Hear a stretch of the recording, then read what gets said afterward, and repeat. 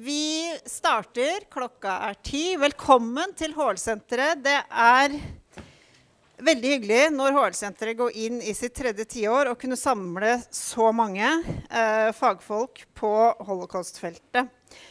Det er jo slik at i vår nye strategiske plan så skal HL-senteret styrke forskningen på holocaust i Norge ytterligere.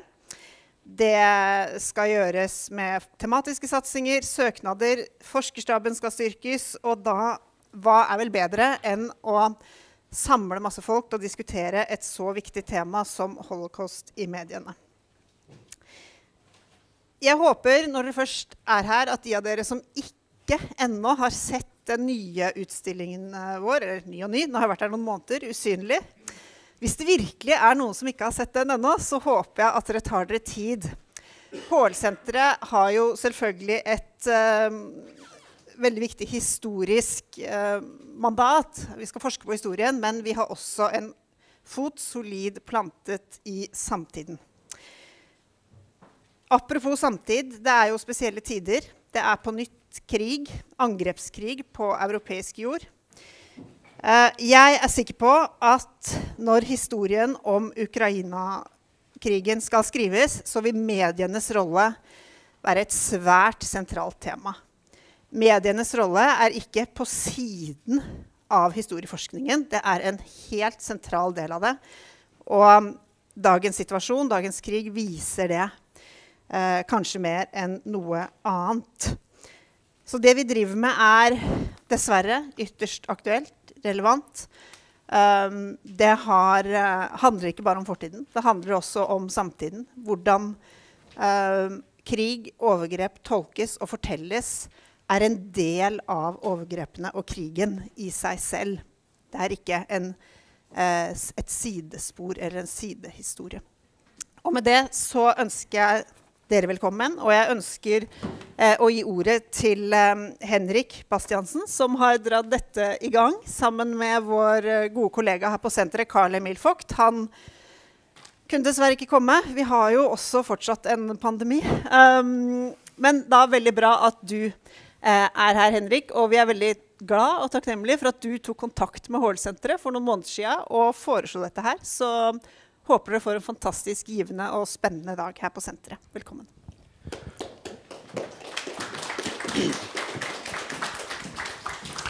Tusen takk for det. Uh, og så hyggelig å se så mange folk her. Det er alltid spennende hvor mange kommer.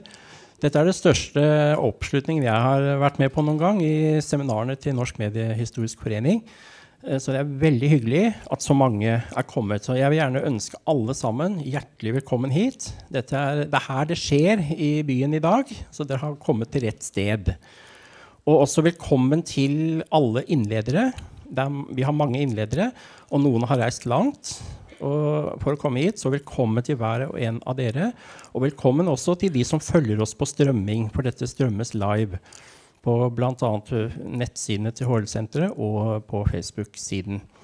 Så velkommen, alle sammen. Uh, vi skal ha en spennende dag. Uh, vi har et program som er rikt. Mange innlegg. Og vi må holde litt kustus på tiden så godt vi kan. og prøver at vi skal klare å holde oss innenfor 20 minutter til hver, til hver innleder. Eh, programmet har dere fått. Eh, det ligger på, eh, på setene. Noen praktiske beskjeder helt først. Vi har lagt inn en, en, en, kaffepause både nå i tiden før lunsj og også etter lunsj. Og vi har en times lunsjpause. I tillegg til det så har vi laget to bolker til, ja, på en halvtime hver til spørsmål og kommentarer fra salen. Én rett før lunsj og en mot slutten av dagen. Og så er det da dessverre slik at Carl Emil Fugt, historiker her på senteret, han, ble, eh, han, testet positivt på korona for to dager siden, så han kunne ikke være her. Han eh, og jeg har jobbet med dette en tid med å forberede. Så uh, han skulle sagt noe om uh, forskningen på holocaust, som jeg da uh, leser opp i hans fravær. Jeg håper at du følger med oss nå, akkurat nå, Karl Emil, på live strømming. Dette skulle du sagt, nå må jeg si det istedenfor for deg. Men altså, den internasjonale litteraturen om holocaust er stor. Og uh, dette feltet har vokst mye siden 1990-tallet. En lang rekke solide forskningsarbeider fortsetter å komme ut på mange språk. Også i Norge har det etter hvert kommet flere viktige studier, ikke minst de senere årene. Bare i fjor kom det ut uh, to bøker om den økonomiske likvidasjonen av jødiske formuer. Berit Reisels bok 'Hvor ble det av alt sammen?' og Synne Korells 'Likvidasjonen'. I Norge kom viktige milepæler i litteraturen om norske jøder under andre verdenskrig på 1980- og 90-tallet. F.eks. Per Ole Johansen, oss selv nærmest, 'Norge og jødene', 1914-43, utgitt 1984. Oskar Mendelssohns bind 2 av jødenes historie i Norge fra 1986 og Christian Ottesen i 'Slik en natt', historien om deportasjonen av jøder fra Norge, eh, utgitt 1994. Og I de senere årene har det kommet en rekke publikasjoner. En sentral bok her er Bjarte Brulands 'Holocaust i Norge' fra 2017. Og så har det kommet flere lokalhistoriske studier med holocaust som tema. Og ikke minst har vi Marte Michelets bøker, som jo har vakt stor debatt i mediene. Og særlig gjelder det Hva visste hjemmefronten?, som resulterte i en motbok fra Elise Berggren, Bjarte Bruland og Mats Tangestuen. Og videre en artikkelsamling med tittelen 'Historie og moral nazismen, jødene og hjemmefronten', redigert av Øystein Sørensen og Kjetil Simonsen. Martin Michelet kom med sin bok 'Tilsvar' eh, som en motbok, og Espen Sødby har også kommentert denne debatten i sin bok 'Hva vet historikerne?' Så dette fenomenet med motbok og motbok mot motboken er antagelig ganske unikt i norsk forlagshistorie. Og dette viser egentlig det, at holocaust har en viktig offentlig side som vi fortsatt vet veldig lite om. Og det er den vi altså ønsker å sette søkelyset på eh, i dette seminaret. Altså, hvordan er holocaust blitt fremstilt? i mediene over tid. Så eh, jeg tenker på dette seminaret som et møte mellom holocaustforskningen og den mediehistoriske forskningen. Um, Holocaustforskningen handler om de historiske realitetene. Mens den mediehistoriske inngangen til det kan altså være å studere hvordan har holocaust blitt fremstilt i mediene over tid. Det er en offentlig dimensjon her som egentlig hører med til dette.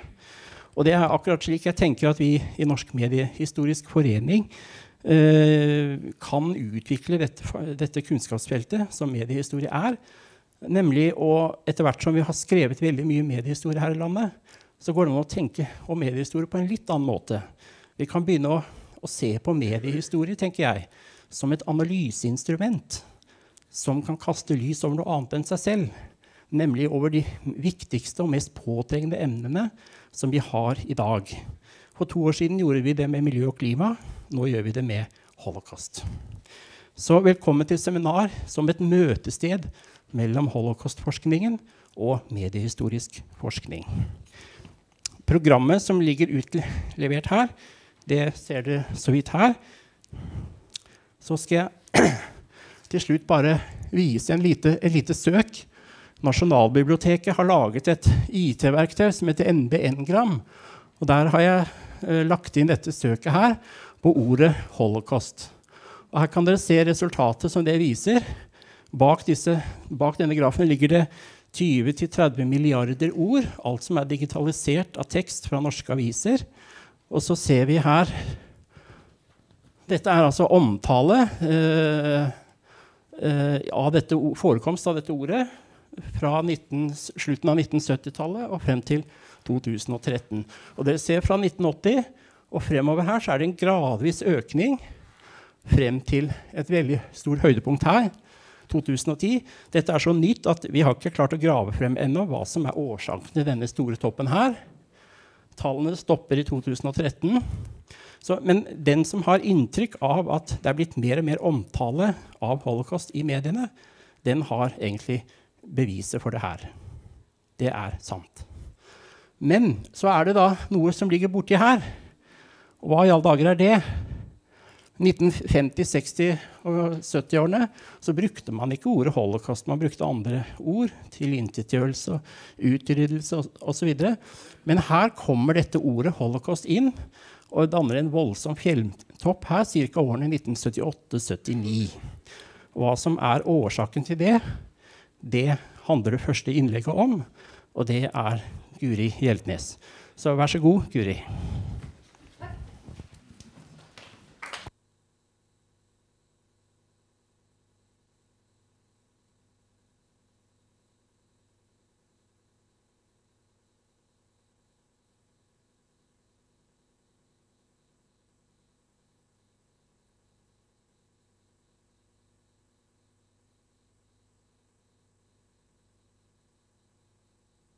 Nå er lyden på. Greit? Ja, kjære alle sammen. Jeg skal ta dere tilbake til uh, Hollywood.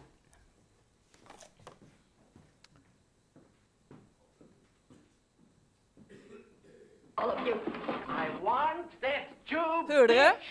and her kids out. No! They are my family! Do you know where you're going? Any place they can't find me. Well, how will you live? Here, take this. It may help you. Will you write to me and tell me where you are? All of you.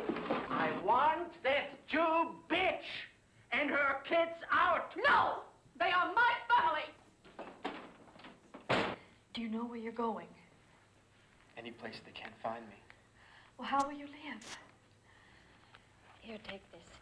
It may help you. Will you write to me and tell me where you are? Maybe.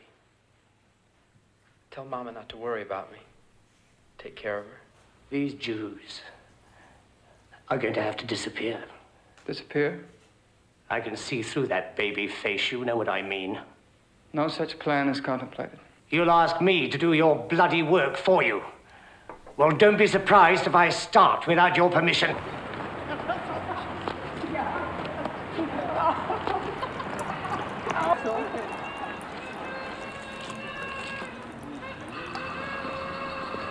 She doesn't speak, Doctor. She recognizes no one.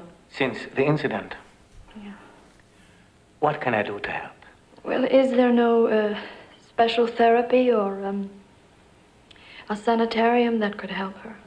Nurse, we have a patient for Hadamar. Inform them. It is with much regret that we must inform you of the death of your daughter, Fräulein Anna Weiss. Although we did all we could to help her and gave her every care, she refused to take nourishment, did not respond to medication, and on June the 3rd died of pneumonia and malnutrition.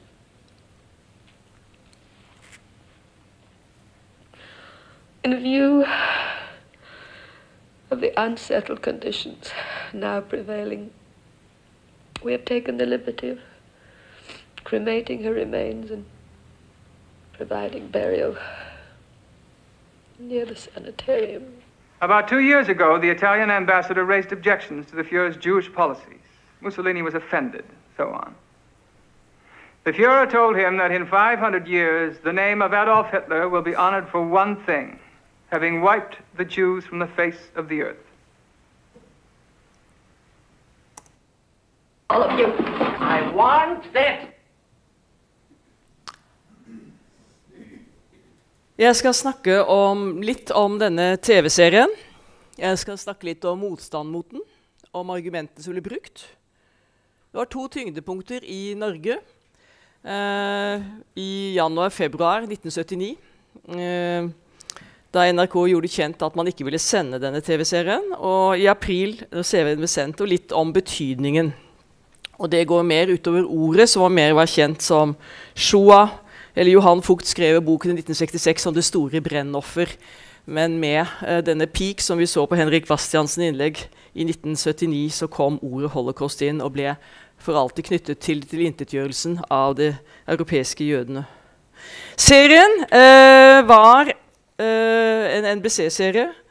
Um, the Story of the Family Wise, ble vist på amerikansk fjernsyn i april 1978 fire kvelder på rad. Til grunn for serien lå en uh, historisk roman av Gerald Green, som også utkom det året.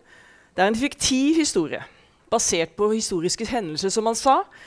Uh, utredelsen av jødene ble skildret med to familier fra Berlin. Den ene en jødisk familie, uh, godt integrert, og den uh, familien Weiss. Og den andre familien en kristen familie, Dorf. Og De omgås, et ekteskap knytter dem nærmere sammen. Familiefaren Josef Weiss er lege, sønnen Carl er kunstner og gifter seg med Inga fra den andre familien, alias Meryl Streep, som vi så her. Um, her har vi uh, de to litt senere, ettersom det utspiller seg. Familien Weiss blir langsomt ofre for den nasjonalsosialistiske utryddelsen av jødene. Josef Weiss, faren, blir først deportert til Warszawa, blir en nøkkelfigur sammen med sin bror blant de jødiske fangene. Og Deretter til Treblinka, og uh, alle familiemedlemmene havner i leire rundt omkring. Vi er innom Buchenwald, Babiar, en som er vitne til Babiar-massakren, Treblinka, Sobibor, Auschwitz-Birkna, Theresienstadt. En rekke.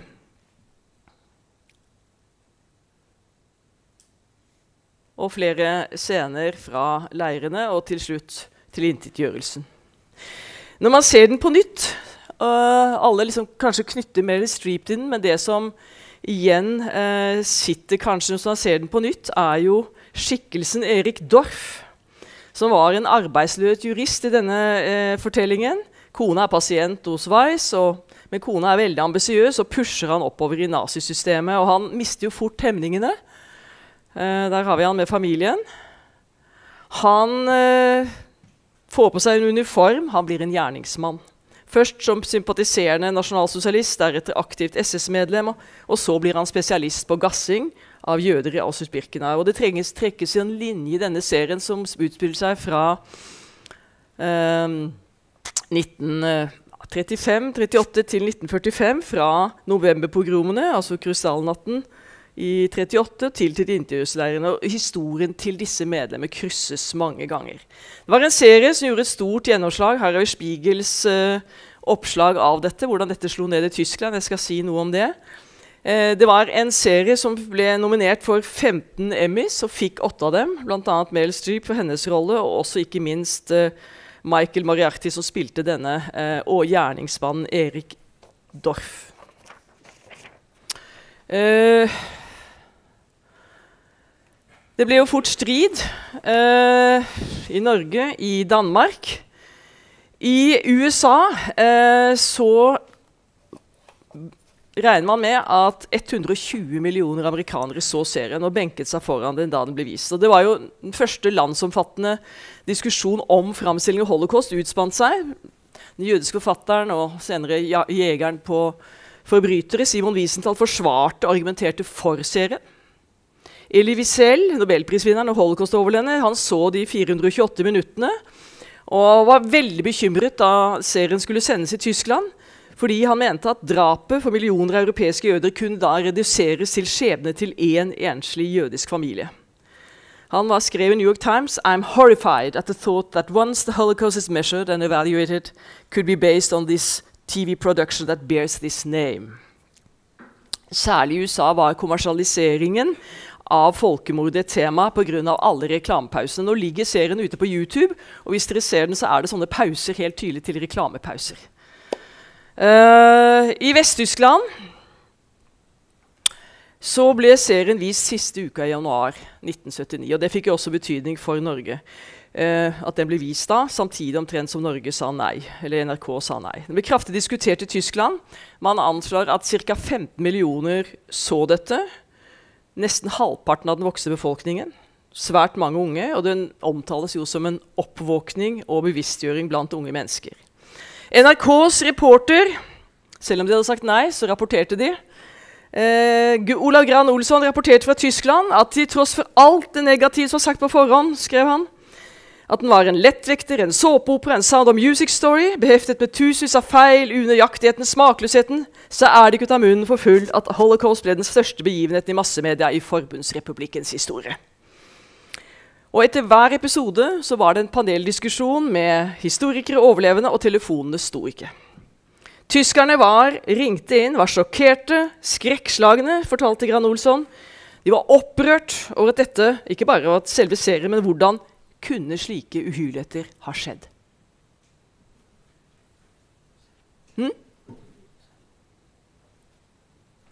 Ja, jeg hadde ikke tenkt å vise den før nå, men det er helt greit. jeg kan ta den nå. Eh, eh, det som skjedde etter denne debatten i Tyskland, var at forbundsdagen forlenget foreldelsesfristen for NS-forbrytelser, som ellers ville ha utløpt i 1979. Det var en klar konsekvens. Og det faktum, eh, Når det skjedde en sånn respons i Tyskland, var jo det som førte til at man rett og slett eh, vurderte å gjøre det. I, eh, fra Israel så rapporterte Kjell Jøstein Resi, som dere sikkert kjenner mange av dere. Han sa at ved siden av toppmøtet i Camp David var det ikke noe som opptok folk mer enn fjernsynsserien Holocaust da den ble vist i september 78. Førte enorm debatt i Israel før og etter. De som var mot, mer kanskje av frykt for at serien skulle rippe, rippe opp i gamle sår, der det ennå lever så mange som selv opplevde jødeforfølgelsen i Europa. Undervisningsdepartementet sendte ut et diskusjonshefte med bakgrunnsstoff til skolebarn og med et korrektiv til det man mente var unøyaktig. Um, I Norge så Leo Eitinger, selv holocaust-overlevende, sa at denne filmen kan vekke det norske folk. Det var hans klare mening. Men hva var så NRKs begrunnelse? Den som frontet dette, og hun er, eh, tar til orde flere steder, var eh, programsjef Rigmor Hansen Rodin. Hovedargument Holocaust er en kommersiell serie. I fagboken forklarte det for leseren her i Dagbladet. Det betyr at et programmet finansieres av et firma som ønsker å eh, plassere reklameinnslag, commercials, i selve programmet. Blandingen av diktning og fakta, hva er hva? Hun kritiserte detaljer om Erik Dorff fikk en feil rolle i å gjennomføre at han var ansvarlig for Krystallnatten, samtidig som Krystallnatten var altså Novemberpogromene var bare nærmest beskrevet som å knuse noen ruter i en sidegate. Det var galt bilde av Eichmann, framstilling av Hans Frank, generalguvernør i Polen. Det var mange innvendinger. Warszawa-gettoen ble nesten framstilt sa Rodin, som en actionfilm. Actionhendelse. Hun sa sitat, 'Vi kan aldri gjenskape virkeligheten, ikke engang tilnærmet'. Sitat slutt. Men det var likevel en avstand, sa hun, programsjefen, mellom føljetongens virkelighet og det man hadde mulighet til å skildre. Og Hun viste også til Danmark, hvor som hadde, hadde sam, tatt samme holdning. Holocaust er, altså serien er kulørt popunderholdning. Og Hun sa også det er ikke noe folkekrav. Hitler har fått flere takkehenvendelser for ikke å sende enn bønner om å sende serien. På, da, på lederplan Dette var jo, vakte jo enorm interesse. Det er sikkert mange i salen som kanskje husker dette også. Eh, på lederplass så rykket man ut og sa at dette burde vises. Eh, dagsavisene, de aller fleste, var positive og argumenterte for at NRK skulle snu. Men en avis stikker seg ut. Det var Dagbladet. Eh, kulturredaktør Hans Fredrik Dahl, som er her i dag, han var særlig kritisk til serien. Han uh, omtalte den i flere medieblikk. Uh, og litt samme argumenter som programsjefen i NRK. Det var smakløse banaliteter om verdenskrigen, en såpeopera. Og påviste, mente også at dette, hele denne dragkampen var en maktkamp mellom NRK og dets monopol på den ene siden og de konservative på den andre. Han foreslo et kompromiss, at man kunne vise utvalgte deler og kombinere med debatter. Samtidig dekket Dagbladet dette veldig fyldig. Uh, Arne Foss reiste ned til uh, Tyskland og så liksom, beskrev om denne serien som han snakker om. Det var et voldsomt press uh, som bare pågikk i februar. Og til slutt, 20. februar, etter en snaue tre-fire uker, så snur NRK og viser serien. Og får behørig plass. Og når serien da vises, er det så stille i hovedstaden at på Theatercaféen er det ikke folk, og ingen folk i Steakhouse. Og hva var grunnen? Jo, det var jo informasjonsplikten først og fremst. Um, dette at uh, man kunne faktisk være i Norge og se serien på svensk TV. Det var et stort gjennomslag i Tyskland. Det hadde fått betydning, det hadde fått en impact. Det var umulig å snu seg. Uh, Hans Fredrik Dahl er fortsatt skeptisk, men han avslutter med, som dere ser, kanskje kan se, at vi skal med glede være med i debatten. Men han uh, kritiserer flere av aktørene. Jeg kan ikke Hans Fredrik Dahl, du sitter et eller annet sted her, men jeg kan ikke gå inn i alle de disk diskusjonene du havnet oppi den gangen. Du fikk både Krigsinvalideforbundet mot deg og Arne Skouen og mye mer. Jeg kan ikke nevne annet at det ble heftige diskusjoner om, denne, eh, om dette. Hva kom det ut av serien? Jo, når vi ser på det nå mye god journalistikk. Det var folkeopplysning. Hvis du leser dette nå, så er det jo utrolig mye som kommer fram. Og I dag tror vi at liksom, dette er nye diskusjoner. Det som skjedde med Marte Michelins bøker, det er slett ikke til. Dette er over 40 år siden, hvor det var utrolig mye som kom fram. Tidsvitnet sto fram. Kai Feinberg i Dagbladet. Beredt til å fortelle historien sin i skyggen av debatten. Holocaust-debatten en stor påkjenning. Og Trygve Bratteli rykket fram samme dag at han syntes ikke dette var noen såpeopera overhodet. Det som var typisk for de som deltok den gangen, var det i redaksjonene. Krigsgenerasjonen var jo der. Det var folk som hadde opplevd disse krigsårene. De hadde vært politiske fanger, de hadde vært aktører. De hadde historier i alle avishusene. De som rykket ut, først og fremst var, slik som jeg husker det, mange Det var utenriksredaktører, det var politiske kommentatorer. Det var helt, Men hva gjorde Arbeiderbladet? Jo, der satt det også mange politiske fanger. Mange som hadde en erfaring. Men de sendte en 25 år gammel journalist til Polen. Det var meg. Dette er mine artikler. Som uh, var da Da ønsket man fra Arbeiderbladet å løfte fram hvordan, hva var det som skjedde på polsk jord. I dag bruker vi ordet nazi-okkupert Polen. Det gjorde man ikke den gang. Um, kjørte en serie eh, fra lørdag til lørdag en uke med masse oppringning. Dette gjorde jo alle avisene. det vil jeg bare si, men Arbeiderbladet valgte liksom det historiske blikket. Det er interessant å lese de artiklene igjen. Han som den gangen, da, i 1979, var direktør i Auschwitz-Birkenau, som da overhodet ikke er den moderne institusjonen og museet der. Det var mange fanger. Og det han fortalte meg, det hadde jeg helt glemt, at Arbeiderbladet var den første norske avis som hadde besøkt Auschwitz-Birkenau. Og det skjedde i februar 1979. Eh, her er noen av disse aktørene som var med. Eh, det var i min avis, skoleklasser inne, Dagbladet gjorde kjempemye bra saker. Uh, løftet fram jødenes historie. Skolen ble tematisert den gang som da. Nygaardsvold ville ikke betale hjemreisen.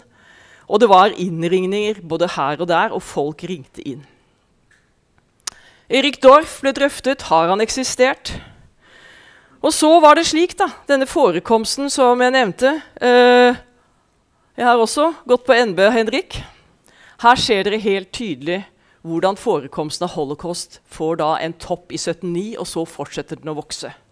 Jeg har også flere tall, så vi kan sammenligne Henrik, som er gjort av vår eh, leder for dokumentasjonsavdelingen her. Men dette viser eh, hvordan dette uttrekket kom. Etterpå oppsummeringer. Uh, serien hadde vært verdt det. Kan aldri nå opp mot krigens grusomhet. Forsvart sin plass. Åpnet for invasjonssanger. Når det gjelder jødenes moderne lidelseshistorie. En vekker noe nye generasjoner aldri hørt om. Men samtidig antisemittisme drepes ikke på én dag eller over 30 år. Og nå er vi her mer enn 40 år senere, og det er mye å gjøre. Så mer, altså Det var ikke bare det at ordet holocaust da kom inn i den termen. Men det er jo først og fremst tror jeg vi må løfte fram Susanne Mertz har skrevet om dette. og det er jo mange som har skrevet om dette etter hvert. Tidsvitnet sto fram, veldig viktig. I USA store innsamlinger begynte. At man forteller sin historie. Og det var oppfølging av saker og temaer. Gjerningsmennene, historisk om holocaust, tysk bakgrunn, norsk medansvar. Det var en diskusjon Hans Fredrik Dahl satte i gang. Politiets deltakelse den gangen. Nå er det jo forsket mye mer. Jødiske befolkningen i Norge kom det fram om, og det naziokkuperte Polen. Og det om Østerrikes manglende oppgjør. Det ble en avtabuisering, en døråpner, som bebudet at her kom det mer i de påfølgende tiår. Inn i 80-tallet og inn i 90-tallet. Og det vet jo vi, for her sitter det jo folk som har vært med i disse diskusjonene. Takk for meg.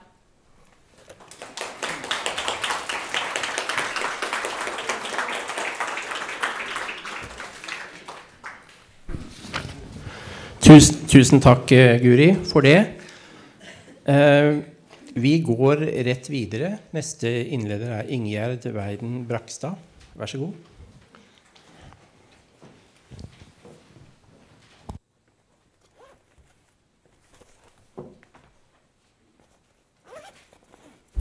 Tusen takk. Hallo.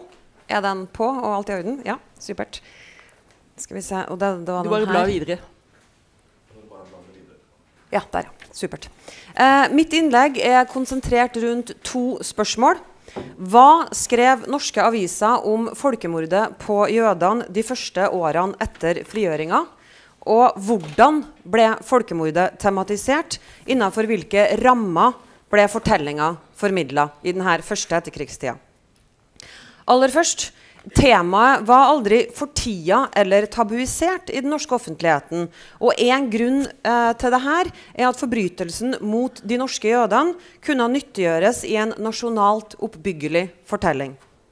Det vil si en fortelling full av mening med en tydelig moral. En fortelling som kunne ha en funksjon i etterkrigssamfunnet.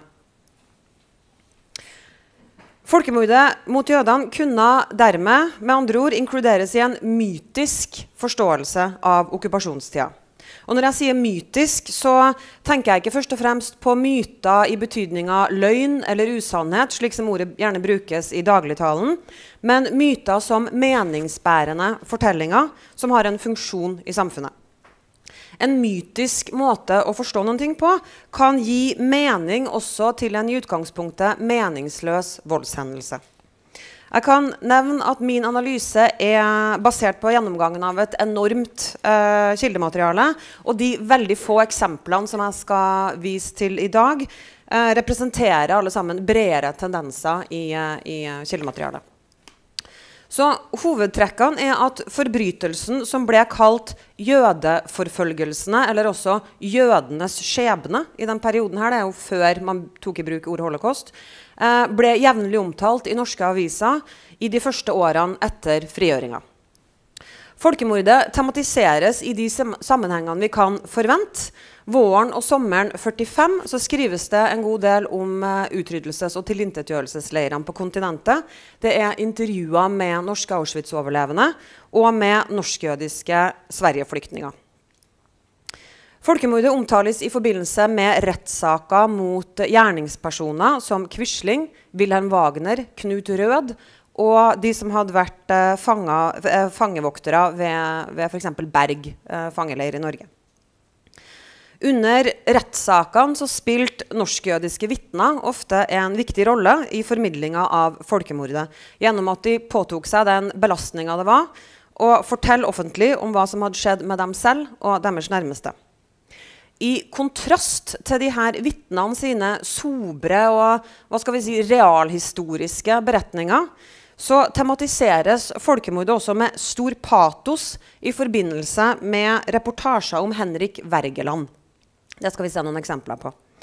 Uh, det er særlig i de her sistnevnte sammenhengene at de nasjonale og de mytiske rammene rundt folkemordet blir overtydelige.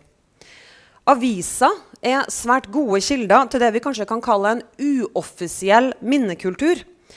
Avisene bidro til språksettinga, konstruksjonen og videreformidlinga av fortellinga om holocaust i Norge på en helt annen måte enn det historieverk eh, eller læ skolens lærebøker eller minneverk som f.eks. våre falne gjorde. De her sistnevnte kan jo da kanskje nevnes som eksempler på en mer offisiell eller formalisert minnekultur. Folkemordet plasseres altså i en utprega nasjonal ramme. Det var tyskerne som sto bak, og gode nordmenn var naturlige motstandere av det som var blitt gjort. Gode nordmenn var ikke bare passive motstandere av angrepet på jødene. i denne fortellinga. De gikk aktivt inn som jødenes beskyttere. Det historiske faktum at det hadde vært nordmenn som arresterte jødiske landsmenn, kunne omgås. NS-medlemmer var i disse sammenhengene nemlig utdefinert av det nasjonale fellesskap, så fortellinga om nordmenn som jødenes beskyttere kunne bygges uten å havne i konflikt med akkurat denne historiske realiteten. Å være norsk var ensbetydende med motstand mot okkupantene og NS. Et tydelig eksempel på dette er Arbeiderbladets leder fra 27.9.1946. Under overskriften 'Norge og jødene' blir vi fortalt hvordan den pågående rettssaken mot Wilhelm Wagner avdekka såkalt jødenes skjebne, og at beskrivelsene som ble gitt av vitner under rettssalen, var fryktelige og hjerteskjærende. Men det fantes et lyspunkt i denne fæle saken, påpekte Arbeiderbladet. Og det var sitat, 'den faste og avvisende holdning det norske folk tok overfor tyskernes antisemittiske agitasjon' og den selvfølgelige hjelpsomhet som ble vist de norske jødene da det gjaldt å redde medmenneskers liv. Når folket her hjemme opptrådte slik, var det i samsvar med hele vår nasjonale tradisjon. Wergeland og Nansens folk kunne ikke opptre annerledes. Og Dette er jo et etter hvert ganske sånn kjent eksempel. Det har blitt referert av uh, flere uh, i de senere åra. Men da jeg første gang kom over det, den artikkelen her, uh, under arkivarbeid for snart 20 år siden, så ble jeg nesten litt overraska over hvor overtydelig den var. Den illustrerte på nesten komisk tydeligvis, den tendensen som jeg så konturene av etter månedsvis med nilesing i arkiv. Så når vi ser nærmere på den teksten her, så ser vi jo raskt at den kun delvis handler om det den sier den handler om. Den handler egentlig ikke om jødene eller folkemordet, og den handler egentlig heller ikke om Wagner. Den handler om Norge og hva det vil si å være en god nordmann i 1946. Uttrykk vi skal legge spesielt merke til, er selvfølgelig hjelpsomhet, folket her hjemme, hele vår nasjonale tradisjon, Wergeland og Nansen, kunne ikke opptre annerledes. Alle de her ordene og vendingene og ikke minst navnene bidrar til fortellinga om hjelp til jødiske landsmenn som noe helt naturlig og selvsagt, en integrert del av det å være norsk og en fortsettelse av norsk historie. Nordmenn kunne ikke opptre annerledes. Hvilken nasjonalitet som ble tilskrevet de norske jødene innenfor denne fortellinga er et annet spørsmål, og det skal vi vende tilbake til om litt. I juli 1945, ved markeringa av 100-årsdagen for Wergelands død, så skrev Arbeiderbladet bl.a.: sitat, For første gang på fem lange, grusomme år kunne representanter for jødene tre fram og hylle den mann som framfor noen annen i norsk historie står som talsmann for jødenes rettigheter. Francis Bull var hovedtaler ved den anledninga her, og han sa at få hadde citat, 'større rett' til å legge kranser og tale ved Wergelands grav enn representanter for jødene, som alt for 100 år siden var fylt av takk for hans gjerning, og som etter de siste års tragedie fornemmer takken enda sterkere. Sitat slutt. Og Dette er jo et av mange eksempler fra denne perioden her, um, hvor jødene, norske jøder i tida etter folkemordet forventes å være først og fremst takknemlige. Og dette bildet av at den jødiske befolkninga først og fremst var, eller skulle være, takknemlig, og at det var Wergelands Norge som hadde vunnet fram i mai 1945, gjorde det mulig å inkludere folkemordet eh, i en bredere nasjonal ramme. Så det har i offentligheten aldri eksistert noen form for tabu rundt folkemordet. Uh, der historieverk beviselig overså eller neglisjerte uh, folkemordet, kan det samme ikke sies om avisene i samme periode. Og det var jo da en grunn til det her, og den grunnen var at rammene rundt fortellinga uh, var uh, utprega patriotisk og nasjonal. Helt i tråd med etterkrigstidas behov for en oppbyggelig nasjonalfortelling med en tydelig moral. En nasjonal mytologi. Generelt sett så, så den fortellinga slik ut. Tyskerne, som var kollektivt og patologisk blodtørstige antisemitter, hadde myrda de norske jødene til tross for at disse ikke hadde gjort noe galt. Nordmenn, det vil da si nordmenn som ikke var jøder og heller ikke NS-medlemmer, hadde gjort alt som sto i deres makt for å beskytte den jødiske minoriteten. Våre jøder og vår jødiske minoritet er, er, er, er formuleringer som går igjen. Tyskerne hadde også lurt en del mindre intelligente nordmenn altså NS-folk, til å bli antisemitter. For dette var egentlig ikke noe som lå for nordmenn. Eh, så dette er i veldig grove trekk eh, fortellinga om det som skjedde under krigen. Det som da skjedde etter frigjøringa, i henhold til denne fortellinga, er at tyskere og NS-folk straffes. Jødene er takknemlige. Og gode nordmenn anerkjennes nasjonalt og internasjonalt for sin medfødte humanisme. Det var Wergelands og ikke Quislings eller Hamsuns Norge som vant, og den såkalt selvsagte hjelp man møtte jødene med, føyer seg inn i en lang norsk tradisjon for fordomsfrihet og medmenneskelighet. Det fantes uenigheter og motstemmer, brudd med denne mytiske fortellinga, bl.a. Fra, fra norske jøder. Eh, men dette er helt klart den dominerende ramma som konstrueres rundt folkemordet i denne perioden. her. Og i bunnen her så ligger det jo et paradoks. Fordi et folkemord er en forbrytelse som i utgangspunktet kun gir mening for de som deler ideologien bak. For disse så vil forbrytelsen ikke bare være en nødvendighet, men også en dypt men, dyp meningsfull handling. Mens for ofrene og for de aller fleste tilskuerne er det snakk om en meningsløs forbrytelse begrunna i fri fantasi. Der lidelse under en krig kan gis men mening, altså det kan tilskrives mening, når noen faller i det godes tjeneste, eh, ofrer seg for en god sak osv., så, videre, eh, så er et folkemord meningsløst i sammenligning. Eh, de fleste her har sikkert hørt formuleringa om at folk som ble drept i krigshandlinger eller under motstandsarbeid, eh, de døde for noe de trodde på, mens jødene som ble drept under folkemordet, de døde pga. noe nazistene trodde på. Folkemordet på de europeiske jødene dekka store deler av Europa, og massedrapene var meningsløse og irrasjonelle for alle som ikke delte forestillinga om jødisk verdenskonspirasjon og rasekamp. Så folkemordet kan punktvis beskrives som internasjonalt, irrasjonelt og meningsløst. Likevel så ser vi at forbrytelsen omskapes til en nasjonalt meningsfull hendelse. Altså Hendelsen blir gjort nasjonal, en internasjonal, internasjonal hendelse blir gjort nasjonal, og den blir fylt med mening.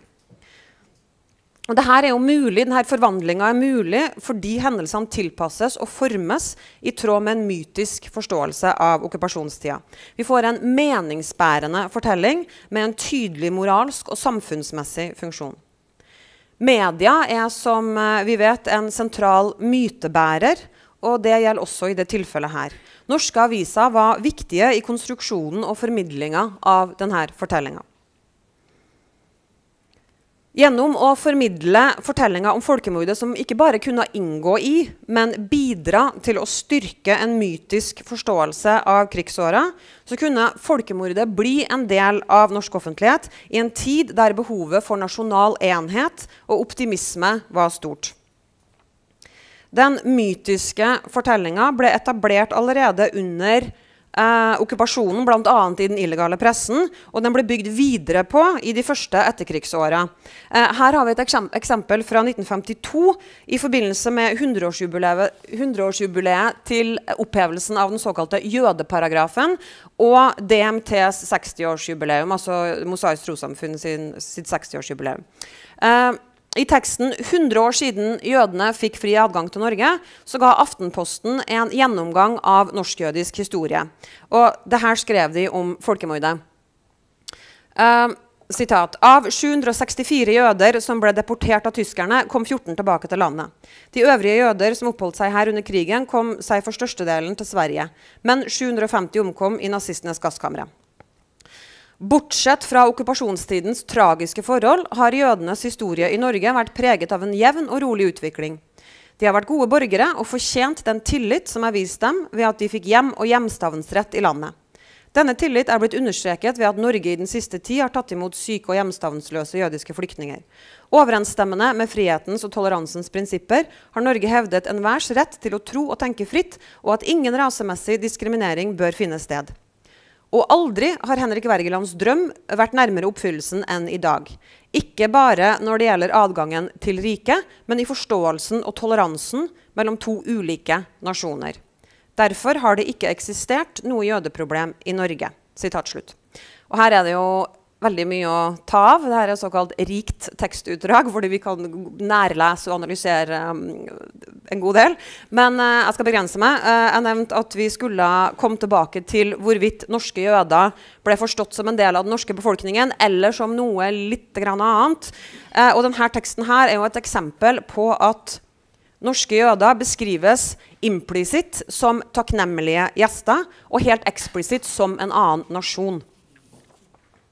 Så for å oppsummere.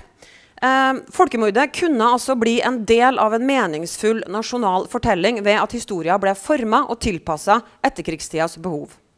Vi ser at den mytiske fortellinga som ble skapt, i begrensa grad handla om overgrepene og volden de norske jødene hadde opplevd, altså folkemordet i seg selv, og desto mer om ikke-jødiske nordmenns humanistiske holdninger i møte med rabiate tyskere og dumme og villeda eh, NS-folk. En myte er som nevnt ikke det samme som en usannhet eller en løgn, men en myte er en form der historiske realiteter som jo kan være meningsløs, vanskelig, ubehagelig, paradoksal, full av gråsoner, tilpasses og formes slik at den blir til en enhetlig, meningsbærende fortelling. En mytisk fortelling er en lukka og slutta enhet med en tydelig, oppbyggelig moral. Fortellinga er perfekt og fullstendig. Avslutningsvis vil jeg gjerne påpeke helt kort at uh, mytisk historieforståelse ikke er noe vi har lagt bak oss. Uh, vi omgir oss fortsatt med mytiske fortellinger, ikke minst knytta til traumatiske og voldelige deler av historien. Forskninga viser jo at det aldri var taust rundt folkemordet. Men dette er etter min erfaring hvert fall, et punkt der forskning og allmenn oppfatning står et godt stykke fra hverandre. For det eksisterer en ganske utbredt forestilling om at holocaust, altså folkemordet på jødene, var fortia og tabuisert i tiårene etter 1945 i offentligheten. Eh, så denne oppfatninga eller fortellinga om at folkemordet var fortia, er også en myte i ordets fulle forstand. Fortellinga om fortielse er nemlig også en meningsbærende fortelling med en tydelig moral. Tanken om historie som framgang og oss som bedre og klokere mennesker enn fortidens mennesker, i dette tilfellet 40-50-tallets mennesker, er en av den vestlige liberale verdens grunnmyter og en av våre aller mest meningsbærende fortellinger. Problemet med en mytisk historieforståelse både på 40-50-tallet og i dag er at myten lukker lukke og låse historien. Og den kan gjøre oss mindre nysgjerrig, blind for nyanser og gråsoner og uinteressert i nye spørsmål og perspektiv. Rett og slett fordi vi finner så utrolig mye mening i den uh, mytiske forståelsen av historien. Takk.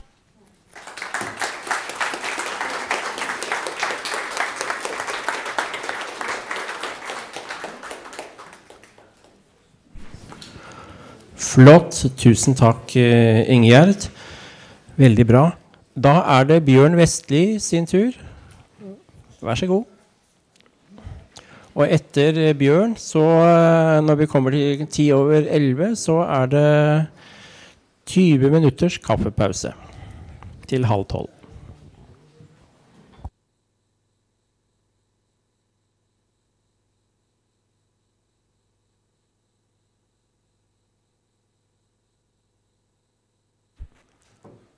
Hallo, ja. Hører dere meg?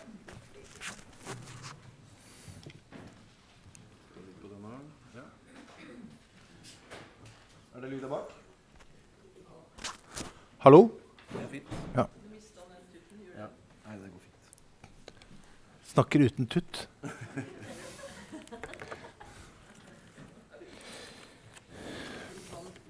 Ja. Det er veldig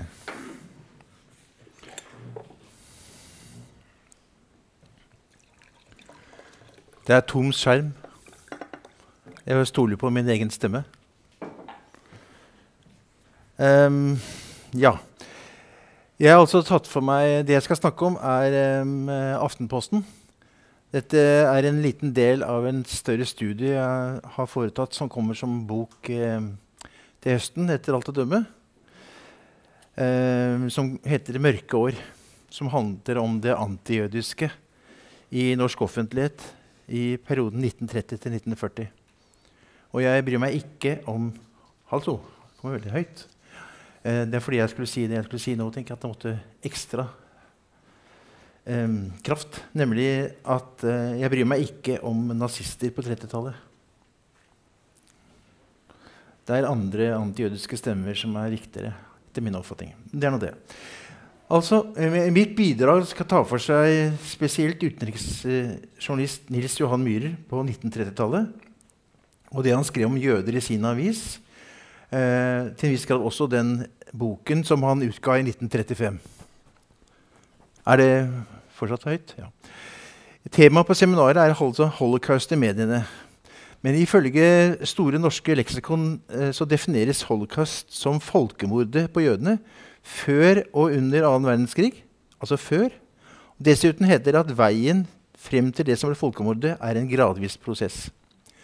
Riktignok er nok den definisjonen som Vibeke Kilden Banik, som jobber her, har skrevet, den, den handler kanskje mest om Tyskland, men jeg bruker den likevel. For det, det er veien frem til det som ble folkemordet, er en gradvis prosess, er det som interesserer meg mest.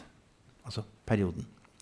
Jeg har fått til at både Myhrer og Aftenposten kan passe inn i en slik sammenheng, slik Myhrer forholder seg til jøder, og særlig grad de land som ble rammet av Tysklands nazisme fra 1938.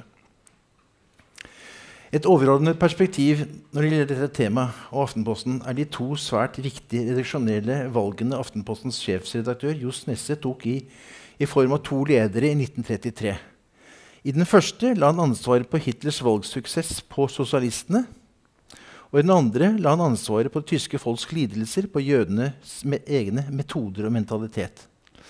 Det var noe som eh, Nesser, vil merke, som var offiser og høyrepolitiker, fulgte til 1940 med en liten korreksjon i 1938. I 1939 så kjempet Aftenposten hardt for å hindre at ti jødiske leger skulle få komme til Norge. Altså i, i februar-mars 1939. Det var Det var stor oppmerksomhet om det som skjedde med jødene i Tyskland på 1930-tallet. Den økende volden mot jøder i Tyskland fra 1933 blottstilte antijødiske oppfatninger også i en rekke norske aviser, nyhetsdekning og andre politiske kommentarer om hendelsene i Tyskland ved å gå langt og legge ansvar på jødene for det som faktisk skjedde. De avisene som var mest tyskvennlige, støttet ikke bare Tysklands nye utenrikspolitikk og opprustning, men hadde også langt på vei forståelse for de tyske myndighetene tiltak overfor jødene. Aviser er derfor en viktig kilde til å forstå samfunnet, ikke minst på 1930-tallet, fordi avisene den gang betydde langt mer som informasjonskanal eh, enn i vår tid. når vi kan, vi kan jo søke informasjon langt friere og enklere. Historikeren Hedvard Bull slo derfor fast i 1929 at citat, pressen i det moderne samfunn er det viktigste organ til å gi uttrykk for den offentlige mening. Med tanke på at Aftenposten var landets største avis med et daglig opplag på sine to daglige utgaver, med et opplag på 165 000 i 1938, er det all grunn til å tro at Myhrers og andre avisers penner som skrev svært negativt om jøder, må ha hatt påvirkningskraft på avisens lesere som jo også eh, var bl.a. landets samfunnstopper. Det er en tydelig kontinuitet i Aftenpostens holdning til jøder fra tidlig på 1920-tallet, da jødebolsjeviker og ditto var Aftenpostens klassifisering av jøder, til at Aftenposten på 1930-tallet oppfattet at jødene i Tyskland var et problem fordi de svekket det nye Tyskland under Adolf Hitler. Svekket, under, svekket det nye Tyskland. Det er slik at eh, Aftenpostens hovedlinje når det gjaldt Tyskland, det var at Tyskland måtte være sterkt eh, for å kunne møte Sovjetunionen, som var en langt større eh, trussel enn Tyskland. Det var et eh, gjennomgående trekk i Aftenpostens dekning av dette var at, eh, at eh, Tyskland var på en måte den, en skanse mot, det, mot Sovjetunionen og Stalins politikk. Og man kan jo for så vidt ha forståelse for at man kunne være redd for eh, Stalin og Sovjetunionen på 30-tallet. Men at man, eh, jeg har vanskelig å forstå hvorfor man da likevel av den grunn skulle støtte Tyskland. Også etter at Tyskland hadde okkupert både Tsjekkoslovakia og Østerrike, støttet eh, eh, Aftenposten dette. Det var en vending først da, da, da Tyskland startet første verdenskrig etter angrepet på Polen. Tyskland måtte ifølge Aftenposten være så sterkt som mulig for å kunne matche Sovjetunionen. Det var et overordnet perspektiv fra sjefredaktør Johs Nesse, som også var offiser før han ble eh, avisens eh, sjefsredaktør i 1930. Flere av Aftenpostens sentrale skribenter, som eksempelvis Håkon Øverland og Sigurd Konstad, videreførte jødekritiske holdninger og artikler fra 1920-tallet og inn i 1930-tallet, og representerte derfor en kontinuitet i Aftenpostens redaksjonelle linje i synet på jøder. Nils Jørgen Myhrer ble ansatt i Aftenposten i 1928, da han var 30 år. Myhrer hadde da studert både på Universitetet i Oslo og i København. Myhrer kom direkte fra forretningsbladet Farmann til Aftenposten, der han hadde vært redaksjonssekretær i seks år. I Aftenposten ble han ansatt som utenriksjournalist, med en åpenbart stor reisekonto. Han ble i avisen i 41 år, og var, før han sluttet, utenriksredaktør på 60-tallet. Myhre hadde svært gode tyskkunnskaper og oversatte en rekke bøker fra tysk hele sin karriere. Og, eh, ble, og også Albert Speers bøker, som han også ble venn med. Myhrer var ingen typisk nyhetsjournalist, men skrev ordrike og kom kommenterende tekster med tydelig politisk vinkling. Noen av tekstene hans eh, kan ofte oppfattes som arrogante og i omtalen av jøder antydningsvis harselerende. Myhre var i likhet med Aftenpostens redaktør Johs Nesse opptatt av Tyskland på 1930-tallet og inntok langt på veien en frivillig holdning til utviklingen etter Tyskland etter at Adolf Hitler hadde grepet makten. Det var et overordnet perspektiv også i Aftenposten. Myhr hadde forståelse for naziregimets strenge tiltak overfor jødene i landet. Slik samsvarte hans holdninger med Aftenpostens linje, ganske så høyreradikal i synet på jøder og i situasjonen i Europa. Hans antijødiske holdninger ble tydeligere enn Nesse Nesses fordi Myhre var en reisende reporter i sporene etter Tysklands overgrep mot jøder både i Tyskland og i okkuperte områder. Myhrer avdekket sine egne jødefiendtlige fordommer ved at han skrev situasjonen i Tyskland og i andre land han besøkte. I hans tekster var det aldri noen forsonende trekk ved de jødene han omtalte. Jeg har gått gjennom et stort antall artikler og kommentarer Myhrer forfatter i den aktuelle perioden. I korthet støttet Myhrer, likhet med hans vis, Tysklands territoriale krav, inkludert overtagelsen av Østerrike og Tsjekkoslovakia, altså helt opp til Polen, angrepet Polen i 1930. Det gjelder også Tysklands militære opprustning. Han kritiserte alle som kritiserte utviklingen i Tyskland etter Adolf Hitlers maktovertakelse. Mer vesentlig i denne sammenhengen er hvordan han annammet regimets antijødiske retorikk og forestillinger om jødenes makt i Tyskland, slik også Aftenpostens ledelse hadde gjort det. Her er noen få eksempler. Kildematerialet er Møres, Myhres artikkel i Aftenposten, men også hans bok om Tyskland, 'Det nye Tyskland fra 1935'. Det var en bok som han ga ut, uh, som uh, Knut Hamsun uh, lovpriste. Eh, Nils J. Myhre skrev ikke direkte om holocaust, men skrev svært nedsettende om jøder i den perioden han angrepene på jødene økte på.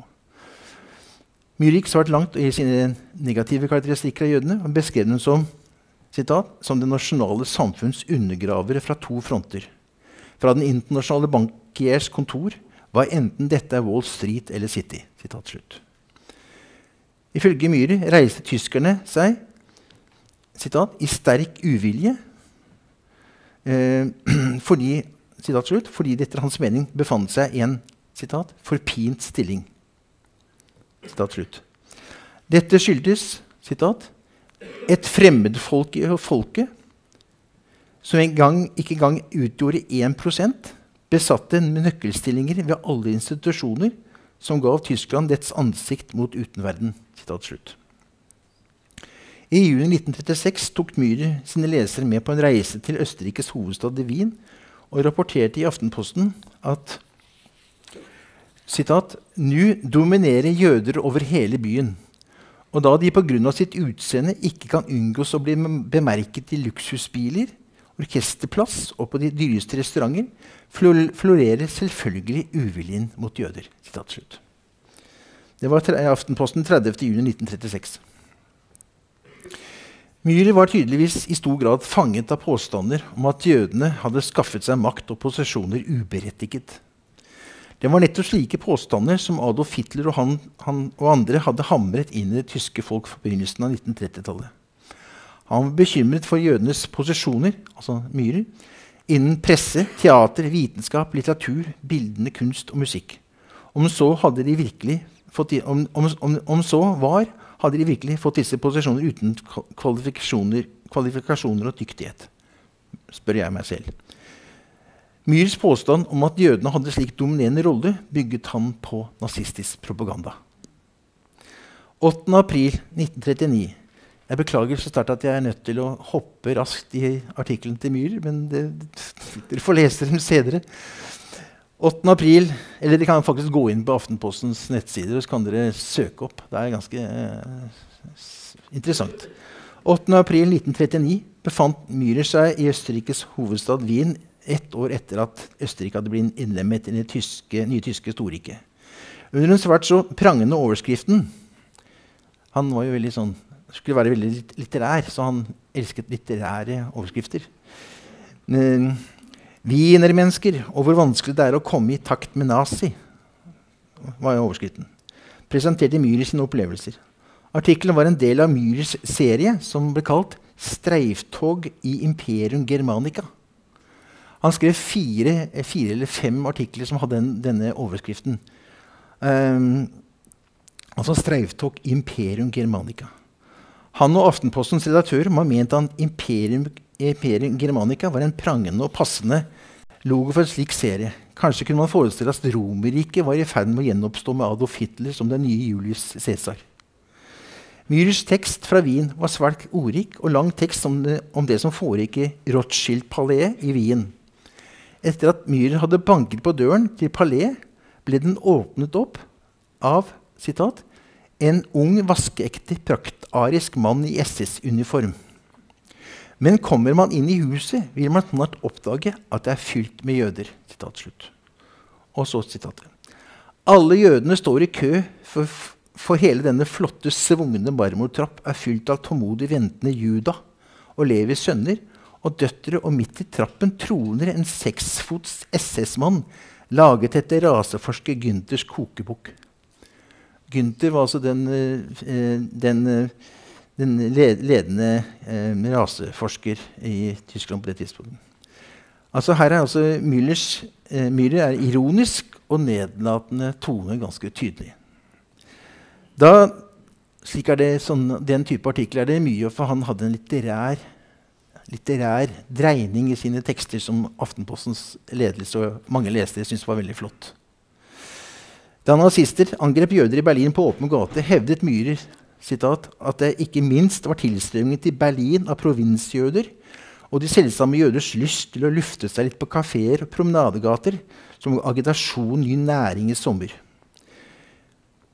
Myhre slo fast i sin bok i Tysk om Tyskland i 1935 at bak denne sitat, nasjonale antisemittismen, slik den er uttrykt i partiprogrammer og ubarmhjertig gjennomført, ligger det en nasjonal selvbevarelsestanke som vi bør forsøke å forstå litt av, og i alle fall ikke bare avferdige som det rene barbari.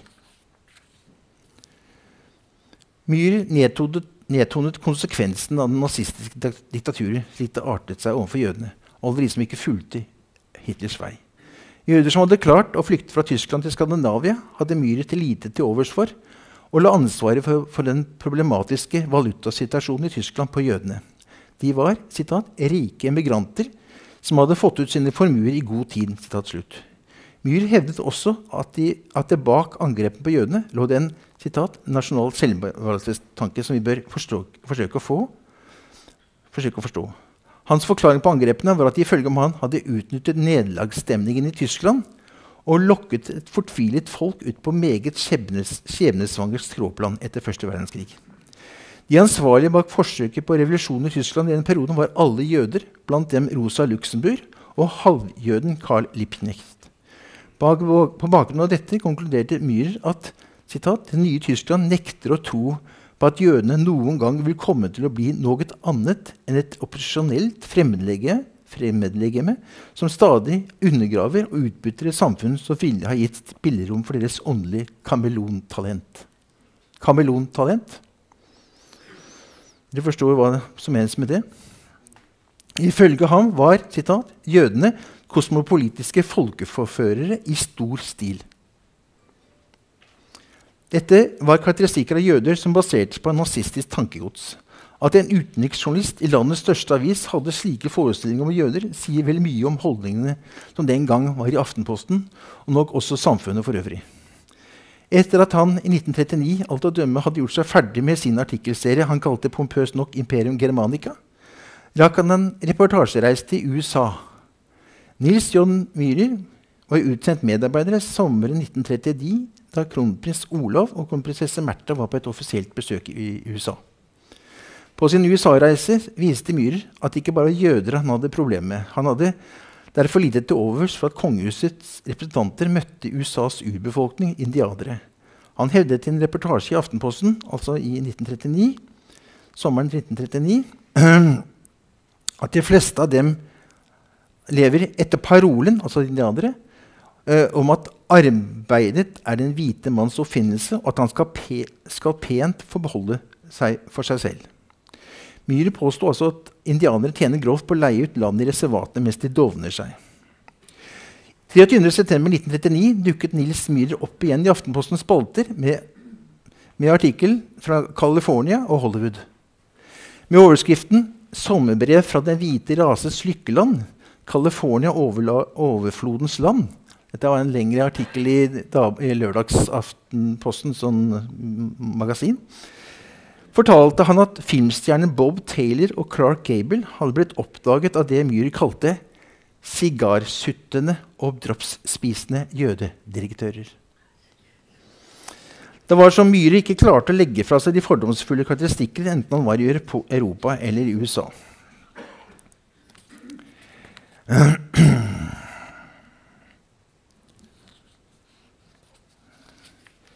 Det passet jo for så vidt bra at jeg nå fikk en advarsel om at jeg begynte For jeg har nemlig mistet en side. jeg hadde nemlig tenkt å lese opp en, en, en, en artikkel som ble skrevet av, av Aftenpostens uh, stjerner på 1970-tallet. Uh, som skrev uh, i forbindelse med Myhres 70-årsdag. Og Jeg skal ta bare et lite sitat, for den siden har jeg klart å ta vare på. I, og, og, som er en beskrivelse av hvordan, uh, hva Myhre skrev på 30-tallet. Den var usedvanlig positivt. I, altså, la meg lese dette. I sin vurdering støttes han, altså Myhrer, av historiekunnskapene og evnen til å oppdage sammenheng i tid og rom. Myhres engasjement i utenriksstoffet er lidenskapelig i den grad man ellers bare finner i de store scenekunstners forhold til skjebnedramaer. Slik kan altså sies i Aftenposten, for det er slik Aftenposten var. Det var en avis som aldri kunne gjøre feil. Det var for så vidt det jeg hadde å si. Uh,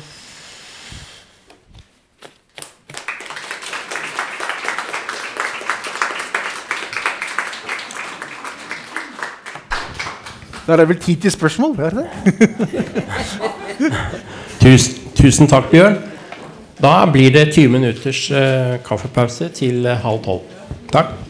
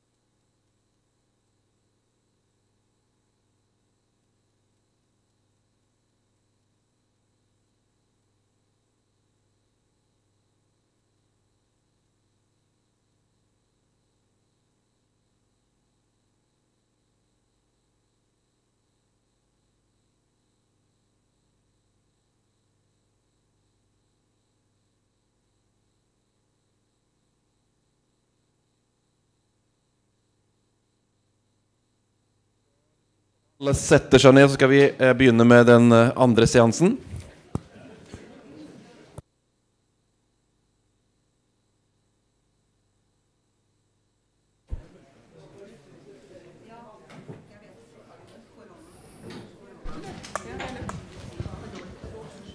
Ja, da er det Rune Ottesen sin tur.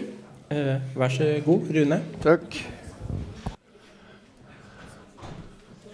Hva Skal vi se Det er jo feil. Det er ikke min presentasjon nå, er det? Ok. Ja. Takk for det, og takk for et flott seminar. Eh, jeg skal se på hva Aftenposten og Dagens Nyheter skrev i sann tid, altså umiddelbart etter eh, 26.11., da Dona ble sendt ut.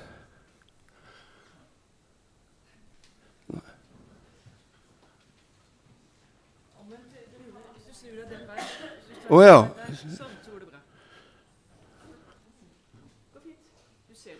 Ja, ja. ja. Og, og, problemstillingen er da eh, Hva fikk avislesere i Norge i kontrollerte og illegale aviser og Sverre vite om utsendelsen umiddelbart etter at den fant sted?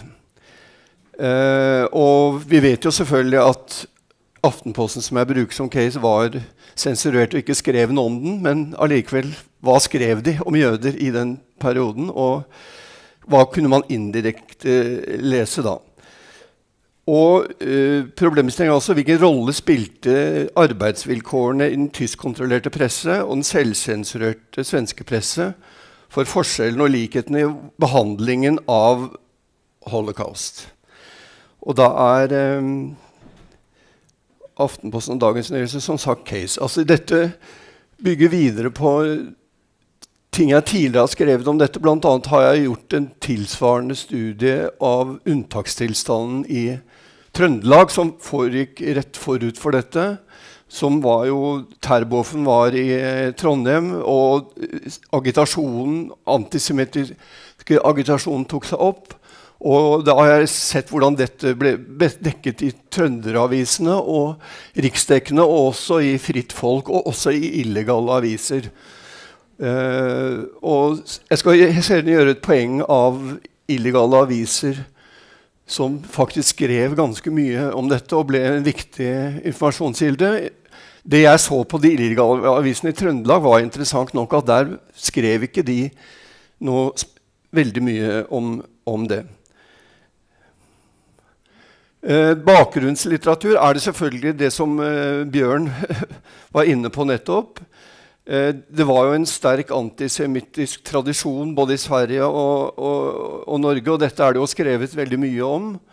Og også i uh, nyere utgivelse. Hele Mislett-debatten er jo aktuell, og motbøkene. Og, og jeg drar veksler på, på boken uh, 'Historie og, og moral' og Bjørns bok 'Norske jødehatet', som jo er en analyse av uh, Norsk artikkeltjeneste, som er NS uh, sitt propagandaapparat, og spydde ut antisemittiske artikler under krigen som de kontrollerte pressene var pålagt å trykke. Uh, og dette ble også da en kontrollmekanisme uh, i forhold til å fjerne redaktører som ikke ville trykke nok. og det instrumentelle i dette er jo viktig. Og den svenske boken 'Sverige og, og Nazi-Tyskland' er også en veldig viktig kilde. Eh, og spesielt artikkelen her, skrevet av Gjøran Lent, eh, 'Mediene i skuggan av forintelsen'. Eh, og han stiller en del forskningsspørsmål som han gir svar på. Bl.a. klarte mediene å formidle tilgjengelig informasjon om hva som hendte med jødene? Og hvis nei, kommer, hva kommer det av? Hvordan ble mord og overgrep som ble gjennomført, framstilt? Fantes det uvilje mot å vekke en opinion til fordel for jødene, og i så fall hvorfor, fantes det medier som avvek fra dette mønsteret? Kunne det ha hjulpet jødene om mediene skrev mer om den nazistiske politikken? Og her er jo kontrasten selvfølgelig Det var jo ikke noe entydig, entydig bilde her. Eh, kontrasten er jo som vi kjenner til Göteborg Handels- og Sjøfartstidene. Og, eh, som jo og Torgny Seidres som gjorde, var en motvekt. Eh, og så setter jeg også dette inn i ja, konteksten formell og, og uformell sensur. Uh, grunnen til at Aftenposten og andre medier ikke skrev om den, var selvfølgelig at de var sensurert. Quislings lov av februar 1942 eh, kontrollregimene gjennom Pressedirektoratet og Pressabteilung grep jo inn og var instrumentelle. Så hadde du også i Sverige trykkfrihetsforordningen.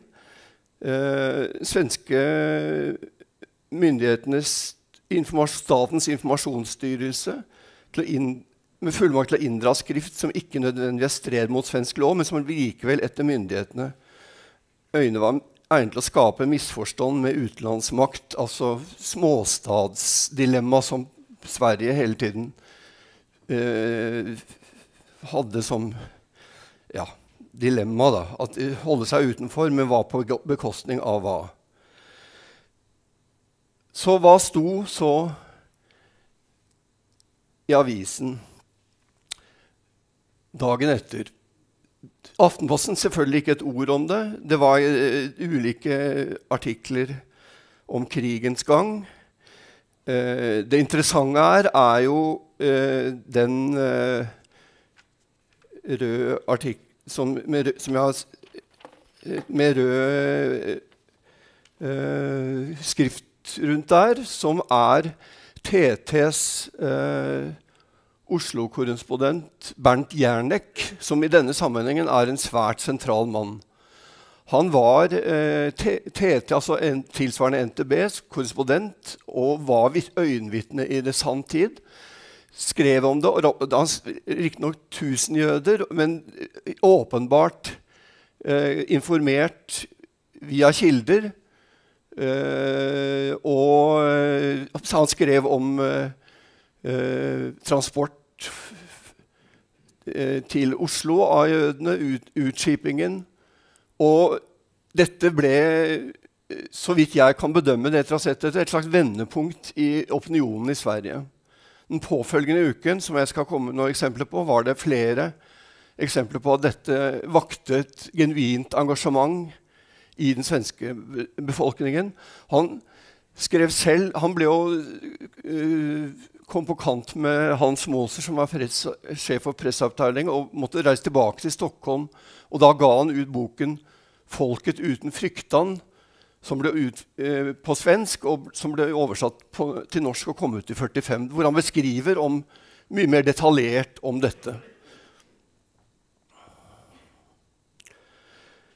Eh, måten han formulerer dette på, eh, er eh, en dramatisk eh, beskrivelse av hva som hadde skjedd. Han har intervjuet eh, øyenvitner og var tydeligvis godt informert og hadde gode kilder. Så følger dagens nyheter dette opp. Eh, det er i alt tre hovedoppslag. Jeg har sett på den første uken. Det er tre forsideenvisninger til hendelsene i løpet av den uken. Og eh, en helt sentral måte å forstå hvor mye svenske medier etter hvert skrev om det, er en fast eh, klippspalte i Dagens Nyheter som sto hver dag som et pressgrannan. Dette er ikke noe svære oppslag, men det er mer eh, innenriksstoff. Men gjennom referanse i Pressegrana så se, refererer de flere andre avisers omtale av den samme. Og det er helt åpenbart at dette vak eh, eh, vakte reaksjonen. Eh, blant annet 28. november er det fra Østgjøten her da. Eh, både våre tanker og våre kjensler måtte vi reagere på det som skjedd og skjer i Norge og de andre okkuperte landene. Og de mobiliseres også til motstand. F.eks. så vises det til at de svenske, norske biskopene har protestert. Og de appellerer direkte til at nå må den svenske kirken reagere. Så det er helt åpenbart at det skjer en mobilisering.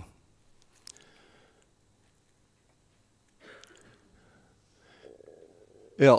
Eh, og det som er svært interessant, eh, er den 4. desember. Da står det faktisk eh, eh, under tittelen 'Rasehat og norgesdåden'. Med harm og indignasjon har svenske medborgere mottaget underrettelsen 'Den grymme behandlingen vederfares juderne i Norge'. Og det var et opprop undertegnet 22 kvinneorganisasjoner som tyder på at det var en reell mobilisering rundt dette spørsmålet i, i, i Sverige i etterkant. Det vekte åpenbart et genuint folkelig engasjement. Og eh, også eh, gjennom eh, referat fra, fra, det mosaiske samfunn i Stockholm eh, er det også uh, referanse til det som har skjedd. Og en indikasjon her tyder på at man ser også etter hvert faktisk omfanget av det, hvis dere ser helt nederst her. Visseliden er ikke den første deportasjonen av denne art. Sedan ti år pågår det en hensynsløs utrykningskamp mot jøder i de fleste europeiske landene, hvilken redan krevd to millioner ofre. Så der ser man omfanget av det også, faktisk, i, i sann tid eh, for, for avisleserne. Eh, kontrasten til, til, eh, til, Aftenposten er det, og da den, selvfølgelig den rungende tausheten. Men det er noen interessante artikler her som, som eh, kontekstualiserer dette, og som viser eh, eh, NS bruk av, eh, av, deres mediestrategi. Eh, interessant nok, som ikke er direkte med dette, er jo å se oppslaget her. Det viser jo litt Aftenpostens eh, det, er en klar parallell mellom Dagens Nyheter og Aftenposten. At de skriver om de samme militære hendelsene i Europa. Mens eh, Dagens Nyheter er den mer en tradisjonell, nøytral nyhetsjournalistikk. kan man si. Mens her er jo den ag agitatoriske Italia kjemper med urokkelig sikkerhet for den endelige seier. Og litt interessant å betegne Mussolini som en hellig krig. Det vekker jo assosiasjoner til ting som skjer i vår tid. Så er, det en svært, eh, så er, det to interessante artikler til her, hvis jeg får den her til å lyse, da. Ja.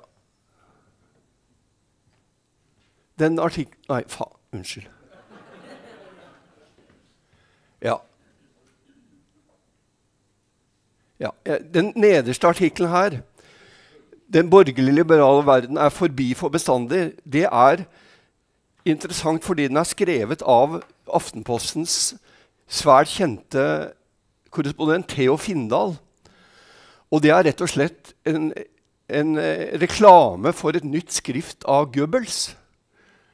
Som han snakker eh, ganske positivt om. Og det som er eh, litt interessant her, er jo eh, at, eh, at Theo Findal var jo eh, kjent etter krigen, kom det fram at han eh, eh drev jo et slags eh, dobbeltspill med, med, med, med forbindelse til, til, engelsk etterretning via sin nevø, som også var i, i, i Stockholm. Nei, i Tyskland. Og, og, la oss si at han hadde en slags dobbeltfunksjon, da, så viser det likevel hva slags artikler han var nødt til å skrive. da.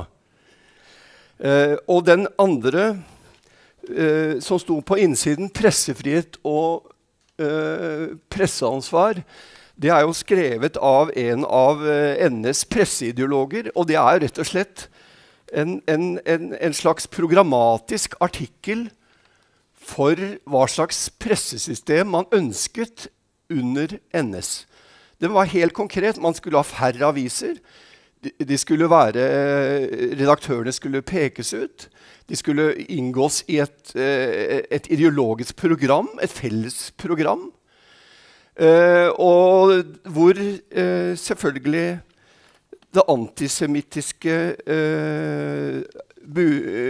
ligger under. Og det er noen klare, virkelig grove referanser til, til, til, til, til hva Altså det er Rothschild-familien, de jødiske avisfamiliene, hvordan de driver løgnpropaganda, er en del av dette budskapet. da. Så var det da eh, pustehullet, de illegale avisene. Og det har jo Ingjerd Verden Brakstad også skrevet om i den boken, også i sin egen masteroppgave. Og det er jo ikke tvil om at hvis man skal forstå hva norske befolkningen kanskje kunne bli informert om, så er det jo en informasjonsstrøm fra Sverige til Norge. Det vet vi jo. Dette skriver bl.a. Arne Skouen om i sine memoarer. Og at det som sto i svenske aviser, ble kjent i Oslo, må man anta. Og de illegale avisene skrev jo eh, om dette eh, eh, eksplisitt. Og eh, det er eh, Hun har jo spesielt undersøkt London Nytt, Håndslag og Friheten. Og det er en eh, kilde som altså Hans Luin og de andre som har skrevet om illegale avisene Det er ikke noe liksom, undersøkelse hvor mange fikk lest dette. Det gikk jo fra munn til munn. Uh, og, men at dette gjennom de illegale avisene ble kjent, kan det jo neppe være tvil om. Og det her, hvis vi skal se sånn det, det journalistiske, så vil jeg si at uh, Og det er det jeg skal slutte med. At det er her, uh, Man kunne ikke drive journalistikk i vanlig forstand, selvfølgelig i Aftenposten og disse andre avisene, som direkte og indirekte bidro gjennom sine eh, taushet og, og, og, måten de skrev på det på mange måter. Men den vanlige journalistiske, tradisjonelle arbeidet, være på kaia, se hva som skjer, komme med øyenvitneskildringer, vekke følelser Det er klare paralleller mellom Bengt Jerniks reportasjer og det som f.eks. står i Friheten samme type eh, observasjoner av at eh, man ser fortvilelsen hos de som blir rammet.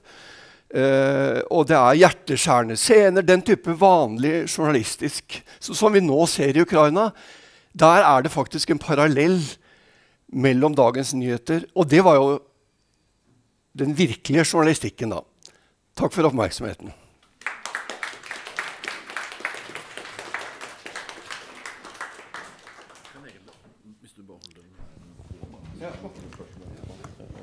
Tusen takk, eh, Rune. Veldig flott. Da er det Øystein Hetland eh, fra HL-senteret. Vær så god.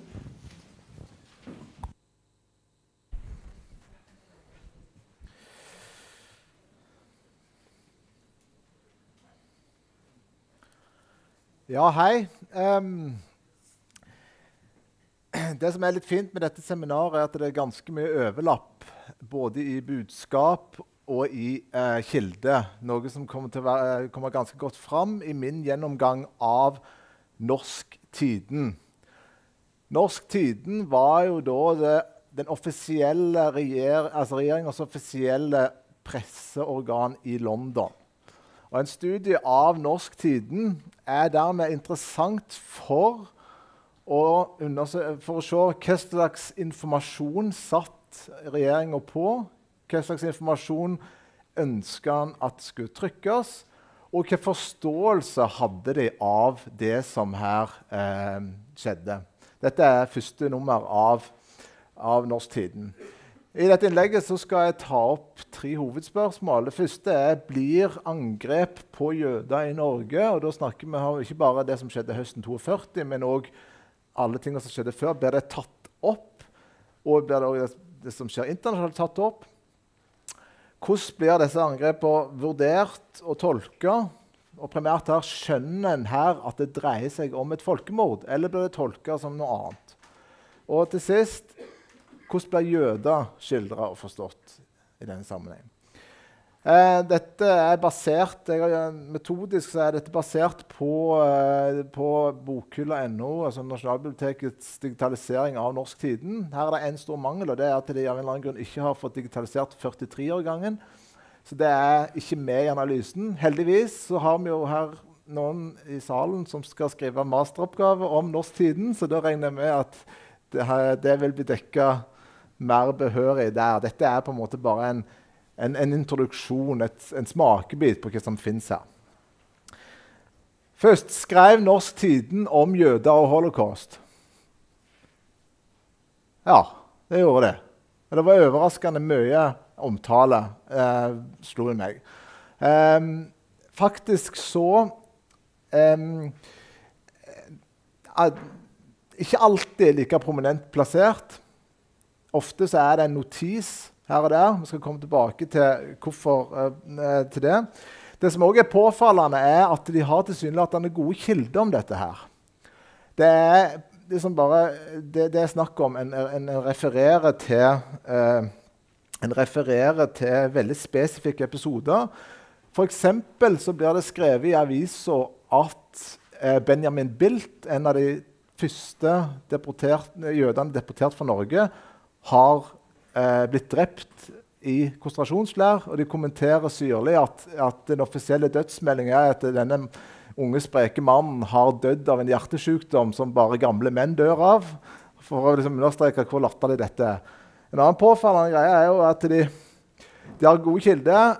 For eksempel, de, de, de, de, skriver at på Donau de kommenterer at Donau har kommet fram til Tyskland, og om bord er det 532 jøder som jo lenge var på en måte det offisielle tallet her. Det er veldig påfallende nøyaktig her. Kildene er åpenbart både norske, men de er òg svenske. Det er flere referanser til svenske avisers omtale av, av dette her. Um, I hele tatt så er de fleste sentrale hendelsene i jødeforfølgelsen skildra. Dette er en artikkel som oppsummerte den politiske situasjonen i Norge i august 1942. Og her er det en egen seksjon hva vil skje med jødene. Og her får en lista opp veldig mange av de sentrale. En, for, en, for, en har fått med seg at eh, jødene ble fratatt radioene i 1940. At eh, jøder i Trondheim var blitt utsatt for spesiell hard forfølgelse at en har blitt fratatt eiendommer. Og ikke minst i november så kom ordren om at jødene skulle Det er jo interessant, for det var jo internt.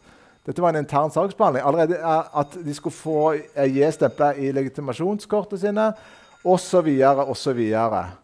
Eh, og til sist så er det da man må være forberedt på at de antisemittiske forholdene snart vil bli skjerpet og anvendt systematisk. Så I august 42 så har han et veldig godt bilde i Norsk Tiden av, hva, eh, av den forfølgelsen som eh, foregår. Det Hele tida er det åp, altså det er en helt klar forventning om at nazistisk okkupasjon innebærer jødeforfølgelse. Blant annet er det en artikkel om at nå kunne det kanskje bli hardere forhold i Danmark. og Da er det underskrevet at dette vil innebære jødeforfølgelse i Danmark.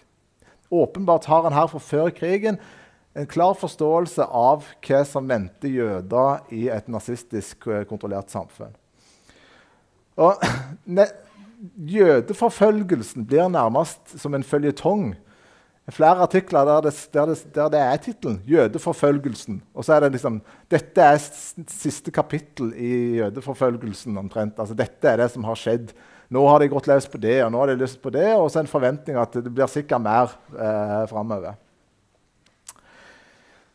Um, hvordan skrev de om dette? her? Jo, eh, det, er helt, det er helt entydig at eh, altså Norsk Tidende er jo ikke et objektivt, nøytralt blad. Det er, en, det er, jo et kamporgan for å styrke kampviljen. Og her er det veldig tydelig at liksom, logikken om min Min fiendes fiende er min venn. og bryter gjennom. Det er, det er, en helt klar og sterk fordømmelse av det som skjer med jødene. Dette er, den, dette er um, en kommentar til deportasjonen, en av de første artiklene om deportasjonene. Og Her kjenner vi igjen det som vi nettopp hørte. Dette er en del for svensk. Hjerteskjærende scener ble utspilt. sant? Og de... Eh, eh, og det, er liksom, det systematiske av dette her er en vederstyggelighet og et eksempel på hvor perfide og eh, umenneskelige nazistene, både av tysk og norsk karakter, er. Og Det blir skildra som et nok et fryktelig eksempel på nazistisk barbari. og Derfor er enda en grunn til at nazismen må bli eh, slått, må bli beseira. Men det som òg er påfallende, det ser en her det er på en måte at dette blir jo framstilt som et nazistisk prosjekt. Og som her artikkelen her, rasende jøssinger altså, så skjer det her, Men altså på en måte at vanlige nordmenn blir framstilt som sånn, sinte, men maktesløse. Dette er liksom et eksempel blir tolka som, som, som, del av nazistisk overmakt, og der er det ikke så mye en, en, en kan gjøre. Sant? Denne skildringen hørte vi jo her nettopp. Øyenvitner sier at begivenhetene 27. er de verste de har opplevd i sitt liv.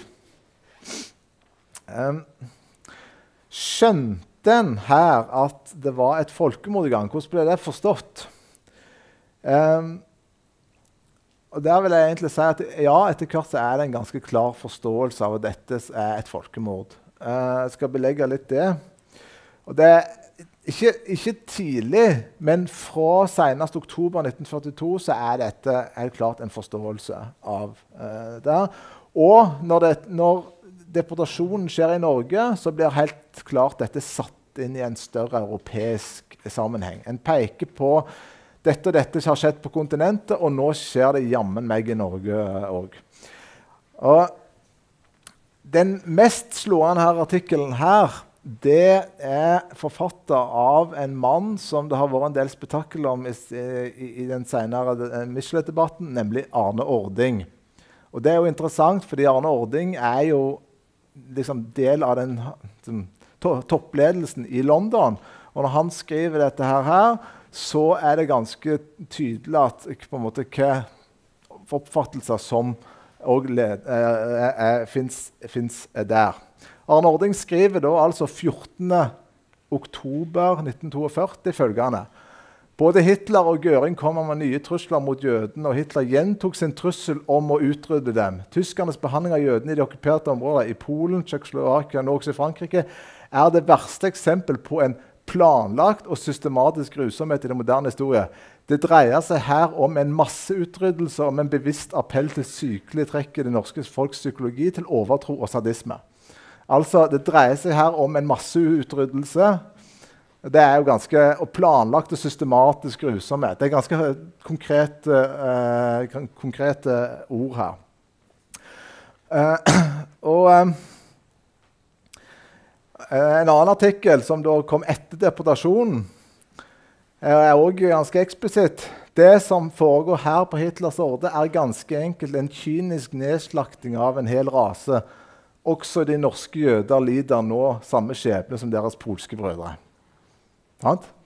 Dette er et systematisk nedslakting, og det, det er òg det som kommer til å skje med de, de, de, norske jødene. Det er ganske klare ord. Og det som er interessant her, er at det, i en annen artikkel så blir det skildra Der kommenterer de en rapport fra den polske eksilregjeringa om det som skjer i Polen, og, og, og, og, går på en måte har en sånn kritisk diskusjon. Ja, dette høres jo helt umulig ut. Sant?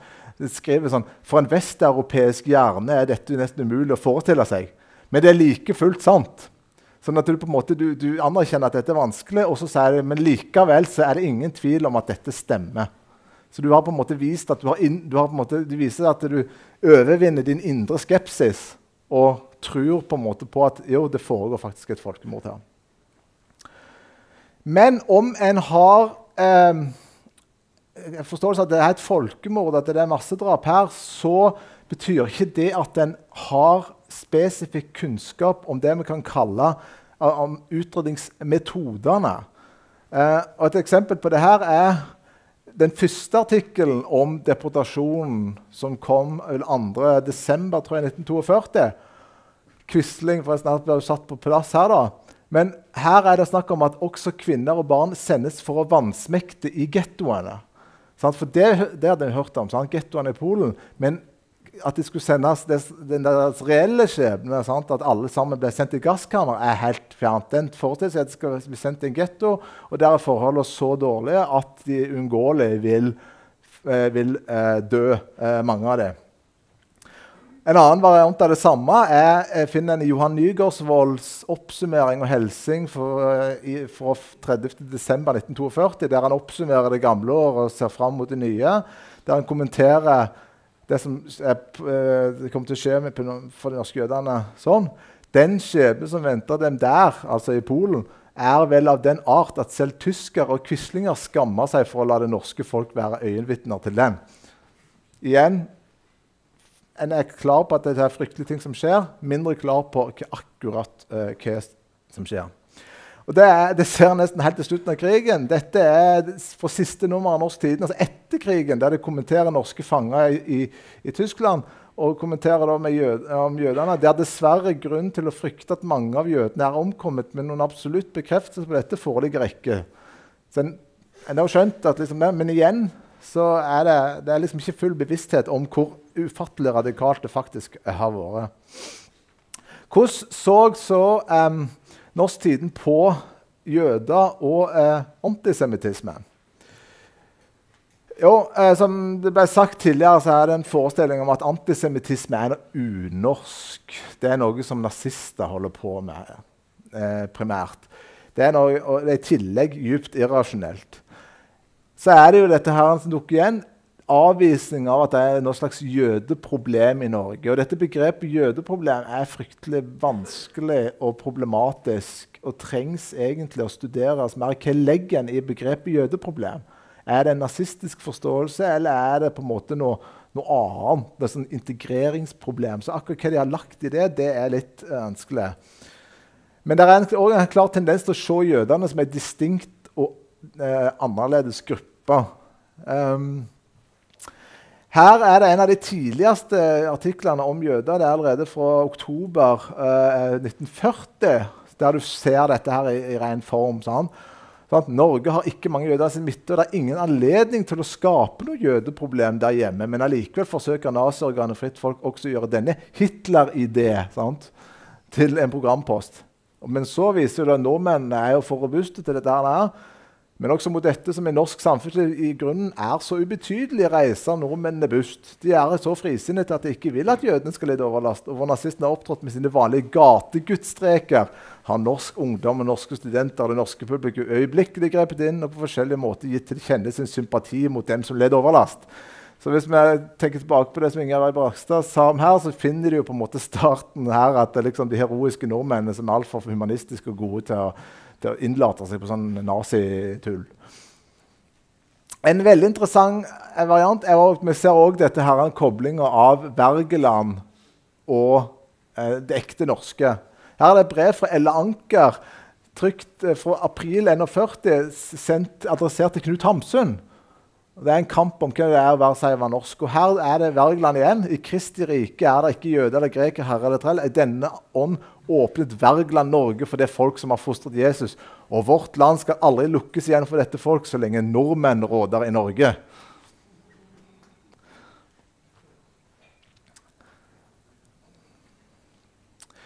Og En finner òg en understreking mot at en måte, de, den, en har en forståelse av at jødene er distinkt som gruppe, men samtidig finner en en, en, en understreking av at de er gode norske borgere.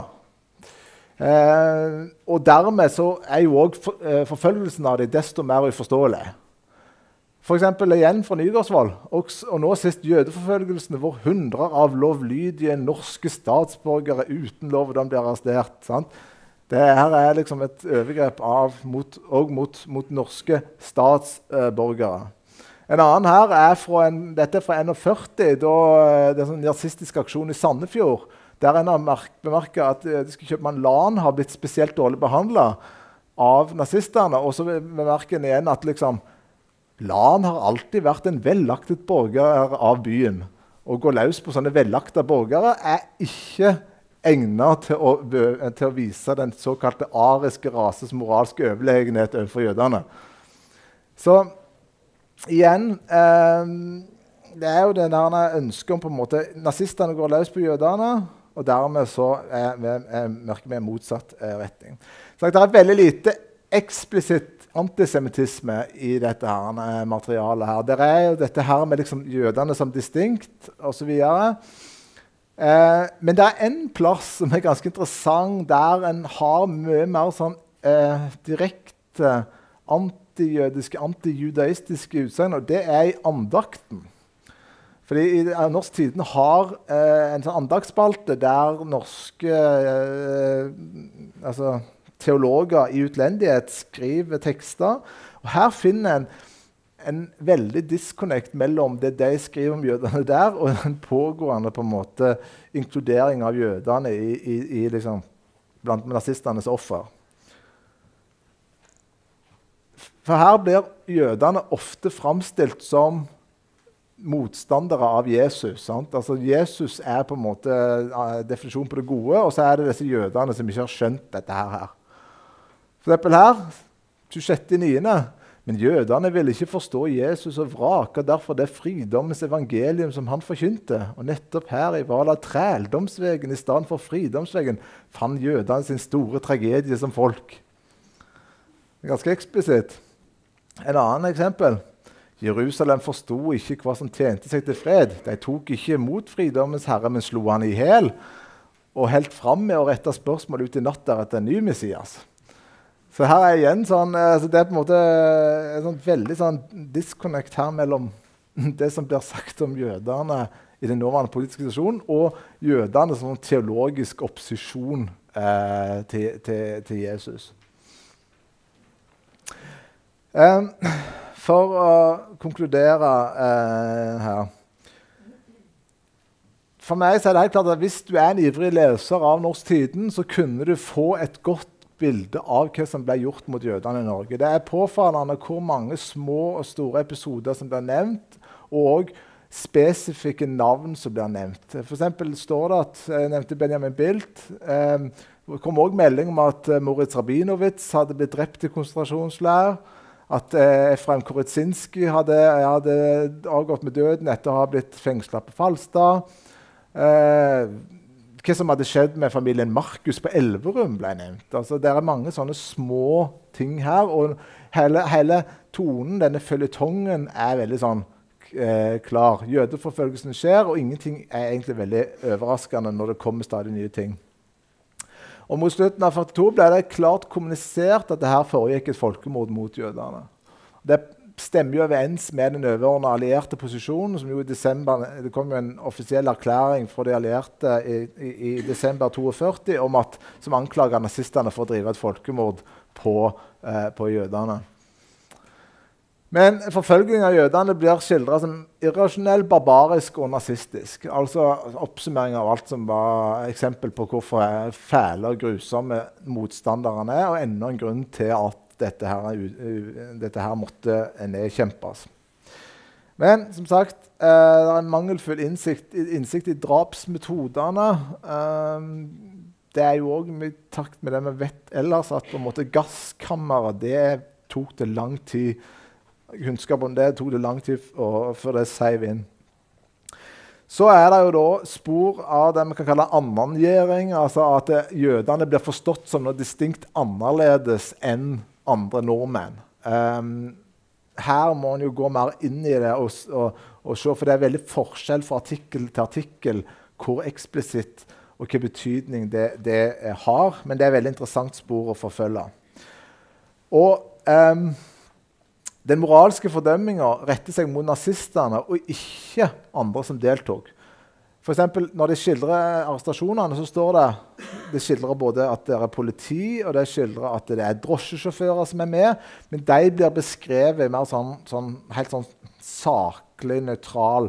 Politiet henter drosjesjåfører ble utkommandert, den typen ting. Mens f.eks. statspolitiet blir eh, skildra som nesten som patologiske. De henter folk ut fra sykehus, de raner Det er en artikkel som sier at statspolitiet raner til seg gifteringer og sånt. Der en på en måte heller er klart for, og det er en annen artikkel igjen der de sier at liksom, nå har quislingene gått fullstendig frø i sin sykelige, bar, barbari osv. Så, videre. så en har på en måte her en eh, klar distinksjon her mellom nazistene, som en kan bare slenge på hva som helst, og andre, der en jo mye mer har den der at liksom OK, dette skjer, men uten å si noe mer eh, om det. Jeg gleder meg veldig til, til, masteroppgaven som Guri driver og veileder. Nå går mer inn i dybden på dette her, for det er veldig mye interessant som kan også eh, informere den internasjonale, både den nasjonale og den internasjonale diskusjonen om hva det var mulig å vite og forstå om holocaust i eh, sanntid. Takk for meg.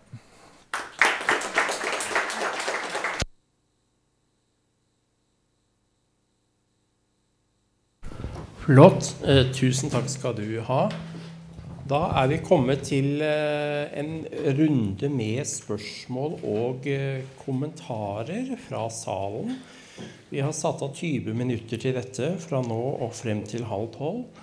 Og egentlig er det fritt frem for alle å spørre eller kommentere. Men jeg vil be om at folk som spør, sier navnet sitt eh, og stiller litt korte og presise spørsmål, så får vi plass til flere.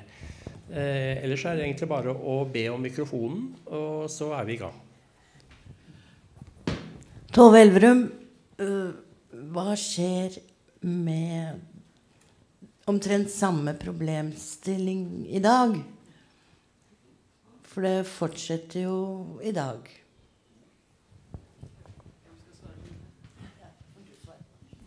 Hvem er det du spør? Ja, paralleller til i dag. Det er så mange og så skremmende at det sprenger rammene for dette seminaret, tror jeg. Hvis ikke Vil du noe si noe om det, Guri? Det var litt for stort, tror jeg. Vi må ta det over lunsjen, tror jeg. Jeg klarer ikke å Nei. Vi tenker vi tar spørsmål nå til foredragene. Skal vi gjøre det? Ja. Spørsmål til ja. foredragene er det vi tenker på. Ja, ja, hallo. Det var Leif første. Ja, ja det er Leif, Leif Grust. Eh, til siste foredragsholder. Eh, det vises hvor mye som eh, Norsk Tiden fortalte om jødenes skjebne etter at skjebnen var der. Jeg etterlyser litt informasjon om hva Norsk Tidende skrev før det hele skjedde. Jeg er helt overbevist om at hvis det var skrevet noe tilsvarende i Norsk Tidende på forhånd, og det var kommet hjem til Norge, og det ville de jo ha gjort, så ville svært mange jøder tatt andre advarsler av Dotam og kommet seg av gårde i tide. Men vi savner altså en meddelelse, advarsel, fra London-regjeringen om hva som virkelig skjedde. Det syns jeg er skremmende. Ja, hallo. Jeg, jeg, vil bare følge opp jeg heter Bernt Haktvedt, jeg vil bare følge opp Hetlands foredrag, som var veldig imponerende. Kan han si noe mer om, om kildene som ble brukt? At en avis, en minoritetsavis i New York dekker dette ganske adekvat på andre siden av Atlanteren. Dette er jo rett og slett en liten sensasjon. Kan Hetland si noe mer konkret om hvilke kilder som blir lagt for dagen? Svare, skal jeg svare på begge? begge?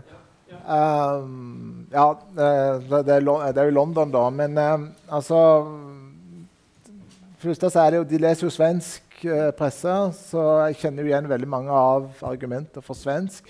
Men dette, jeg, skal, jeg, har ikke detaljkunnskap om kildegrunnlag. Det er òg en ting som må studeres mer. Men det er påfallende f.eks. at de har åpenbart gode kilder internt i systemet. fordi de snakker jo om eh, Nå er det på trappene en ny antijødisk forordning internt i det departement. Altså, da er det jo noen som, da, da, har du jo en kilde der som eh, blir klar over dette. Altså, jeg, altså, den informasjonsflyten til Norsk Tiden eh, fra Norge den er verdt en studie i seg sjøl. Altså, absolutt. Eh, til det med, med, med til spørsmålet her, som jo er veldig viktig. Um, I den der som jeg viste i august, så sender jo regjeringa ut at en må forvente at eh, tiltakene blir mer systematiske i tida som, som, som, kommer.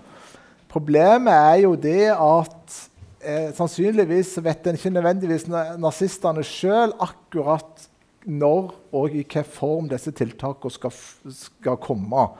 Eh, en, en, eh, sånn at det er for ei avis eh, vanskelig For en avis har alltid det problemet at, Og det ser en jo i en del tilfeller med Norsk Tiden. De sier jo, det er ikke alt de sier, som stemmer. De, de, de, har for eksempel, de skriver for eksempel forventninger om en del tiltak som ikke blir innført.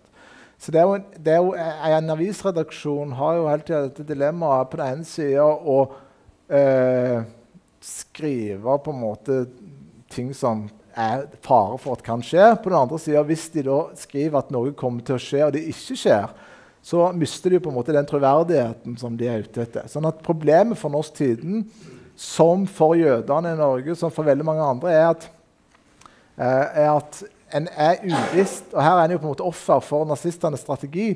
Nazistene ønsker jo selv å holde dette mest mulig skjult, mest mulig improvisert. og sånn, og Dermed er det òg vanskelig på en måte å si noe sånn konkret om det som skjer. Men de skriver eksplisitt at en må forvente at aksjonene mot jødene blir mer systematiske og hardere i, i tida som, som, som kommer. Men hva, da, hva, det skal bety for folks handlinger, sånt, det, er jo, det, er jo, ofte vanskelig. Det, det, er jo opp til den enkelte ofte. Er det Nei. Var det meg? Ja. ja. Eh, hei, Nina Grünfeldt heter jeg. Altså, takk for veldig mange spennende, gode foredrag. Jeg gleder meg til det som kommer resten av dagen. Også et spørsmål til Øystein Hetland. Eh, når begynner norsktidene å skrive om gasskammer? Altså Vi vet jo at de allierte så vidt jeg vet, fikk, visste om dette i hvert fall fra 43, at da fantes det bevis. Men når, når begynner norsktidene å skrive om det? Eh, som sagt så har jeg ikke fått sett på 43-årgangen fordi den er ikke digitalisert. Så det kan være de skriver om det 43.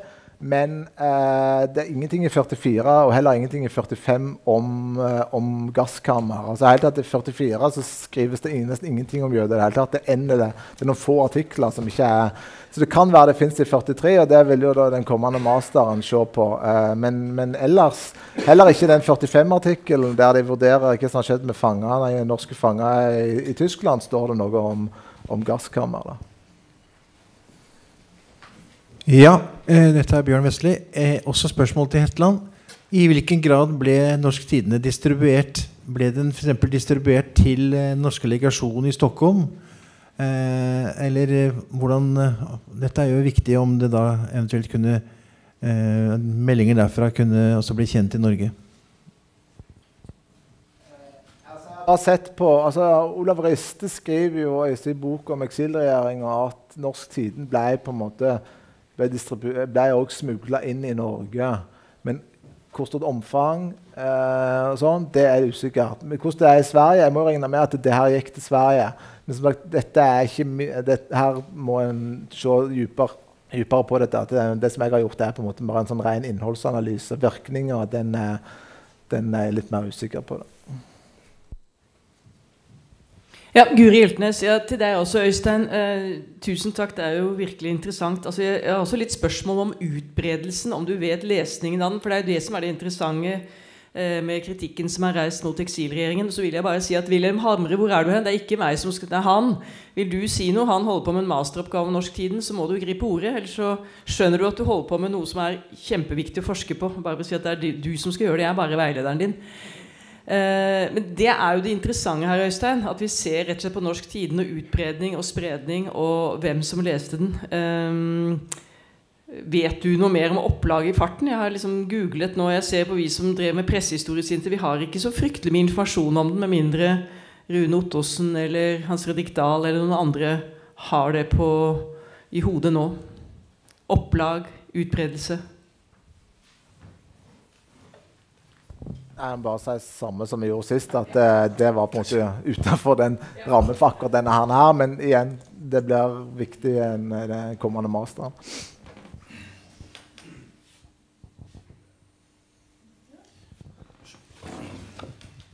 Mitt navn er Edvard Delin. Dette var kraftig, altså. Det er et, et, begrep som kommer om og om igjen, som jeg ikke liker. Og det er dette begrepet fortelling. Altså Historikerne driver ikke med fortellinger, egentlig. De driver med historie. Og det er et empirisk fag. Nå skal ikke jeg drive og utbrodere mer sånn sur gammel mann og sånn, men eh, Sosiologene vil i hvert fall si at det dreier seg om grupper, eller helst klasser. da. F.eks. arbeiderklassen mener slik og slik, kapitalistene mener slik og slik. Det er mer, mer fruktbart. Og så er det mange gråtoner, og så er det å differensiere. Da. Altså jeg slo opp, for, ikke for moro skyld, men jeg slo opp i historieboka til Berge Furre. 1905 og til nå, som er nokså ny. Han er jo død nå selv. da, Han var veldig aktet politiker og historiker for venstresiden. Men hva skriver han? Han skriver én linje om jødeaksjonene. Én linje om hele denne historieboka, som er standard for historiestudentene på Blindern. Og så går vi til den juridiske verden, da, som jeg hører til. Johs Andenes eh, strafferett og statsrett han fikk i oppdrag å skrive en betenkning fra Stortinget da, om eh, å kritisere oppgjøret, landssvikoppgjøret. Han skriver en bitte lite avsnitt, bitte lite avsnitt om jødeaksjonene. Og det, dette var en forholdsvis nyrevidert bok. da. Han er også død nå, da. Så skal ikke jeg ta mer, men en liten sånn sidegreie her. Gråtoner, som Guri skriver om i sin svære bok da, fra 1990-tallet et eller annet sted. Det var jo to journalister som stritta mot i Aftenposten. Og de forlot også skuta i protest.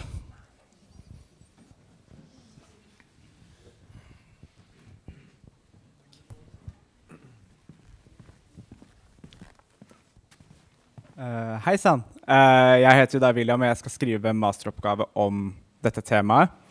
Eh, når det kommer til opplag, så har jeg også slitt veldig med å finne nøyaktig beskrivelse av hvor utbredt den var. Men jeg har funnet et intervju med Skanke Jonassen, som var siste redaktør. Og Han forteller at når han kom inn, så lå det på knappe 2000, men ble avsluttet med ca. 15 000. Så det er et veldig røft antall, men det er i hvert fall tydelig at han skryter veldig av at når han kommer inn, så blir det en større utbredelse av den. Så det er i hvert fall tydelig at utover 1941-42 så blir den mye større enn det den var i åpningsfasen.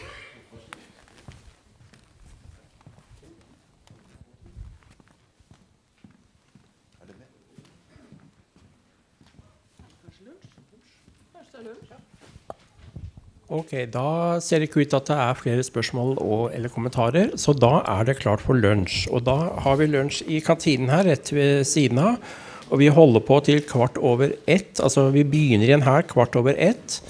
Så vil jeg bare minne om at hvis noen er interessert i eh, brosjyre om Norsk mediehistorisk forening, så ligger den nede i vinduet der nederst bak. Eller, og Dere kan også ta med dere et eksemplar av Dag og Tid, hvor bl.a. Bernt Hagtvedt har en viktig artikkel om Wannsee-konferansen. Men da tar vi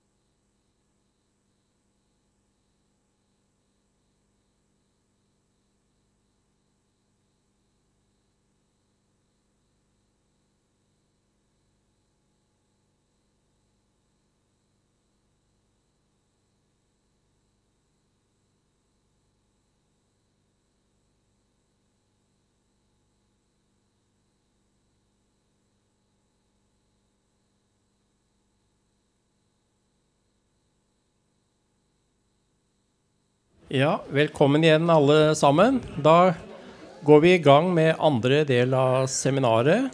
Jeg håper at folk har fått mat og drikke og kaffe og hyggelig samvær med mange uh, her. Vi går i gang, og nå er det Kjetil Braut Simonsen, forsker fra Jødisk museum, sin tur. Vær så god. Takk. Tittelen for denne presentasjonen er hentet fra en forsideartikkel i NS-avisen Hirdmannen 12.9.1942.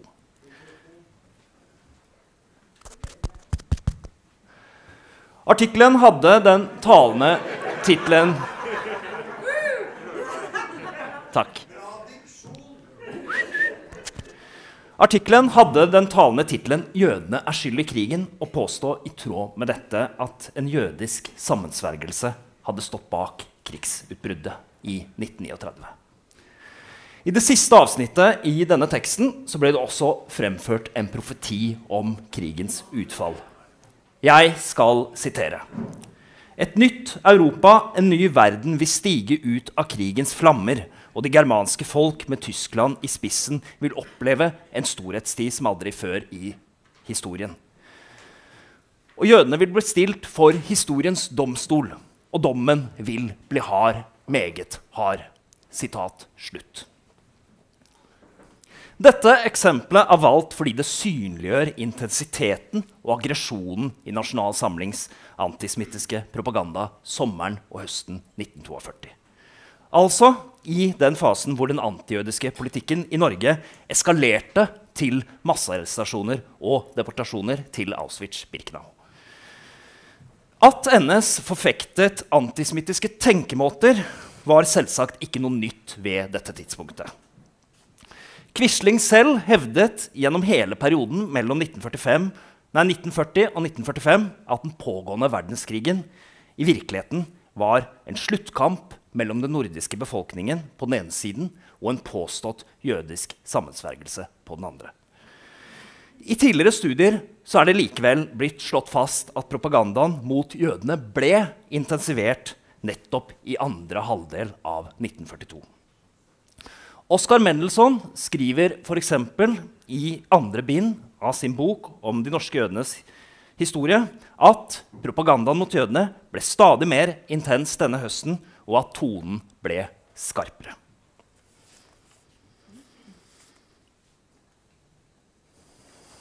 Denne presentasjonen retter søkelys nettopp hva NS-ledelsen og sentrale NS-publikasjoner sa og skrev om jødene nettopp sommeren og høsten 1942.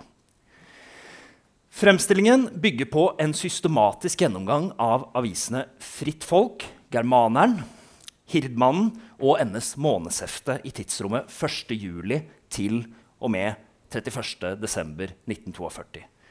I tillegg til dette har jeg også gjennomgått den nazifiserte dagspressen på lokalt, regionalt og nasjonalt nivå gjennom søk i Nasjonalbibliotekets databaser. Presentasjonen berører tre hovedtemaer. Først skal jeg gi en oversikt over antisemittismens, antisemittismens omfang og betydning i NS-propagandaen på det nevnte tidsrommet. Deretter vil jeg presentere de ideologiske hovedelementene i denne propagandaen. For så til slutt å drøfte hvorvidt og hvordan Nasjonal Samling gjennom sin propaganda fremsatte direkte trusler mot jødene i Norge rett før 26.10.1942, og hvordan også man omtalte den antisemittiske politikken etter at arrestasjonene og deportasjonene var blitt gjennomført.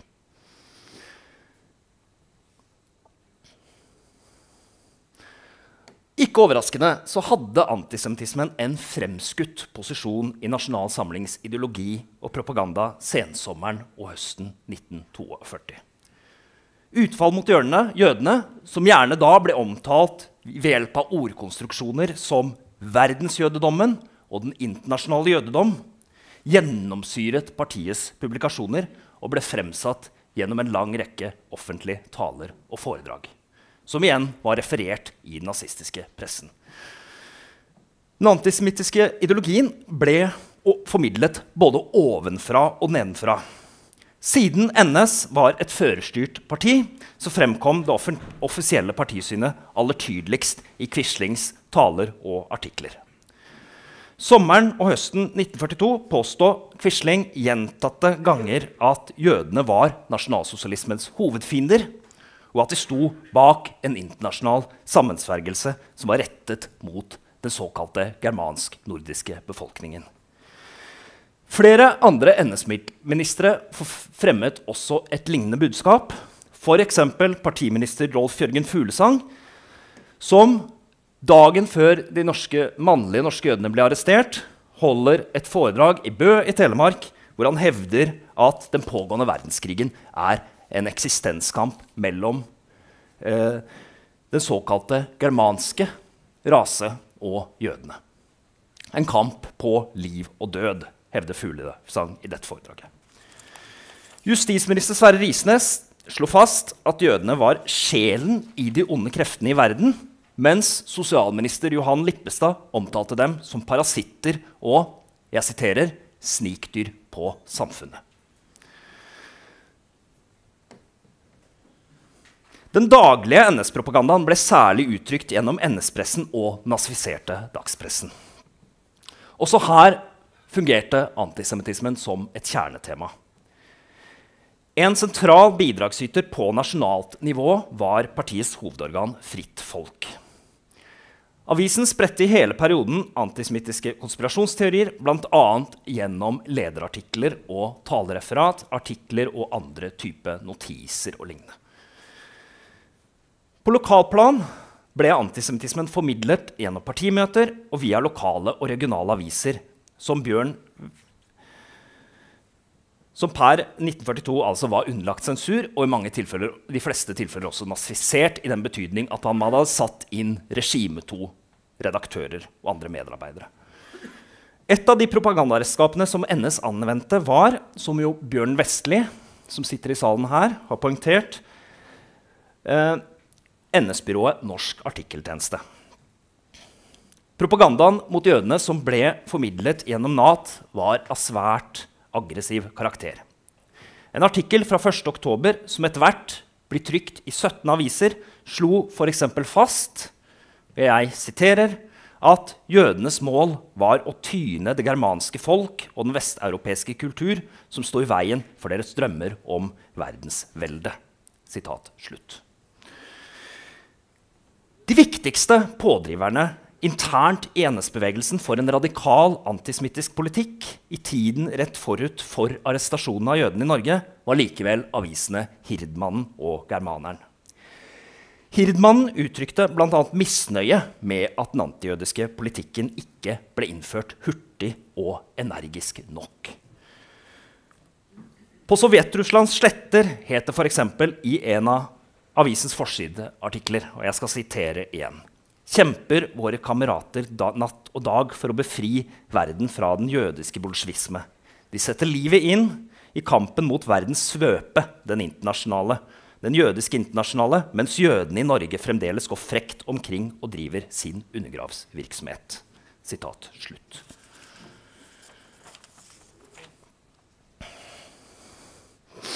For å forstå implikasjonen av Nasjonal Samlings fiendebilde så er det nødvendig å trenge mer detaljert ned i de ideologiske grunntrekkene NS antisemittisme bygde på. Hvilke forestillinger besto NS-antisemittismen av på dette tidspunktet, og hvorfor ble propagandaen mot jødene fremført med så stor intensitet? Helt generelt så var NS-antisemittismen en helhetlig og dualistisk virkelighetsoppfatning. Altså en tolknings- og forklaringsmodell som søkte å identifisere hvordan verden hang sammen. Partipropagandaen skildret kampen mellom det germanske eller det nordiske og det jødiske som drivkraften i historie og politikk. På denne måten så ga den også enkle og angripelige forklaringer på komplekse samfunnsfenomener og utviklingsprosesser. Et sentralt begrep her er demonisering. NS-propagandaen sommeren og høsten 1942 beskrev jødene gjennomgående som ondskapsfulle, nedbrytende, destruktive og parasittiske. Et særlig tydelig eksempel her er en forsideartikkel i Hirdmannen fra 25.07.1942. Artikkelen var simpelthen kalt 'Kampen mellom godt og ondt', og slo i tråd med dette fast at det var en plikt for menneskeheten å jeg siterer, ta kampen opp mot jødedommen, det onde prinsipp, på alle livets felter for å sikre det godes seier. Denne demoniseringen av jødene inngikk i en raseideologisk forståelsesramme. Som i tysk nasjonalsosialistisk propaganda ble jødene skildret som en rasemessig motpol, altså en mektig og truende fiende som arbeidet for å undergrave alt germansk og nordisk. Det jødiske ble imidlertid ikke bare knyttet til begrepet om blod og rase. Det ble også beskrevet som en slags nedbrytende mentalitet som kunne smitte over på ikke-jøder. I forlengelsen av dette ble det påstått at nasjonalsosialismens motstandere var infisert av jødiske ideer. Altså at de var blitt åndelig forjødet, som han kalte det. Jødeånden, den materialistiske tankegangen, skrev f.eks. NS-ideolog eh, Skal vi finne papirene her Haldis Negård Østby i Hirdmannen i slutten av november 1942 jeg siterer, er trengt inn i store deler av folket. Denne forestillingen om den jødiske ånd ble NS-propagandaen brukt som en forklaring på hvordan jødene kunne erverve seg makt og innflytelse i et land hvor det levde svært få jøder. Videre så bidro den også til å rettferdiggjøre Nasjonal Samlings landsforræderi. Det ble nærmere bestemt her hevdet at de gamle demokratiske partiene og politikerne hadde overlatt landet i hendene til den såkalte internasjonale jødedom og dermed reddet Norge fra forfall, kaos og undergang. Et helt sentralt element i Nasjonal Samlings antisemittisme i okkupasjonsårene var også konspirasjonstenkningen.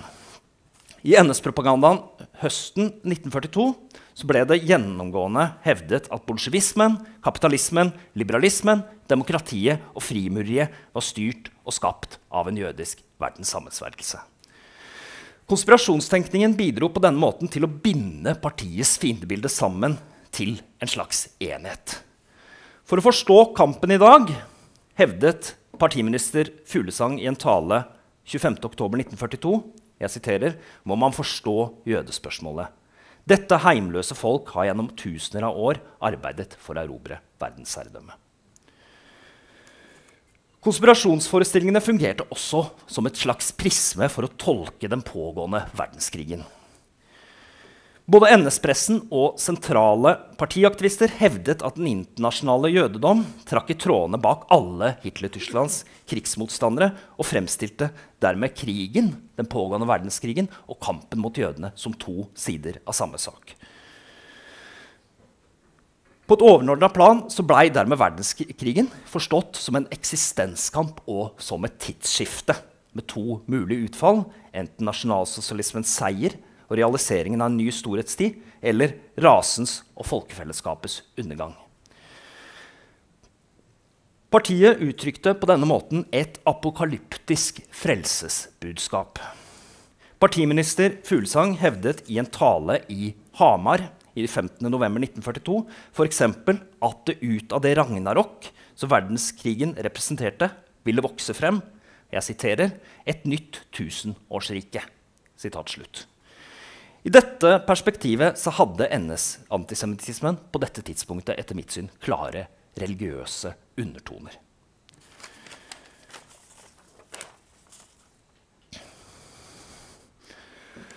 Her bør det jo også stilles spørsmål om hva, hvordan NS-propagandaen konkret forholdt seg til de antismittiske tiltakene som ble iverksatt høsten 1942. Hvilke konkrete tiltak ble faktisk foreslått gjennom NS-propagandaen som løsning på det såkalte jødespørsmålet? Og hvordan omtalte NS-ledelsen og NS-pressen arrestasjonene og deportasjonene etter at de hadde funnet sted? På et helt generelt plan så var Nasjonal Samlings propaganda sommeren og høsten 1942 av svært aggressiv karakter, og den gikk langt i å forsvare voldelige overgrep mot jødene i forskjellige deler av det nazistisk kontrollerte Europa helt eksplisitt. En artikkel skrevet av Nat, som ble fra 1.10.1942, slo f.eks. fast at nå ble det jeg siter, og jeg skal sitere jødene selv som må danse dødsdansen. Deres velmaktsdager er for lengst forbi. Sitat slutt. Høsten 1942 gjenga NS-pressen også Hitlers profetier om at verdenskrigen ikke ville føre til ariernes, men til jødedommens utryddelse. Dette skjedde i en kontekst hvor massedrap på jøder var blitt omtalt, som nevnt, både i den illegale pressen og i allierte og nøytrale medier. Likevel, de truslene som ble fremsatt gjennom NS-propagandaen før 26.10.1942, var oftest nokså generelle og uspesifiserte av karakter, særlig når det gjaldt spørsmålet om hva som skulle skje med jødene i Norge. Det ble antydet i denne propagandaen at tiltak mot den jødiske minoriteten var på vei, og at slike tiltak var ønskelige og nødvendige. Likevel ble ikke arrestasjoner og deportasjoner åpent lansert som løsningsmetoder. På dette feltet tangerer på mange måter NS-propagandaen eh, den tyske antisemittiske propagandaen under holocaust. Som historikeren Petter Longerich har skrevet, ble de gjentatte truslene om utryddelse som ble utstøtt bl.a. fra Hitler selv, fremsatt i et propagandamiljø som jeg siterer, i stor utstrekning var bestemt av regimets konsekvente taushet om de konkrete planene i det såkalte jødespørsmålet. Særlig radikale NS-utgivelser som Hirdmannen og Germaneren anvendte i tida frem mot 26.10.1942 en aggressiv og truende retorikk med referanser til gjengjeldelse og vold. Når det gjaldt konkrete forslag om hva man skulle gjøre med jødene i Norge, begrenset jeg bruker det ordet i tødler, propagandaen, så er det imidlertid krav om diskriminerende og stigmatiserende bestemmelser. F.eks. at jødiske forretninger skulle merkes. Det som likevel er viktig å understreke her, på et helt overordna plan, er at NS-propagandaen hadde en tydelig signalfunksjon. Den ble brukt til å markere overfor den tyske okkupasjonsmakten at aktivistiske kretser i partiet ønsket og var villig til å bistå i en ytterliggående antisemittisk politikk. Språkbruken i NS-propagandaen på dette området var på mange måter både radikal og eufemistisk. Kampen mot jødene ble fremholdt som en høyt prioritert oppgave, men uttrykkende arrestasjoner, og deportasjoner og lignende ble ikke anvendt. Det ser man også i tiden etter at de norske jødene blir arrestert og deportert. I denne perioden så omtaler NS-pressen ikke altså Man bruker ikke begrepene arrestasjoner man bruker ikke begrepene deportasjoner, men man omtaler hendelsene indirekte. Da bruker man det eufemistiske uttrykket 'forholdsregler'. Vi har tatt forholdsregler mot, er det man skriver. Selv om dette språket og ordvalget ofte var eufemistisk, så var omtalen av den antisemittiske politikken i de mest radikale NS-avisene og NS-utgivelsene likevel klart triumferende. Skal vi se, Her virka ikke den. Da skal jeg prøve å klikke meg videre her. Nei. Der. I bladet Hirdspeilet, som var, som var utgitt blant hirdledere, så het det utgaven for desember at jeg siterer Opprenskningen i den norske jødeverden skri, skrider nå sikkert framover. Alle mannlige jøder er for lengst på vei til sitt fjerne og foreløpige bestemmelsessted. De kvinnelige og barnlige avleggere går i disse dager samme vei. Dette er desember 1942. Hirdmannen skrev en uke etter deportasjonene 26.11.1942 på lederplass at forholdsreglene merk ord igjen, som var blitt iverksatt, dreide seg om en form for selvforsvar. Avisen skrev det følgende, og igjen sitat Når vi gjennomfører de nødvendige forholdsregler for å beskytte staten, så er det ikke jødeforfølgelser, men et høyt påkrevd selvforsvar overfor jødenes anslag mot vår rase og mot det unge nasjonalsosialistiske fellesskap. Sitat. Slutt.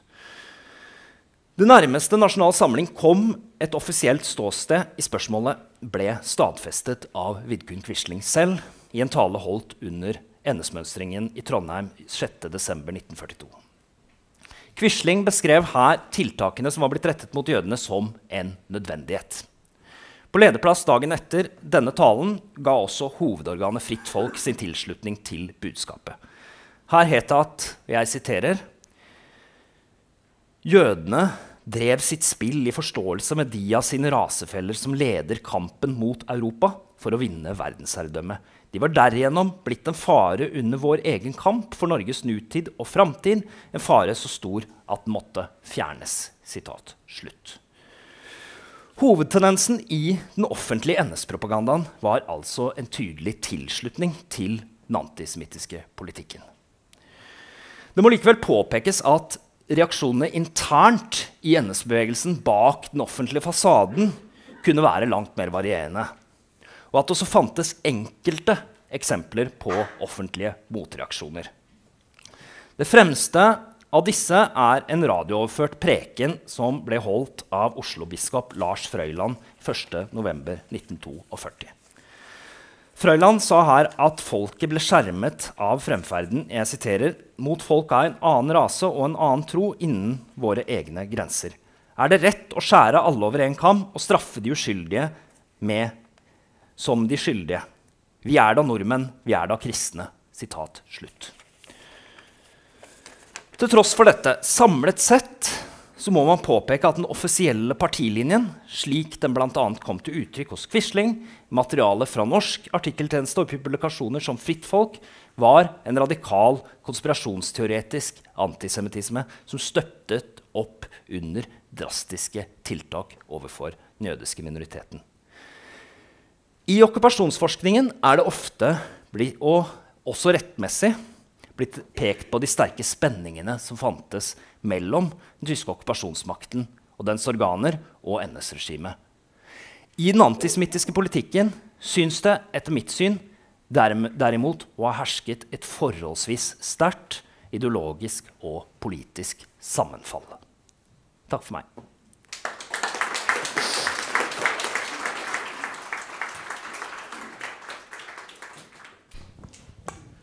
Tusen takk for det, Kjetil Braut Simonsen.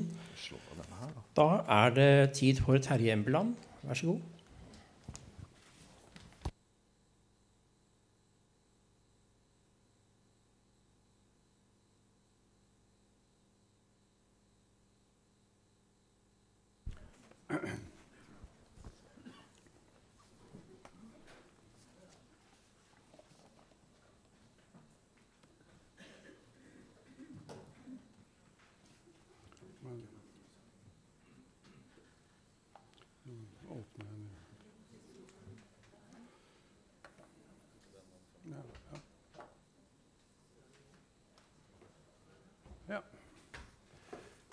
Takk for det.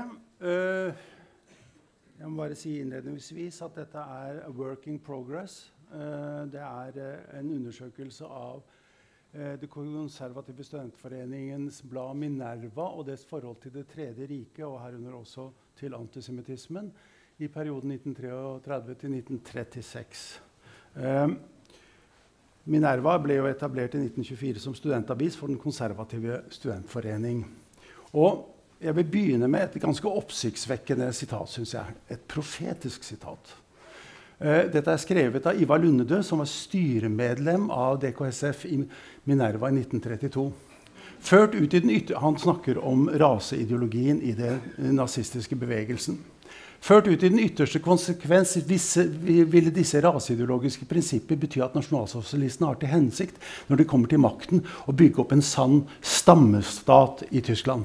Alle de ca. 35% av befolkningen som ut, uh, ifølge Gunther, altså raseforskeren Gunther og de andre raseforskere ikke har tilstrekkelig tysk nordisk blod i sine årer, må stilles under særlovgivning. Ikke å snakke om de 300 000 jødene som simpelthen må fordrives eller utryddes, skriver han ganske oppsiktsvekkende. vil jeg si. Slik som bevegelsen hittil utvikler seg, er den allerede blitt en alvorlig trussel for Tysklands indre og ytre likevekt. Og hvis Hitler etter å ha kommet til eh, makten for alvor forsøker å innfri sine visstnok utydelige løfter, kan han lett komme til å antegne en ny verdensbrann. Dette syns jeg er ganske oppsiktsvekkende profetisk eh, av eh, Ivar Lunde. 1932. Hva skjer året etter? Jo, da hyller Minerva Det tredje riket og Tysklands seier. Vi tror det nasjonale seier i Tyskland betyr en fremtid, lysere fremtid for dette så hjemsøkte folk. Og så sier man ja, det har sikkert forekommet noen overgrep eh, i forbindelse med den tyske revolusjonen, som de hyller. Eh, og særlig da tenker de på jødeforfølgelsen, som er å gå litt for langt. Eh, eh kommunistene har bare fått som de fortjener, mener de.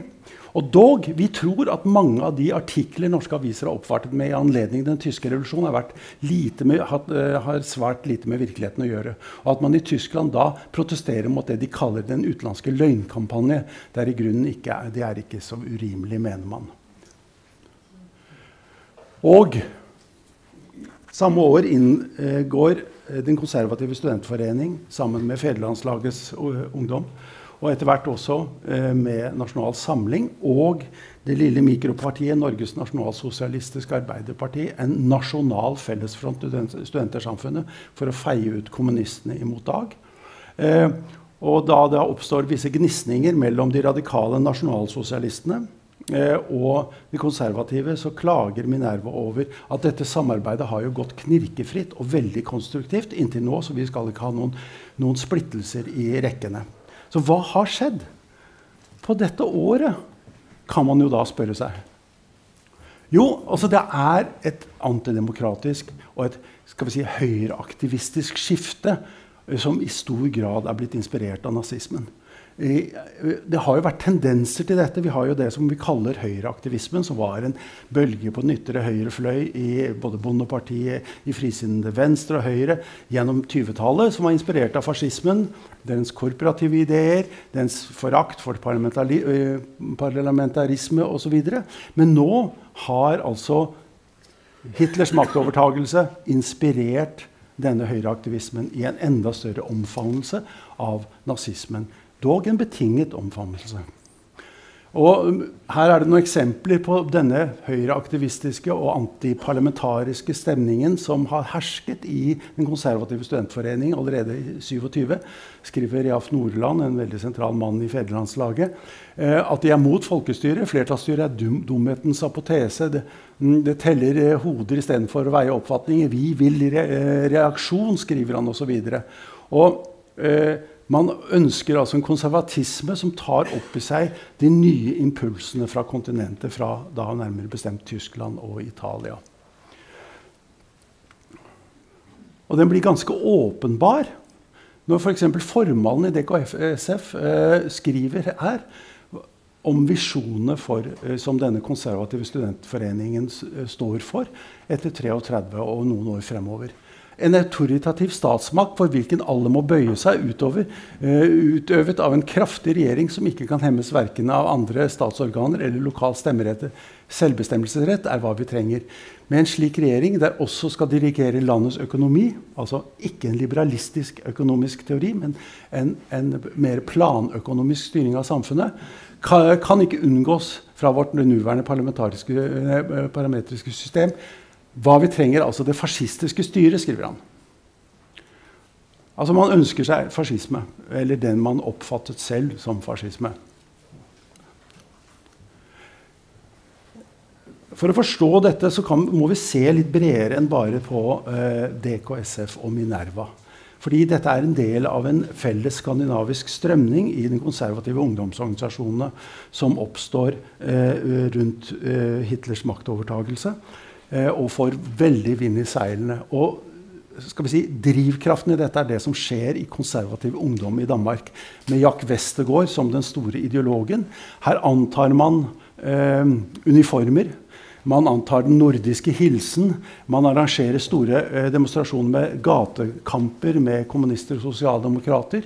Og man antar en form for nykonservatisme, som eh, Jack Westergaard kaller det. Eller han kaller det eh, en sosialnasjonalisme, som er en skal vi si, den konservative bevegelsens adopsjon av de det de oppfatter som de sentrale delene av fascismen og nazismen. Man ville ha en nasjonal folkereisning, en nasjonal eh, samling eh, under en, eh, et, eh, en autoritativ stat. Man forkaster eh, førerprinsippet, men man vil ha en sterk regjering over partiene. Og man vil ha en militant nasjonalisme. Resultatet er at på tre år så øker eh, medlemsmassen i konservativ ungdom fra 16 000 til 30 000. En voldsom bølge av entusiasme sprer seg i det konservative ungdomsmiljøet, inspirert av Det tredje riket. Det samme skjer i Sverige. I, i Sveriges nasjonale ungdomsforbund, som er det konservative partiets ungdomsorganisasjon, under ledelse av Elmo Lindholm, som var den store ideologen, inspirert av eh, Lund-konservatismen, hvor man også da adopterer uniformene, eh, den nordiske hilsen. Man adopterer eh, krav om en korporativ samfunnsorganisering, en autoritativt styre. Og man sier at konservatismen og fascismen og nasjonalsosialismen er eh, skal vi si, søsken. Eh, ideologiske søsken. Men man må selvfølgelig ha en nasjonal utforming av denne som er i tråd med skal vi si, den svenske eller danske eller, eller eh, norske ånd, så å si. Kun, man kan jo ikke importere den direkte. Den måtte tilpasses de hjemlige forholdene. Så uh, dette skaper i både Danmark og Sverige store rivninger i den konservative bevegelsen og det konservative partiet. Jack Westgård får lov til å holde på Eh, i mange år fordi det resulterer i så stor oppslutning for eh, konservativ ungdom. Men eh, etter en stund så får da partileder Christmas Møhler nok. Og, det, og stopper da finansieringen av ungdomsorganisasjonen, hvilket fører Jack Westergård ut av ledelsen. og eh, Organisasjonen vender gradvis tilbake til mer tradisjonell konservatisme. I Sverige leder det til splittelse, hvor det Sveriges nasjonelle ungdomsforbund eh, bryter med det konservative partiet og etablerer seg som en selvstendig organisasjon som ikke bare adopterer en skal vi si, nærmest kryptofascistisk ideologi, men også antisemittismen, som uh, pro blir programfestet her. Så skjer ikke Norge. Og hvorfor skjer ikke det? Hvorfor får vi ikke et brudd? Nei, fordi at det meste av denne høyreaktivistiske, profascistiske og pronasjonalsosialistiske strømningen, konservatismen, manifesterer seg primært i Fedrelandslaget og da i Den konservative studentforening. Eh, hvor vi har sentrale ideologer, Reas Nordland, Holger Uskin osv. Det er det som samler denne militante eh, eh, nykonservatismen i Norge i stor grad. Her adopterer man jo også eh, eh, eh uniformene. Nordisk hilsen. Man adopterer førerprinsippet til og med. Eh, på et landsmøte for Fjellandslagets ungdom hvor ledet av Anders Lange, så blir førerprinsippet innført i, i organisasjonen. sånn at det meste av denne impulsen, som er så sterk i de andre skandinaviske land, ledes inn i fedrelandslaget. Men også Unge Høyre er preget av dette her. Eh, eh, eh, hvor de da eh, i Unge Høyres organ, som heter Unge Høyre, flere ganger da hyller eh, både Det tredje riket og flere ganger hyller eh, en korporativ samfunnsmodell, et autoritært styre, en tilsidesettelse av parlamentarisme osv. Så, videre, og så, så dette, dette, får også prege Høyre, men fordi de ikke gjør som den, Sveriges nasjonale ungdomsforbund eller uh, som, de, som uh, konservativ ungdom adopterer alle de ytre formene og den militante stilen som begeistrer ungdommene, i samme grad så får ikke høy, Unge Høyre den samme veksten som disse andre søsterorganisasjonene eh, fikk. Men eh, for å grave dypere i dette, og selvfølgelig i forhold til hva, hva, hvilken betydelse har dette for raseideologi, eh, så må man se nærmere på det, altså det skandinaviske samarbeidet som foregår på dette tidspunktet mellom Unge Høyre, Fedrelandslagets Ungdom, de danske og den svenske søsterorganisasjonene, hvor de har flere kongresser og konferanser hvor de arbeider for å, snu konservatismen slik at den skal være bedre tilpasset tidens krav, som de sier. Så vi ser da en sterk fascistisk og nasjonal, pro-nasjonalsosialistisk impuls i den konservative ungdomsbevegelsen i hele Skandinavia denne perioden, som først ebber ut rundt 1936. Da er det slutt på denne flørten. Um, det er skrevet om dette tidligere. Uh, Ida Blom har skrevet en utmerket artikkel om uh, Unge Høyre og forholdet mellom Høyre og Nasjonal Samling. Men jeg tror at det er mer å se hvis vi ser på disse internasjonale samarbeidsrelasjonene og ser på den hele den, skal vi si, vi har mer et transnasjonalt perspektiv på denne bevegelsen. Det er nemlig også andre impulser enn de man hentet fra Danmark og Sverige, nemlig det som kalles den konservative, revolusjonære tenkningen i Tyskland, som er noe jeg da fremover nå vil jobbe mer med for å sette dette inn i en bredere skal vi si, ideologisk og historisk kontekst. Takk.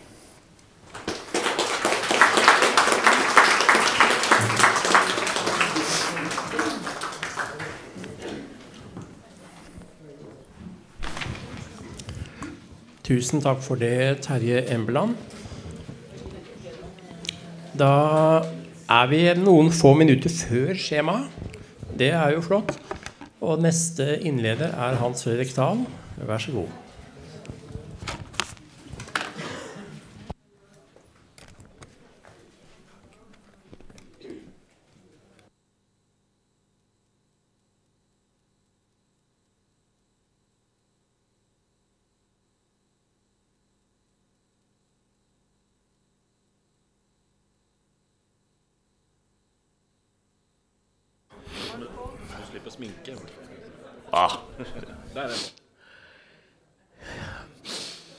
Ja, etter de veldig kraftfulle nå har fått, både ja, av de to forlagene etter, etter lunsj, så er det jo med stor tvil og vonde jeg står her. Aldeles uten tekniske hjelpemidler. Men det er et problem som allikevel gjenstår, og det er forholdet mellom moral og medier. For i tiden etter 1945 har jo jødeproblemet, for å si det slik, artet seg som et serie moralske spørsmål. Og det, er det som da kanskje er mitt emne, er hvordan blir disse moralske spørsmål uttrykt i landets massemedier? Så altså teksten, bildet, de levende bilder osv. Det er en måte å uttrykke ideer på. Og ideene er, er altså moralske. For ikke sant Har jødene fått den plass i norsk historie som de fortjener? Det er et moralsk spørsmål. Og det er blitt drøftet i massevis av medier, selvfølgelig. Men hvilke medier har greid å konfigurere dette veldig vanskelige spørsmålet om en bestemt forfulgt gruppe har fått den plass de fortjener? Dere vet alle at i 1945-46 utkom et verk som sa at jødenes skjebne er en detalj. Oh, en detalj, altså. Ja, det inngikk i forestillingen om det strålende Norge, som var flertallets mening, at det var beklagelig, men det var en detalj. Nå kom det for noen år siden, ikke mange år siden, ut en bok som, av Marte Milche som heter 'Den største forbrytelsen'. Hva betyr det? Jo, det betyr jo ganske enkelt at det, det verste som skjedde under krigen, var det som skjedde med jødene. Det er en kjempeforandring i den moralske diskusjonen. Det er naturligvis er det andre typer aspekter av denne diskusjonen. Men altså igjen vil jeg spørre hva kan vi lære av medienes håndtering av dette? For en som har deltatt i diskusjonen om dette i mange år, så er det skal vi si, sammenhengen som er fascinerende. Hvordan det er så å si dukket opp. Det ble jo diskutert blant motstandsfolken fra 1942 og, fram, og særlig etter 1945. Hvorfor har vi ikke greid å redde flere jøder? Det er et moralsk spørsmål. Arne Skouen, som var ung journalist, skriver i sin memoar at underforstått Nei, forresten, helt eksplisitt. Det var antisemittisme og jødeskepsis ute og gikk i hjemmefronten, i de apparatene som sluset folk over til Sverige, gjennom frosne myrer og tidlig vinter. Fryktelig historie. 60% av de norske jødene ble fraktet over til Sverige på denne måten. 40 ah, over 40% havnet i Auschwitz. Det er en skjebne over alle grenser. Og den skyldes altså, ifølge en observatør, at vi for å si det, si det sånn, vi tok dem ikke alvorlig. Hvordan har dette moralske spørsmål så konfigurert seg i mediene? Det kan man spørre om. Ja, da må vi rette søkelyset mot det som alle gjorde i 1945. De store romanene om krigen. De gir oss vel den rette svar på hva som hendte. Ja, vi har en del store romaner om krigen. Av Sigurd Hoel, av Tarjei Vesaas, av Jens Bjørneboe, Odd Bang-Hansen. Hva står det om dette? Å, dere skjønner ingenting. Det står ikke om jødene i det hele tatt. Jeg skulle ønske at noen tok seg på tak og undersøkte i detalj hvordan de store romanene omkring som preger oss alle sammen, egentlig behandlet denne minoriteten. Vel, vi har noen romaner som skal vi si, tematiserer dette.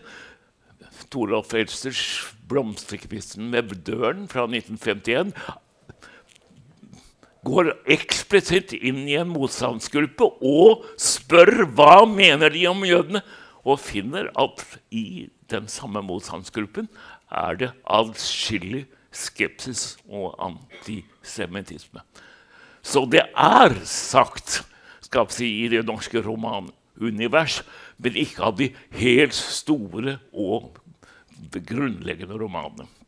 Vel, I de senere år har vi fått Sigurd Senjes dokumentarroman om, om, om Feltmann-saken. Og Stragners roman om, om, Hva heter han? Eh, hva heter den romanen? Takk, leksikon om lys og mørke. Så det er i den senere skjønner jeg at litteratur er det nok noen nedslag. Men ikke mye og fremfor alt i de store romanene, som sier at den okkupasjonen var skjellsettende for oss. Der står det ingenting. Så dette var skjønnlitteraturens. Men det fins jo andre tekstmedier. Ja, avisene, selvfølgelig. Avisene har jo ved sin løpende tekst både fortolkning og nyheter og blablabla, masse tekst. Så går dette, disse moralske spørsmål om vår deltakelse, nordmenns deltakelse, og, og, i denne fryktelige aksjonen i 1942-43, og den senere ettertid, har jødene fått den plass de fortjener, og har de fått de erstatninger de fortjener? Dette er jo moralske spørsmål, og det står til overmål i avisene. Er det fordi løpende aktuelle tekstmedier er hensiktsmessige når det gjelder å håndtere moralske spørsmål? Ja, det, det kan man si. Den løpende, daglige tekst som er i avisene, har altså håndtert de store spørsmål om ja, de moralske spørsmål om jødene. Det, det, det må vi si. Og det har så å si gått igjen. Nå vil jeg som mediehistoriker, det er jeg også, kunne bemerke foreløpig for en liten ting.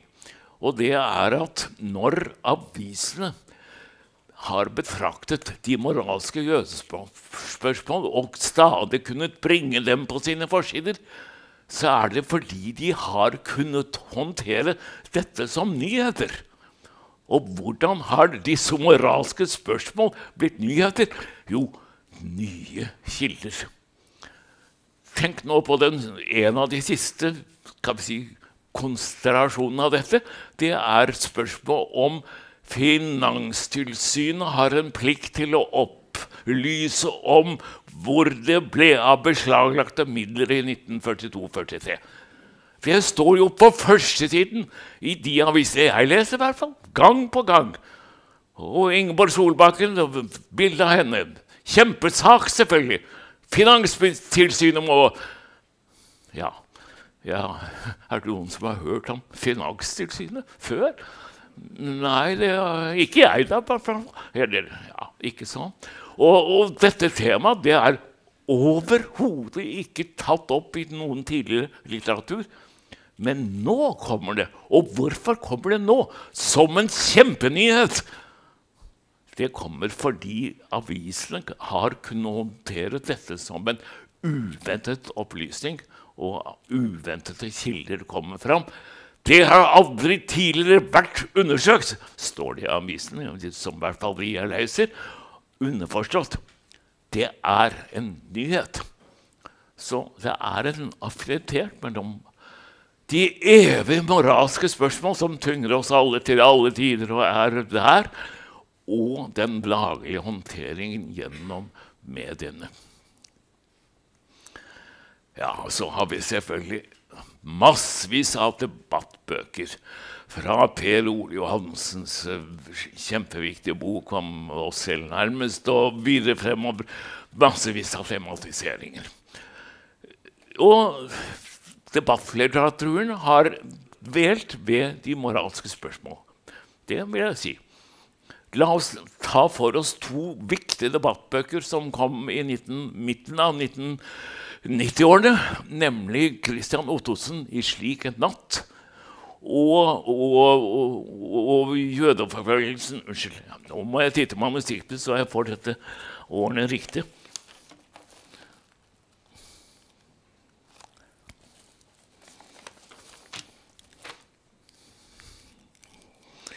Ja, Ulstauns 'Jøder på flukt', 1995.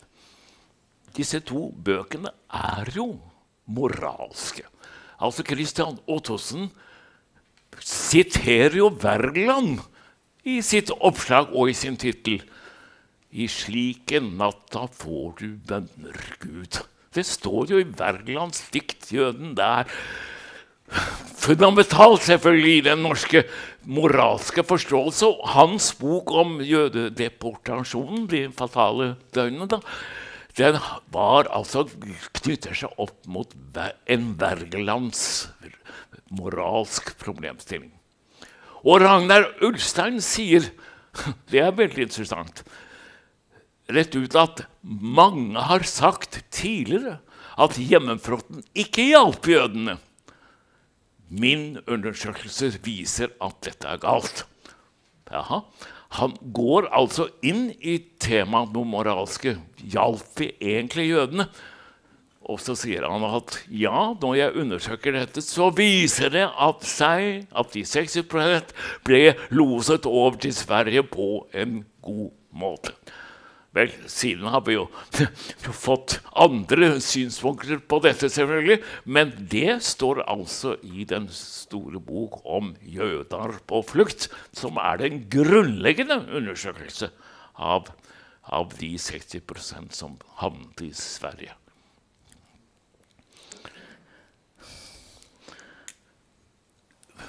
Billedmediene, har de spilt en rolle for moral?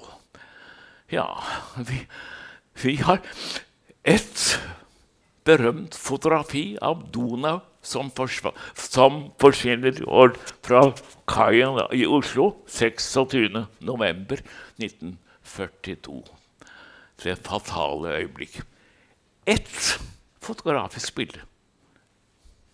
Ja, vi har det ene bildet, og det er selvfølgelig blitt ikonisk. For det sier jo Der står vi, vi, unnskyld, vi alle sammen på kaia og ser at båten glir ut. Og det er et moralsk bilde. Det er ikonisk, men det er det eneste. Har de moralske jødespørsmål spilt en rolle for norsk film? Ja, dette sier Bjørn Sørensen mye om senere.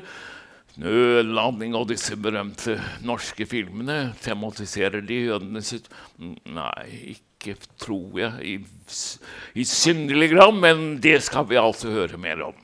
Derimot en dokumentarisk, filmatisk versjon. Filmavisen. Har dere tenkt på at Filmavisen er tema for moralsk diskusjon? Hm. Filmavisen var jo tema, eller emne for, nei, Unnskyld, det var medie for, for dokumentarfilm i perioden 45 til 1963, da den gikk inn. I løpet av disse åtte årene så er det én reportasje i Filmavisen om jødene.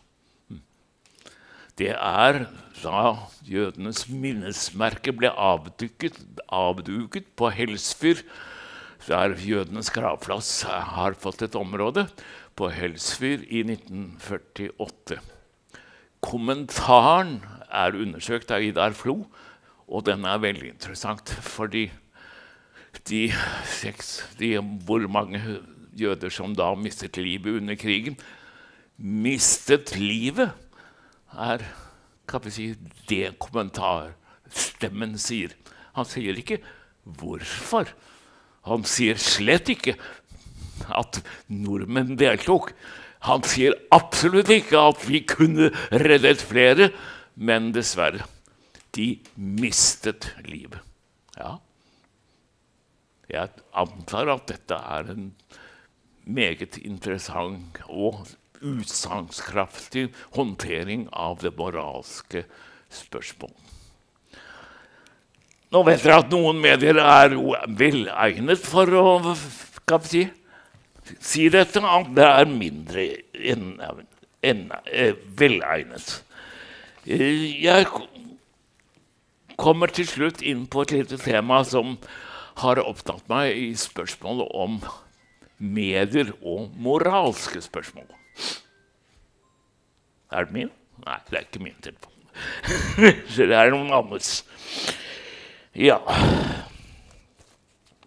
Jeg ber dere tenke over følgende, følgende. I annet bind av norsk presses historie der blir sosiologen Arvid Brodersen, som døde i 1996, berømmet for en storartet står det, artikkelserie i en trondheimsavis mai-juni 1933. Arvid Blodsen skrev da, prøvde å forklare sine lesere hva skjer når nasjonalsosialismen tar hånden om Tyskland, og hva kan man vente av en mann som Hitler? Pressehistorien, som kom i 1910, sier at dette er forbilledlig. Man skulle ønske seg flere slike artikler i norsk presse eh, etter Hitlers maktovertagelse i 1933. Grundig og ordentlig. Helt forbilledlig. Men i en bok som han skrev forleden år om Marte Michelet, så sier, sier Espen Søby rett ut at den samme artikkelserien som sto i Trondheimsavisen i 1933, den representerer en tilslutning til nasjonalsosialismen. Det er en forutskikkelse av deportasjonen. Den er antisemittisk. Hvordan kan så en artikkel fra 1933 berømmes så forskjellig, bedømmes så forskjellig i 1910 og 1920? Kjære dere, det er selvfølgelig konteksten som avgjør. Kontekst avgjør jo alt.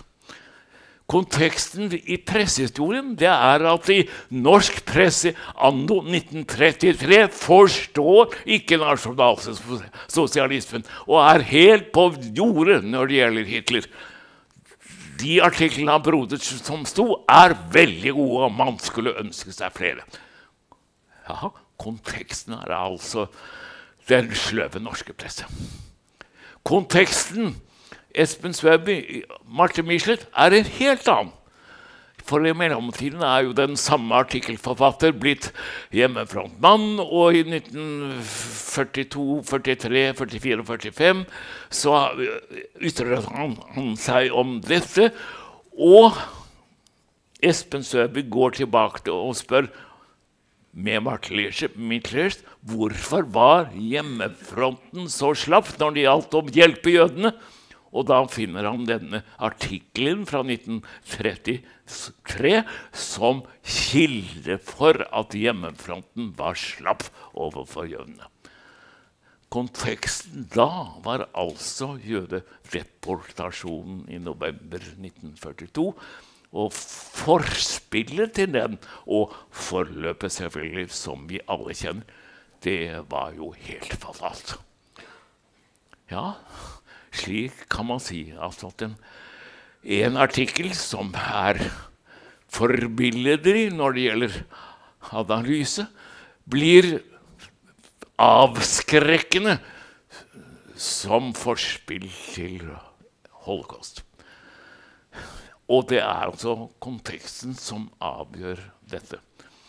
Eh, jeg har selv litt skyld for denne norsk presse kan vi si, ros av artiklene, fordi jeg var hovedredaktør og kanskje førte dette i, i pennen.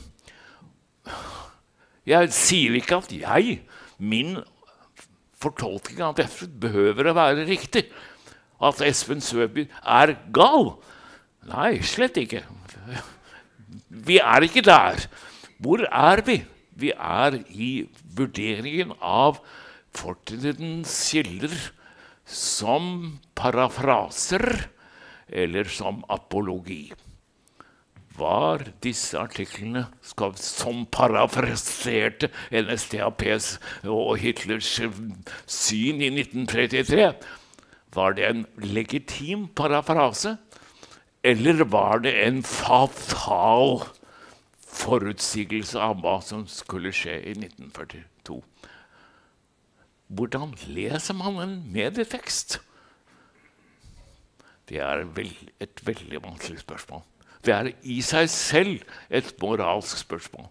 Og mange av de veldig flotte inne i dag har jo gitt rene, skal vi si, sitater fra fortiden.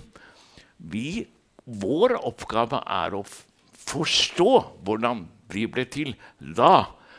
Vi må jo delvis forstå dem som parafrase, men vi ser jo samtidig at de er forspill til noe mye verre. Å lese en medietekst, det er ikke lett. Takk for meg.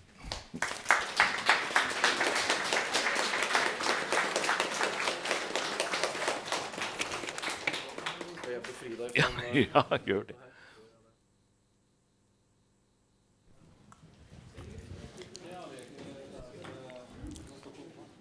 Ja, da sier jeg tusen takk til Hans Fredrik Dahl. Eh, og da er vi kommet til neste innlegg, og det er Gunnar Hatle Hoel. Vær så god. Takk.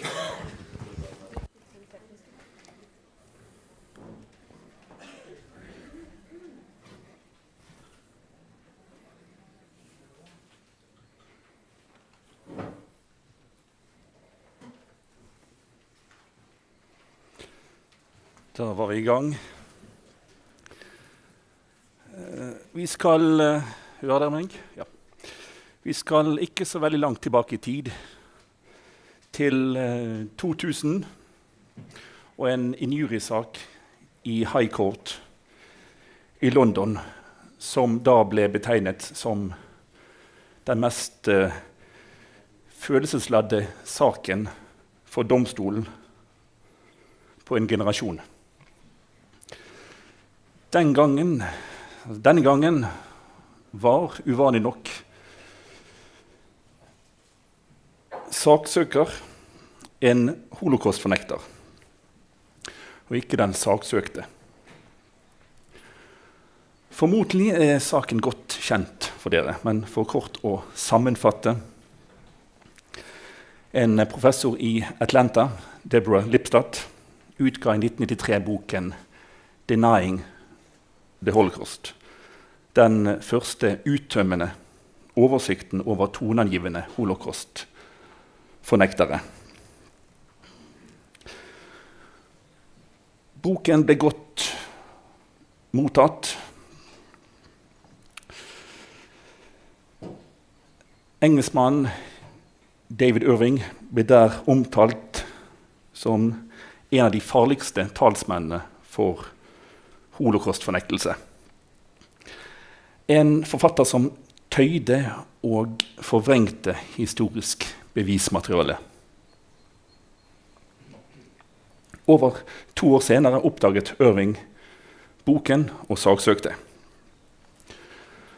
Irving skiller seg ut i det store, tvilsomme persongalleriet av holocaustfornektere. Han hadde tidligere hatt et navn i offentligheten, både i Storbritannia og ellers internasjonalt.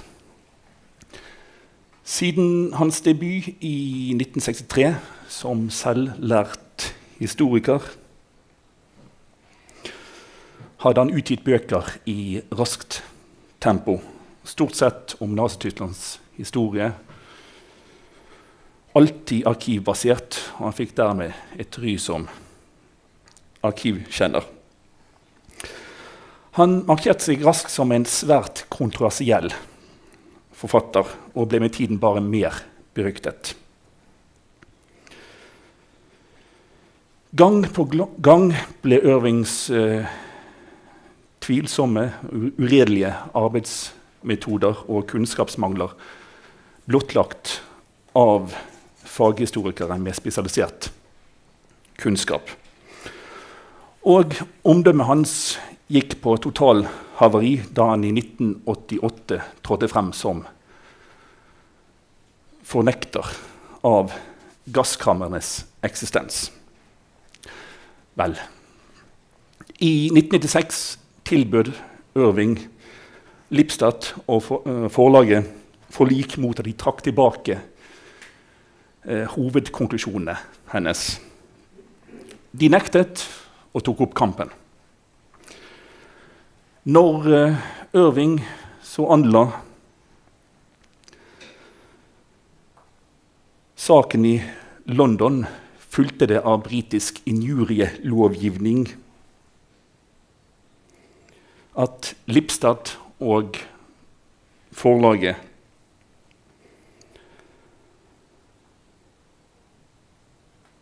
selv måtte bevise at hun hadde beskrevet Irving sannferdig. Tre år gikk deretter med for hennes og forlagets del på å samle inn et helt berg av dokumentasjon om Irvings person og om historiske temaer. Da ved hjelp av et stort team av sakkyndige. Norsk presse hadde tidligere nevnt Irving sporadisk, og bare delvis formidlet av dette var en svært kontroversiell mann. Inntil veiskillet i 1989, da Irving definitivt identifiserte seg med holocaust-fornekterne. Det ble siden førende for fremstillingene av han i norske medier. Omtale fikk to høydepunkt i 1992 i forbindelse med funnet av en eh, savnet del av Josef Goebbels dagbøker i Moskva, og i 1996-97 i forbindelse med en viss uh, historikerstrid. Hva så med Deborah Lipstadt i Norge? Tidligere omtaler av henne hadde vært kort og begrenset seg til én gang i Dagbladet i 1995 og to ganger i Aftenposten i 1997, da hennes bok 'Denying the Holocaust' ble nevnt. Den ene gangen eiendommelig nok gjennom en kronikk av David Irving selv.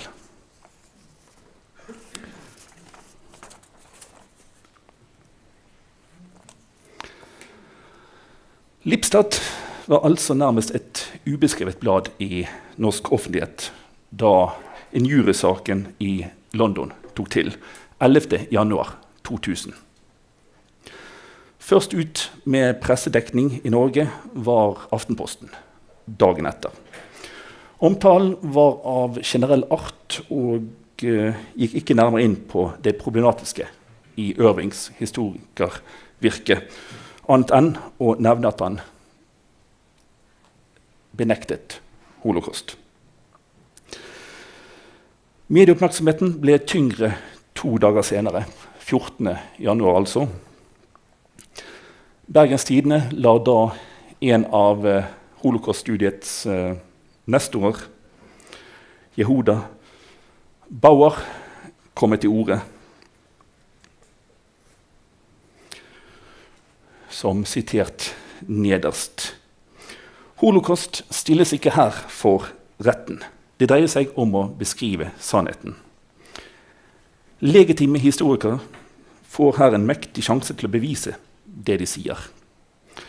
Det kan ikke gjøres sterkere enn i en injuriesak. Holocaust stilles ikke for retten. Ikke desto mindre så har oppslaget eh, om bl.a. Eh, Bauer tittel 'Holocaust' for retten.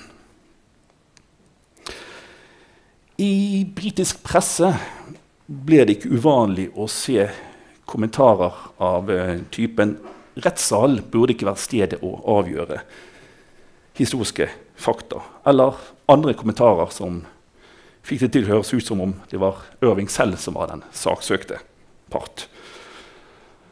Uh, Aftenposten, Dagbladet, VG de hadde egne korrespondenter i London som rapporterte fra rettssaken.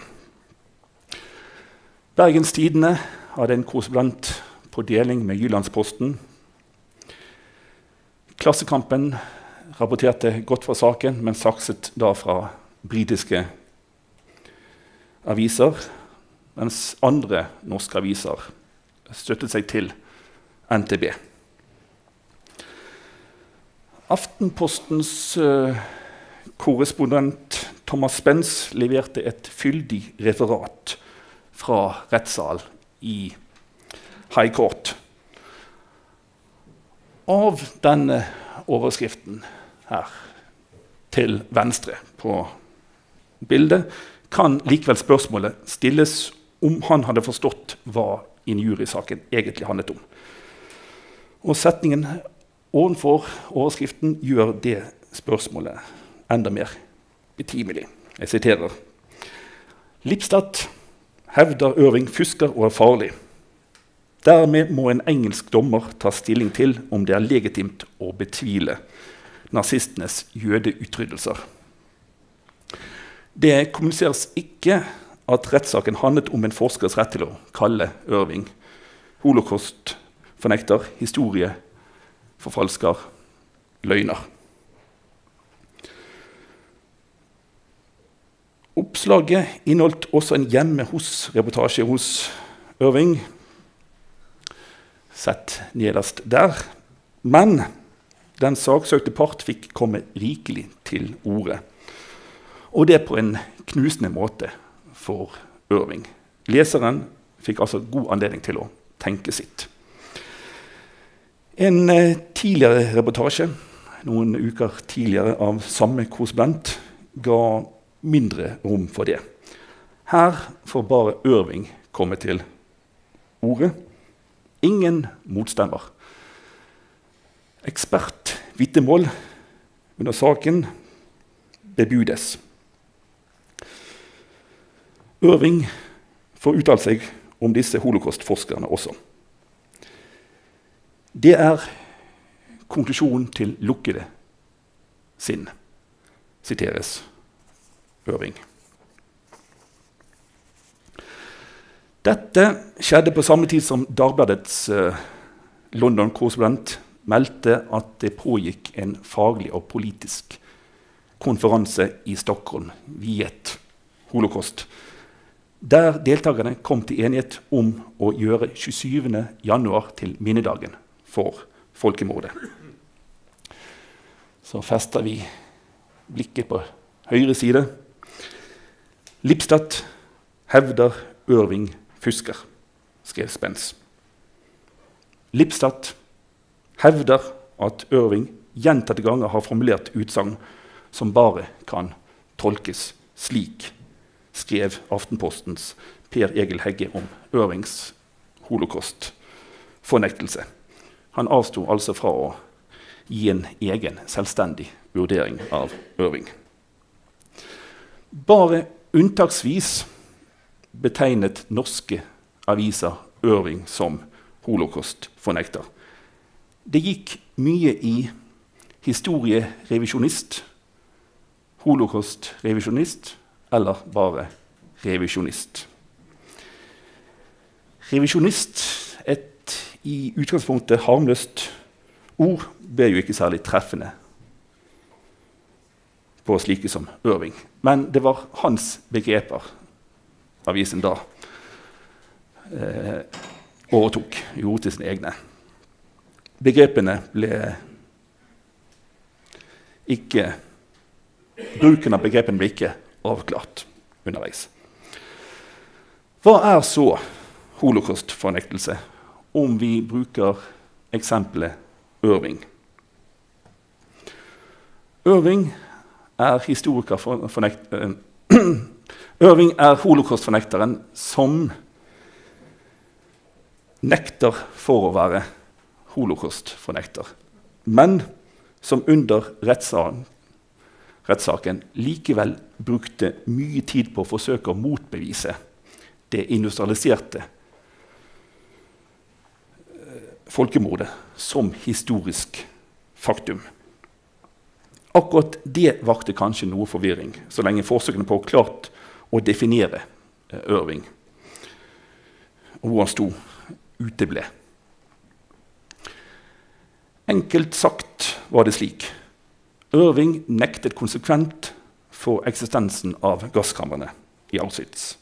Han nektet konsekvent for at det fantes et statlig initiert, planmessig og systematisk program for å utrydde jødene i Europa.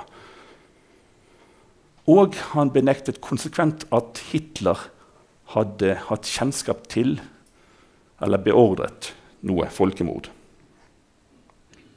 Det definerte Irving som holocaustfornekter. Likevel dukket det aldri opp noen tydelig definisjon på holocaustfornekterbegrepet under pressedekningen.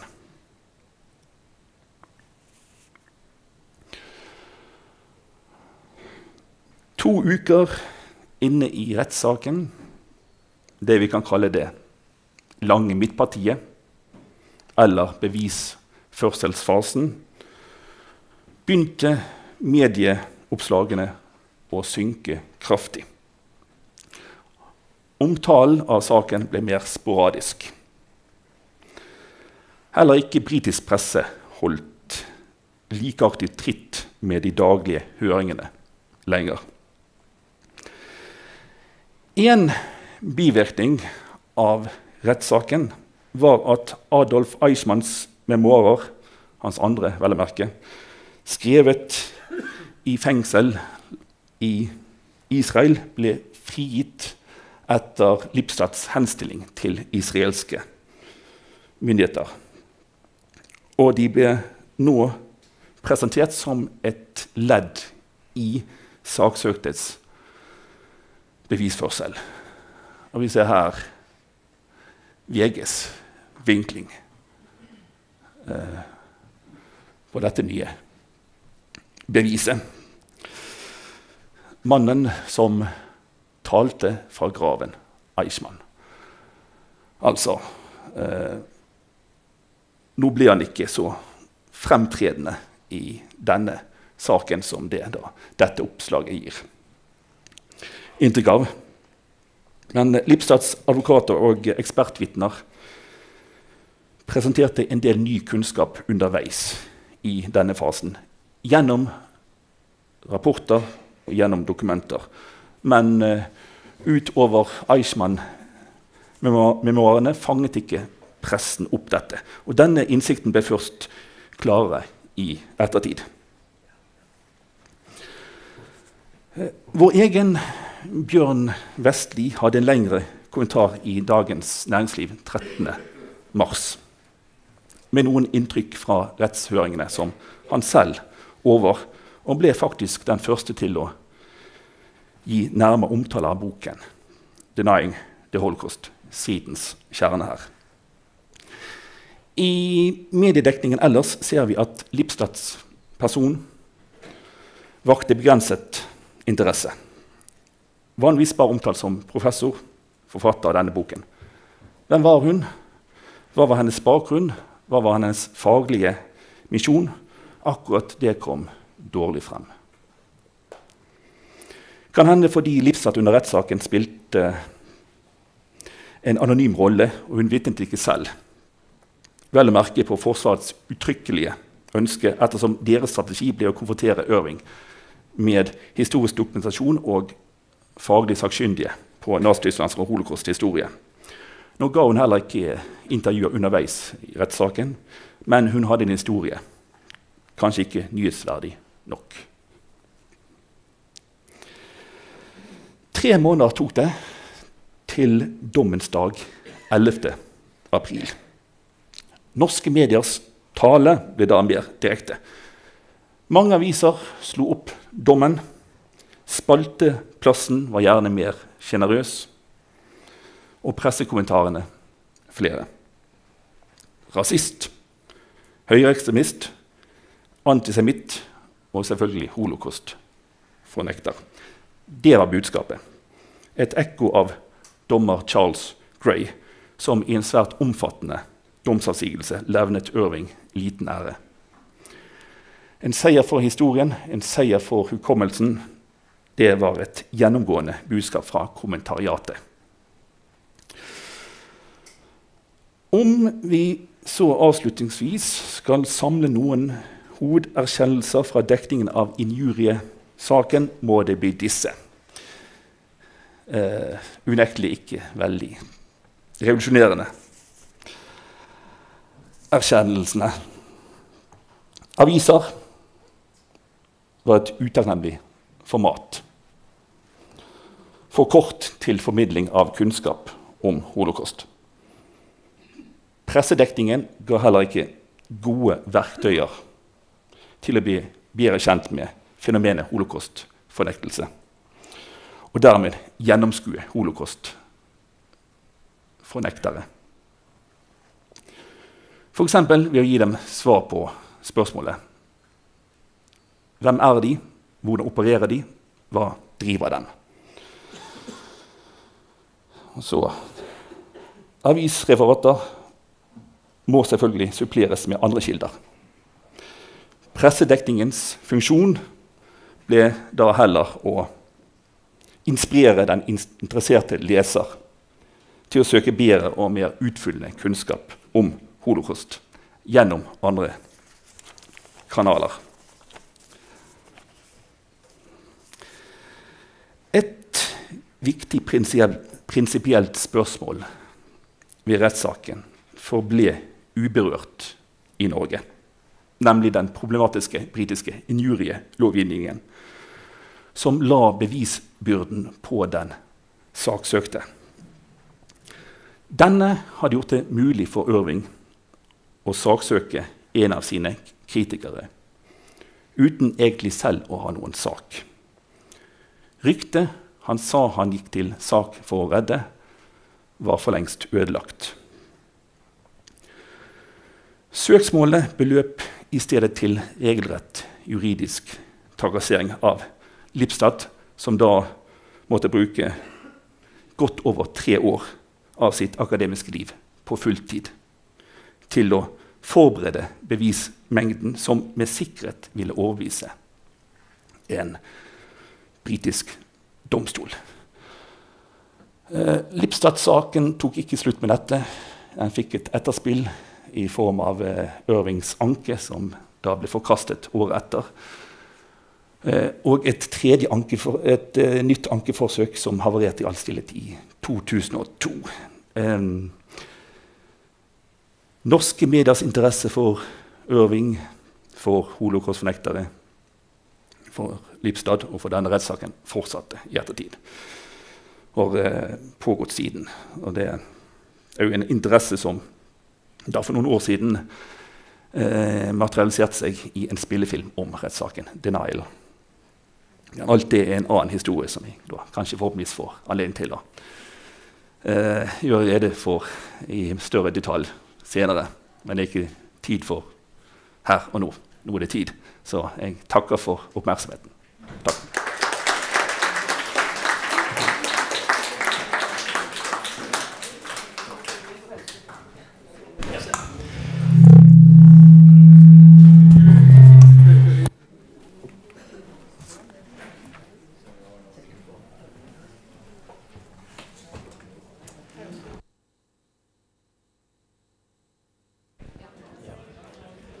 Ok, eh, Gunnar Hatlehol, tusen takk for eh, ditt innlegg. Nå skal vi ha eh, kaffepause igjen. Så vær så god, det er kaffe ute i kafeen.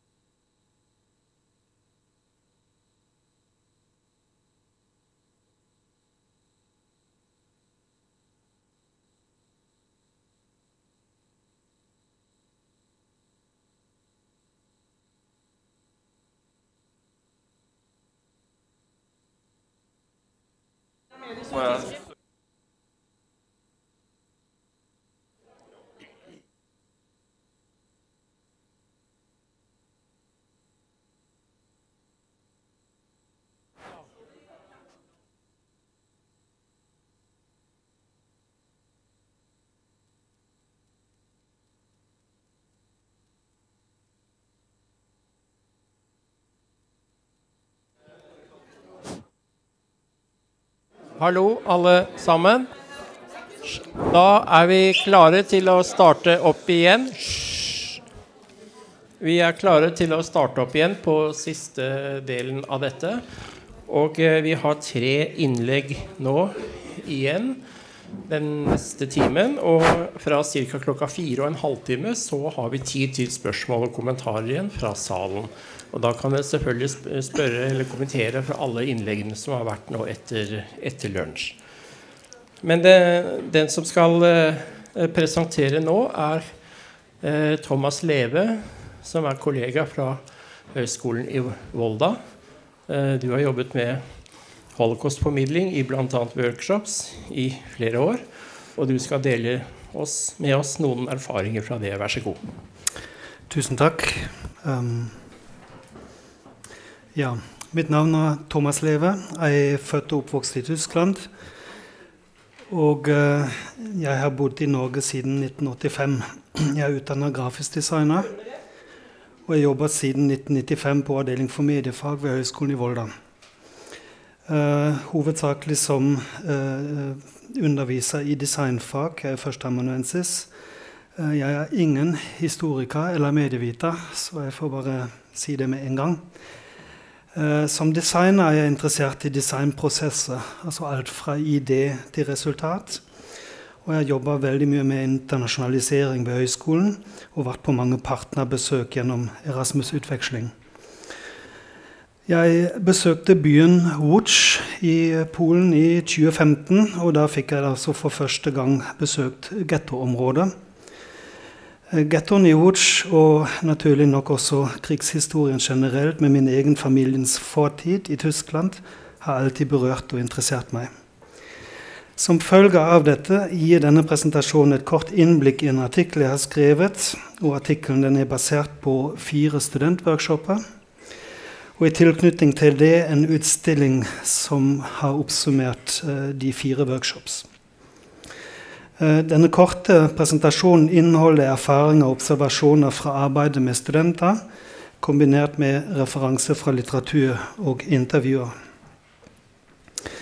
Jeg vil si noen få ord om eh, New i Łódź. Den ble etablert i april 1940 som Litzmannstadt-getto og var den første nazigettoen i Øst-Europa. Til tider så bodde 200 000 mennesker i den gettoen, som utgjorde et todelt areal av noen få kvadratkilometer. To distrikter som har blitt knytta sammen med denne bruen på det bildet. Alt i alt 45 000 mennesker døde av sult og sykdom. Og nesten alle andre ble frakta fra og med 1942 til utryddelsesleirene Helmå og Auschwitz-Birkenau. Kun 5000-7000 mennesker har overlevd, og derav 877 i selve gettoen. Mennesker som har gjemt seg. Sentralt i arbeidet med minneformidling er begrepet som brukes, noe jeg har prøvd å ta inn over meg i arbeidet med min artikkel. Andreas Huissen og Alaida Asman er kjente forskere som bruker begrepet kulturminne som et paradigme innen kulturstudier mens Yasmin Ibrahim og Sofia Marshman baserer sin forskning på begrepet visuell kultur i forhold til visuelle representasjoner av holocaust. Alison Landsberg har formet det ikoniske begrepet prostetisk hukommelse som en direkte konsekvens av massemediekulturen, og bidrar herved til en bredere definisjon av offentlig kulturminne. Jan Assmann har preget begrepet kollektivminne og kulturell minne, mens Marianne Hirsch bruker begrepet postminne, der referansen til fortiden ikke kun er mediert gjennom gjenfortelling, men også gjennom gjenskaping basert på forestillingskraft og innlevelse. Og Ifølge Kristoff Cornelissen eh, bør minnekultur forstås som en formell paraplybetegnelse for alle mulige former for bevisst erindring om historiske hendelser, personligheter og prosesser, enten de er av estetisk, politisk eller kognitiv karakter. Kort om uh, de workshopene vi har arrangert. Totalt har 79 internasjonale studenter fra tolv forskjellige nasjoner og seks universiteter i Tyskland, Polen og Norge deltatt i de ti dagers workshopene. Studentene, som alle sammen var i alderen 20 til 32 år, hadde ulike utdanningsbakgrunn. Det meste innenfor media, design, journalistikk, offentlig historie og kunst. Jeg har samarbeida med Universitetet i Bergen, Hochschule Ostwestfalen-Lippe Lemgo i Tyskland, og senere også fra Universitetet Berlin, Universitetet i Łódź og Streminski Academy of Art i Łódź. Vår hovedpartner i de tre første workshopene eh, var Marek Edelmann Dialogsenteret i Łódź, som vi også ser bilder av i de tre første bildene. Vi har også uh, jobbet med Gedenkstätte Neuengamme Hamburg, som var vår hovedoppdragsgiver i den fjerde workshopen her borte. Uh, de har gitt oss i oppdrag å uh, gjennomføre den workshopen fordi de planlegger ny et nytt dokumentasjonssenter rundt Hannover Sjabanov, som var deportasjonsstasjon for jøder til bl.a. Riga og Stutthof. Mens Falstad-senteret og Polin-museet har vært assosierte støttespillere i prosjektene, og de bidro med sin ekspertise og til dels også med økonomisk support. Som del av workshop-aktivitetene har vi besøkt ulike museer og minnesteder, som Polin-museet i Warszawa opp til venstre, og andre verdenskrigsmuseet i Gdansk. Vi har hatt mange befaringer i gettoområdet i Łódź med studentene og guider Studenter har jobbet i gruppe og skulle jobbe fram forskjellige ulike konsept som skulle formidle de sterke traumatiske hendelsene rundt gettoen. Vi har veiledet studentene, og arbeidet ble til slutt presentert i en stor gruppe. Og vi har alltid hatt med oss ei gruppe som har jobbet med dokumentasjonen av workshopene, både i lyd og bilde. Under de tre første workshopene oppstår det tolv ulike konsept med løsninger innen lokasjonsbasert teknologi, social media-kampanje, lyd, events, kunst- og lysprosjekt, street art, 3D, virtual reality-teknologi, opplevelsesrom, for å nevne noen. Artikkelen er skrevet i etterkant av studentprosjektene i Polen og Latvia, basert på fem grunnleggende innsikt Generasjoner seinere er vi stadig påvirket av holocaust. Unge som eldre, familie, samfunnsgrupper og som hele nasjoner. Vi lever i en ekstrem medialisert verden der digitalisering og nye teknologier har forandret vår tilgang og vår håndtering av informasjon og historien. Dette opplever jeg konkret gjennom mitt arbeid på en mediehøyskole. Artikkelen tar utgangspunkt i erfaringene og tanker fra disse fire workshopene, gjennomført i perioden 2016 2019 i Polen og Latvia, og en avsluttende utstilling i Łódź samme år. Artikkelen er i tillegg bygd på intervjuer med representanter fra fire institusjoner i Polen og Tyskland som aktivt jobber med minneformidling. Mitt hovedfokus ligger da selvfølgelig på de visuelle uttrykk og perspektivene i holocaustformidlingen, og har særlig i forhold til unge mennesker. Uh, basert på disse innsiktene og mitt personlige utgangspunkt har jeg kommet fram til følgende struktur i min artikkel. Del 1 uh, handler om øyenvitner og steder og objekter. Del 2 handler om narrativ og medieteknologi, mens den tredje delen se nærmere på visualisering og design. Uh, gjennom dette fotoet fra min utstilling ved Dialogsenteret i Watch, der også to holocaust-overlevende, Irena og Joanna, var til stede. De har stilt til samtale med våre studenter i de forhengående workshopene. Vil jeg rette fokus på den delen av min artikkel som omhandler øyenvitner. Claudia Lenz og Trond Risto Nilsen skriver i sin bok 'Fortiden i nåtiden' at fortiden er fortsatt en del av levende menneskers liv, og det påvirker måtene den blir fortolket og forvaltet på. Studentenes erfaringer og refleksjoner har vært viktig for meg og oss å forstå. Dette er en kort oppsummering av hvilken inntrykk studentene hadde.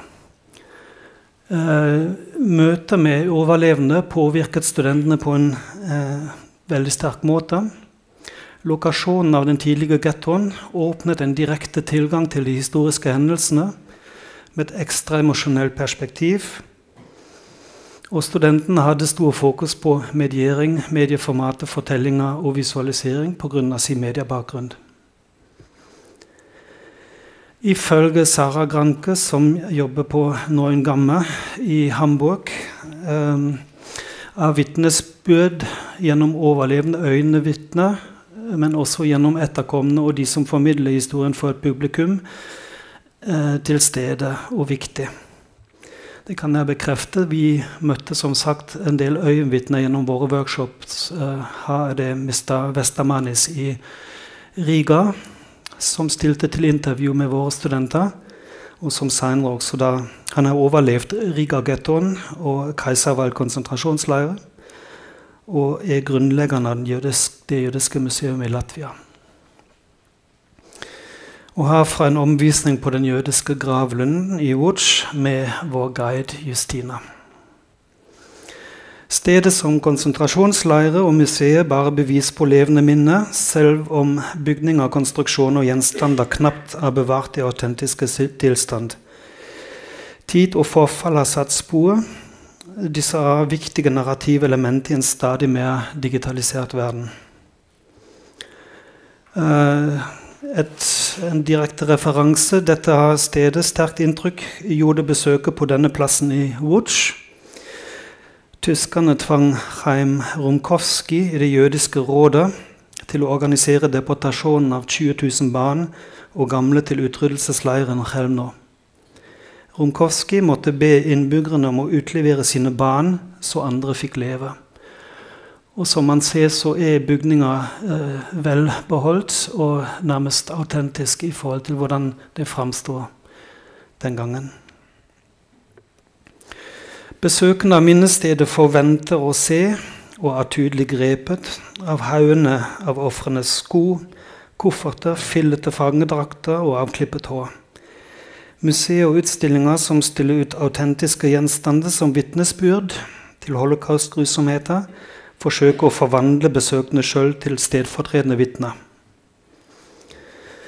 Nye museer er hybride og produkter av samarbeid mellom arkitekter, historikere og kunstnere. De må forhandle om de motstridende interessene til samfunnet og kulturpolitiske beslutningstakere og svare på statlige initiativer og krav til finansiering. Et eksempel på et slikt samarbeid er minnesmerket for de mødrede jødene i Europa i Berlin å innlemme et minnested i et sentralt samtidsbybilde uten de typiske minnesmerkeattributter, som informasjonsskilt, forklaringer og vakter, åpner for individuelle meninger og debatter og er derfor en del av en dynamisk, tilstedeværende kultur. Um, på samme måte så er 'Snublesteinene' av den tyske kunstneren Gunther Demming en del av en dialogisk minneformidling, også betegnet som motmonumenter eller countermonuments. Han sier at snublesteinene er en veldig effektiv form for minneformidling, som aktivt forholder seg til byrommet, ikke bare som et sted, men også et subjekt eller en dialogisk samtalepartner i diskurs om minne og identitet. Uh, Kimberly eh, Partialar sier at et museum eh, Hun stiller da et sentralt spørsmål. Er museet eid av sine respektive nasjonale myndigheter? Eller av EU, av Israel, eller kanskje av det internasjonale samfunnet? Hvem er autorisert til å foreta endringer, og hvilket overordnet budskap skal stedet formidle? Uh, en interessant referanse til dette er uttalelsen til Tamara Stuma, som jeg har intervjua, og som er kurator ved Polin-museum i Warszawa. Hun sier at den nåværende polske regjeringa utnytter museet og kultur for politiske motiv og perspektiver. Et eksempel på det er en utstilling basert på den hendelsen. I 1968 lanserte polske kommunistiske myndigheter en antisemittisk, en antisemittisk kampanje som resulterte i utvandring av rundt 13 000 polakker av jødisk opprinnelse fra Polen. Polen museum har kjørt en utstilling som heter 'Estranged March 68 and its Aftermath'. Hovedmålet var å provosere fram refleksjoner over konsekvensene av passivitet overfor diskriminering, fremmedfrykt og brudd på menneskerettigheter. Når det kommer til medieteknologi Verken personlige eller offentlige minner kan diskuteres separat fra den enorme innflytelsen de nye mediene har. Disse kommuniserer heller ikke minnene på en objektiv måte, men former dem i tråd med medienes egen struktur og form, helt i tråd med McLaurens 'The Medium is the Message'. Et interessant eksempel har denne provokative kombinasjonen social media-plattform som har en reputasjon for å være selvopptatt, overfladisk underholdende, kombinert med en djup tragedie fra det 20. århundre. En trivialisering med fare for misbruk eller et godt initiativ til å få et ungt publikum interessert i historie, er det store spørsmålet. Når teknologiske medieinnovasjoner tas i bruk i minnekulturen, kan en bifalle de mulighetene det kan medføre for å nå ut til et ungt publikum. Kravene til sannhet ser imidlertid ut til å kunne falle i bakgrunnen og åpne for misbruk. Dette er et bilde som jeg har tatt av min familie. Vi var på besøk på eh, andre verdenskrigsmuseum i Gdansk. Et eksempel på state of the art VR technology av den prisbelønte polske filmen 'Warsaw Rising'. En kort, fiktiv VR-film basert på fakta rundt Warszawas motstandsbevegelse under krigen. Handlingen kan man forresten også uh, slå opp i, på YouTube. Handlingen er en hyllest til den polske motstanden under andre verdenskrig. En heroisk, men flat plott dominerer en ensidig og forenkelt fortelling. Den fremstår sannsynligvis som meget attraktivt for et ungt, spillervant publikum. Den har blitt vist bl.a. på andre verdenskrigsmuseum i Gdansk. Et annet eksempel jeg har lyst til å vise, er um, denne delen av en utstilling fra andre verdenskrigsmuseum i Gdansk. Eh, dette er også et eksempel på fordreid budskap. Uh, videosekvensen er en møte når man går ut av utstillinga uh, i det museet. I den opprinnelige versjonen her på venstre side har det blitt vist videobilder fra mange forskjellige krig og konflikter og vold etter 1945. Budskapet på veien ut av museet var at krig aldri er en løsning men en tragedie. En svært viktig endring i museet etter at direktør Pavel Masjevitsj ble erstattet av en regjeringslojal etterfølger, er at videobildene ble byttet ut mot en heroisk animasjonsfilm laget i dataspillestetikk her på høyre side. Den heter The Unconquered. Den forteller historien om Polens heroiske kamp for uavhengighet 1939 til 1989 i forsvaret mot sine naboer i både øst og vest. Ifølge den nye direktøren er det nye og bedre budskapet at en må være forberedt til å forsvare landet sitt. Når man da går ut av utstillinga, så går man rett inn i museumsbutikken og får kjøpt nasjonalistiske T-skjorter og krigsleketøy. Så som enda et eksempel på faren for en forvrengt sannhet kan denne uh, kunstig intelligensmanipulerte talen om koronaviruset av den danske statsministeren Mette Fredriksen ses. Ettersom teknologidrevne avsendere har blitt viktige aktører i formidling av sensitive fortellinger, og har spesielt i forhold til unge mennesker, har vi ingen garantier for ektheten av innholdet. Vi vet heller ikke med sikkerhet om og hvordan disse kommer til å bli instrumentalisert for ideologiske formål. Visuelle stimuli dominerer vår persepsjon av informasjon i stadig større grad. Den økende strømmen av bilder kan fremstå som en trussel mot tradisjonelle leseformer og mot etablerte kulturelle verdier og uttrykk. Begrepet visuell kultur beskriver et spesielt forhold mellom det å se og forstå. Visuell kultur uttrykkes gjennom bilder og symboler, og de er preget av samtidens tenkning og verdisyn. Og dermed så vil jeg gjerne konkludere med det som eh, interesserer meg, og det som jeg har fått ut av workshop og arbeidet med unge, medievante eh, studenter. Uh, informasjon om holocaust vokser og er permanent tilgjengelig. Autentiske lokasjoner og objekter er viktige elementer for troverdigheten i minneformidling. Antall fysiske og virtuelle minnesteder øker stadig. Holocaust-minneformidling i fremtiden kommer til å bli utelukkende medialisert og ny teknologi fremkaller også nye medievaner. Eh, narrativene og visuell fremstilling tilpasses de nye medievanene. Ingen etablerte normer eksisterer lenger. Skjæringspunktet mellom det autentiske, fysiske og det grenseløse virtuelle rommet kan være veldig diffust. Narrativene og visualiserende kan være krevende og utfordrende. Historien kan vris i mange retninger. Tolkninger som tjener ulike interesser utover en objektiv fremstilling, er mulig. Det visuelle språket har en betraktelig relevans i disse prosessene.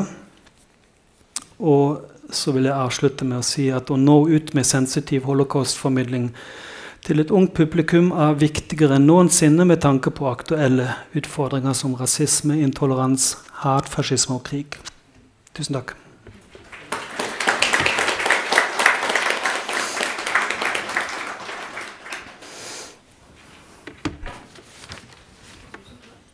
Flott, Thomas. Tusen takk for det.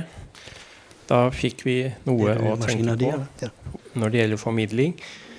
Da er det Bjørn Sørensen som eh, skal eh, snakke, og han skal snakke om holocaust i norsk film. Vær så god.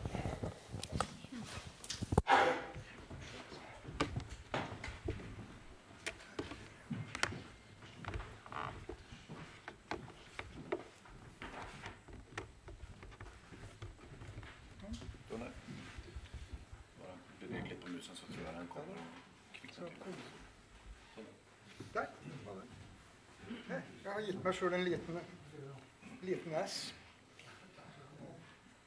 Hallo? Ja. Eh, jeg er veldig glad for å være her. Det har vært en kjempeinteressant dag. Og, eh, jeg, men jeg ble litt i stuss når jeg fikk uh, oppdraget fra arrangøren om, om, altså om å snakke om holocaust og norsk film. For det er jo ikke så mye. Det er veldig lite. Men da eh, fant jeg ut at jeg kunne sette det her i en litt større kontekst og gi meg en anledning til å sveipe gjennom de 30 norske spillefilmene med krigen primært som, som, som bakgrunn.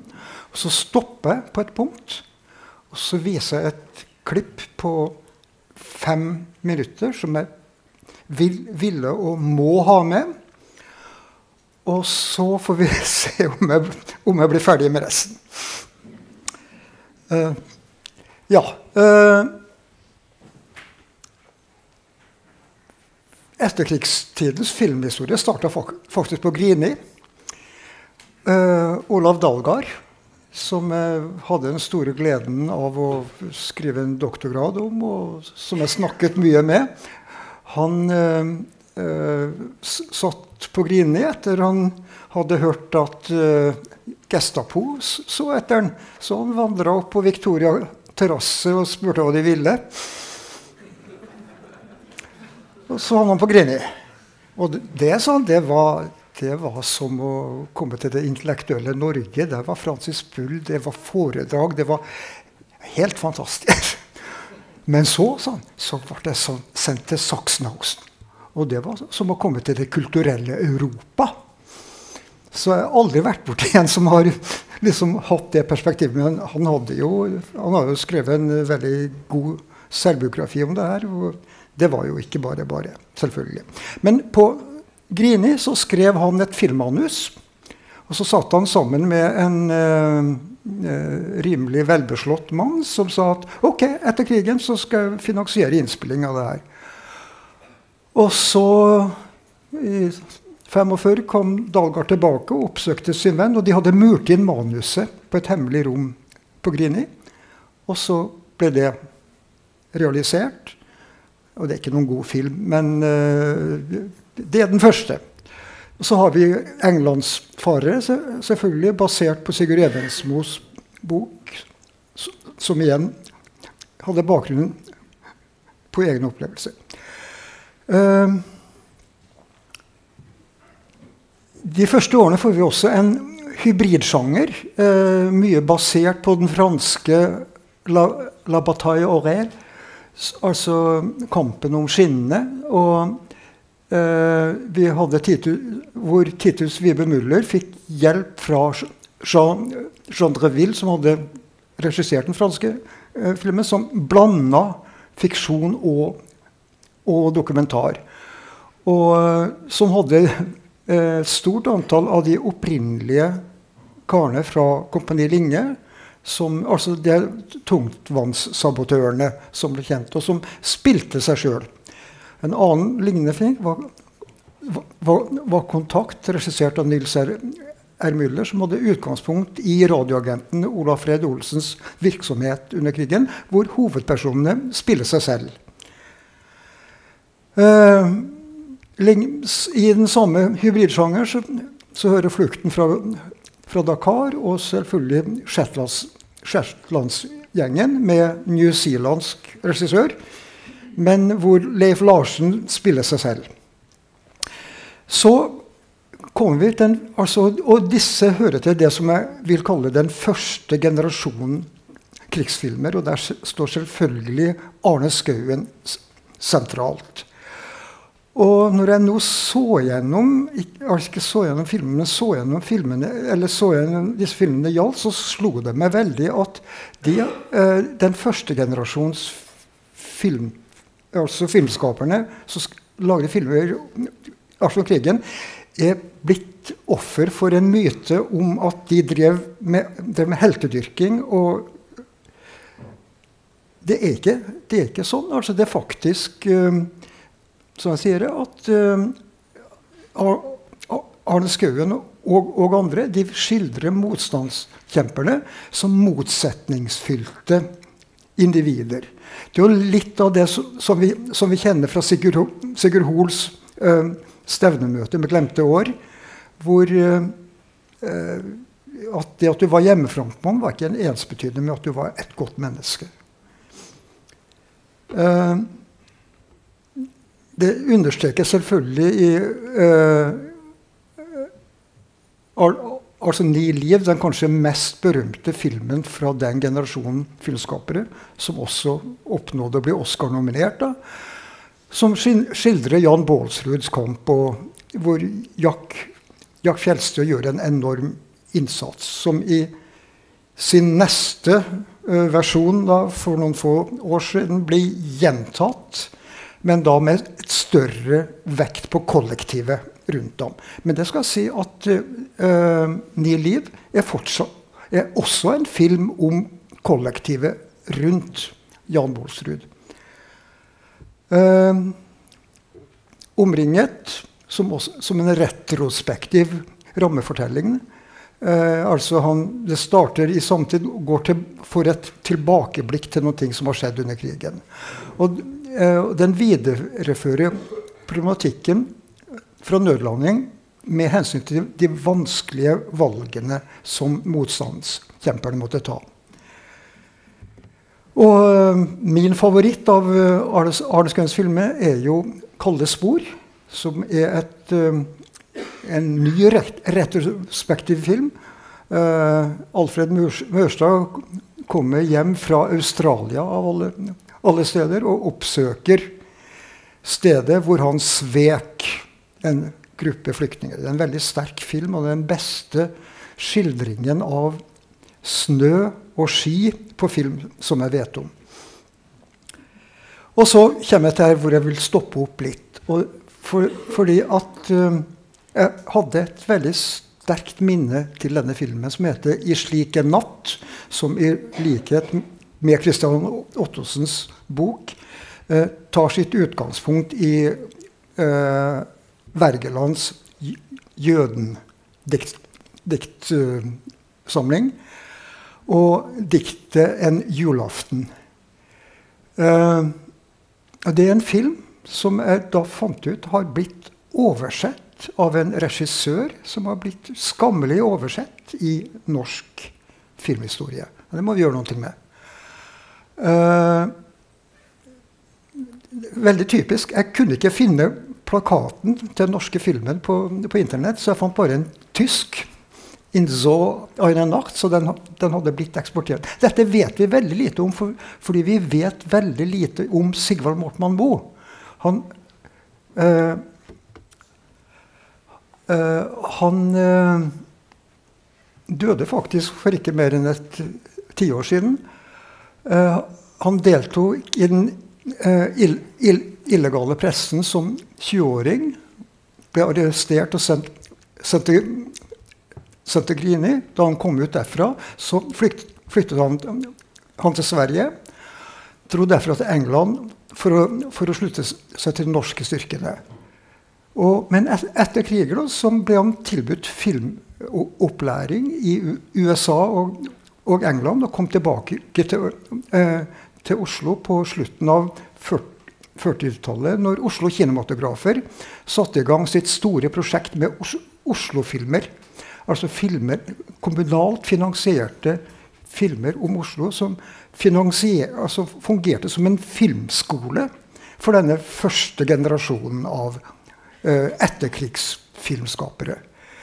Eh, ti, ti, altså fire, fire spillefilmer. Uh, 'De svarte hestene', 'Savnet siden mandag', 'I slik en natt' og en ganske mislykka komedie som heter Pet Peter von Heren. Og etter det så vet jeg ikke hva han har gjort. Jeg ble veldig nysgjerrig. Det var veldig vanskelig å finne kildemateriale til, så jeg må, i, jeg må på Nasjonalbiblioteket og lete i mappa til uh, Sigvald Målen. Men uh, jeg tenkte at vi skulle se da et utsnitt fra, fra filmen. Ja, ja, ja. Skal vi se Jeg skal Ok, jeg må gå den veien, ja. Ah. Kom igjen, kom igjen.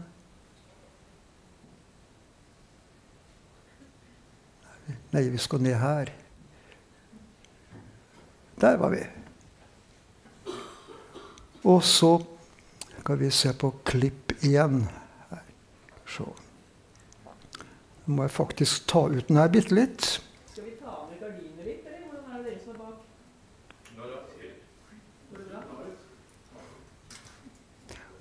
Og så er det lyd på denne filmen, så den, det vil jeg veldig gjerne ha med.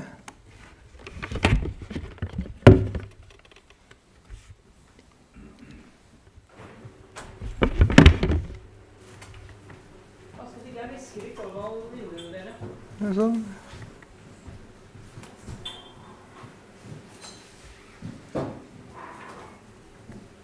sånn. Hvorfor for... Ja, ja. Skal vi se. Kan du si meg hvorfor jeg ikke får opp det her? Må jeg slå av Må jeg slå av PowerPoint? Skjønner du? Kurs ja. Der, ja. ja. Hvis du klikker på den nå.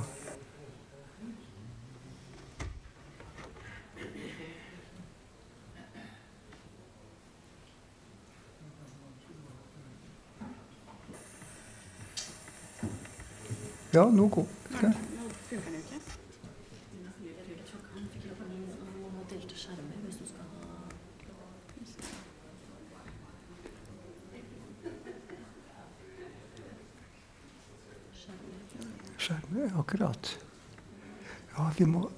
Hvilke må vi ha på?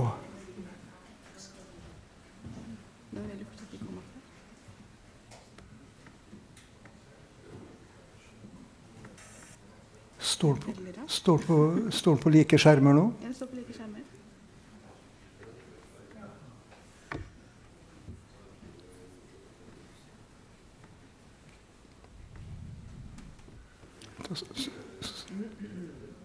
Altså hvis ikke har jeg en minnepinne med, som du kan kjøre direkte på. Da. Men nå skal vi se. Ja, nå, nå, nå. Skal vi se hvis du går på den der. Samle videoer, ja.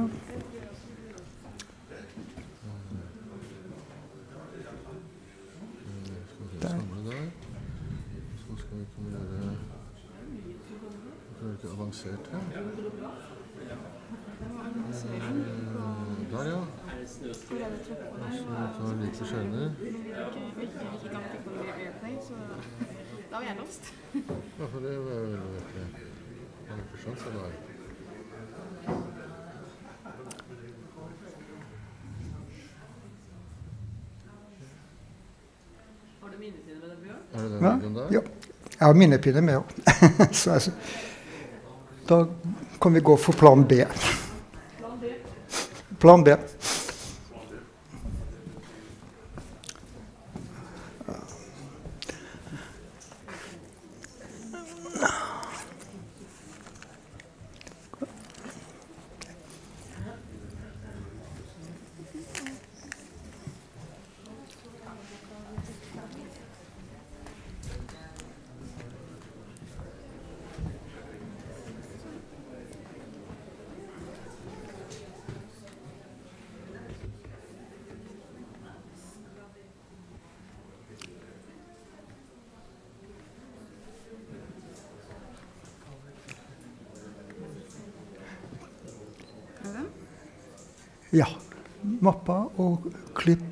jeg vet ikke. Ja, Avi.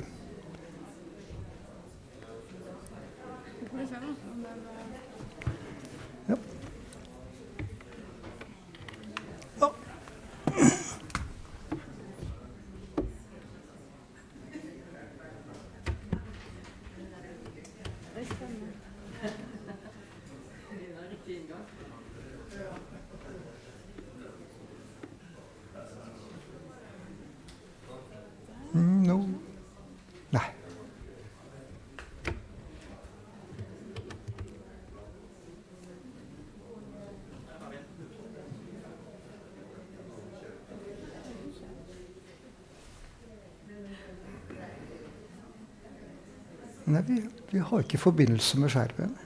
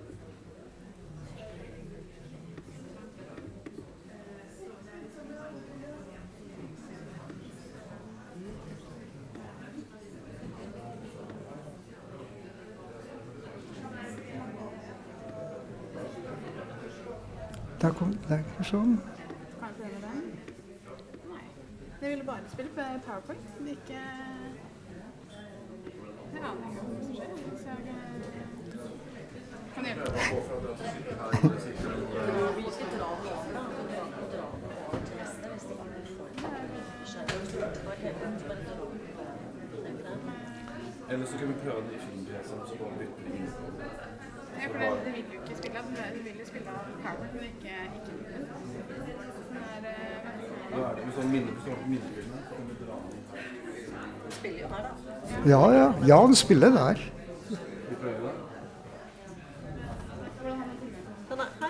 Her? ja, oui. Ok.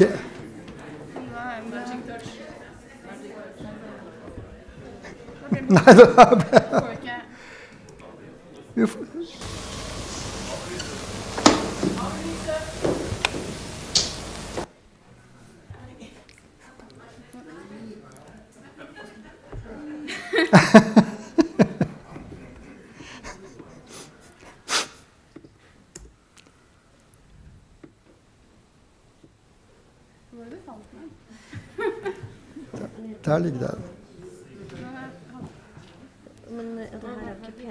Åssen får du den bare opp på skjermen her, da? Nei.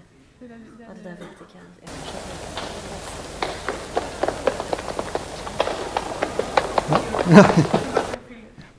Nei. Vet-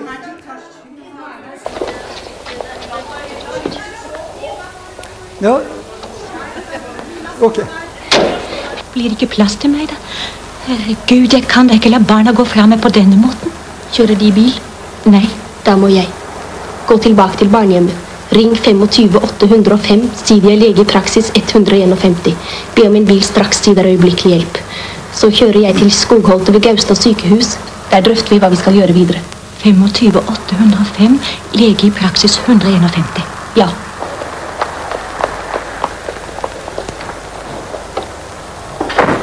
Nå tror jeg snart det verste er over, barn. Vi skal bare vente på tante Gerd.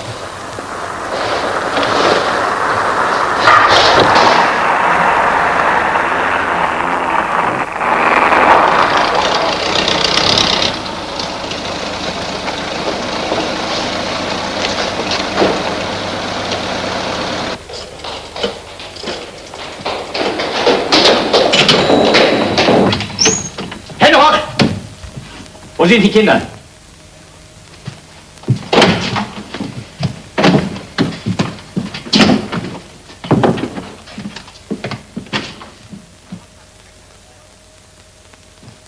Donnerwetter geflohen!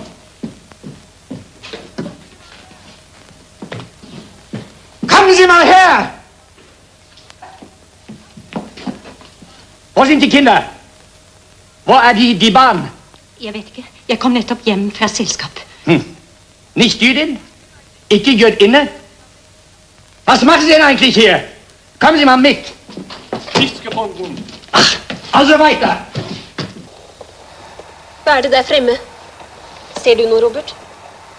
Det ser ut som noen står midt i veien. Det er en tysker. Det er kontroll. Han har sett oss, det er for sent å snu.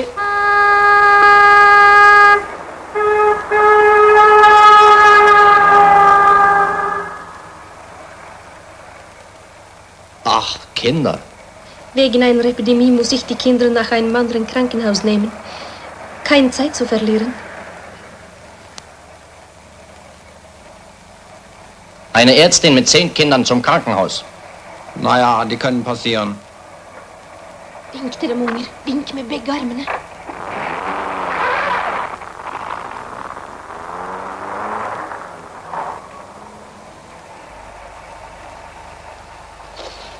Den klarte du fint. Nei da. Her kan dere se. Det er ikke noe å være redd for. De er dumme som troll.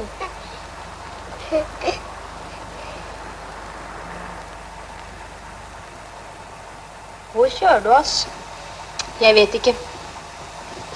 Jeg får stanse her fremme og ringe noen venner.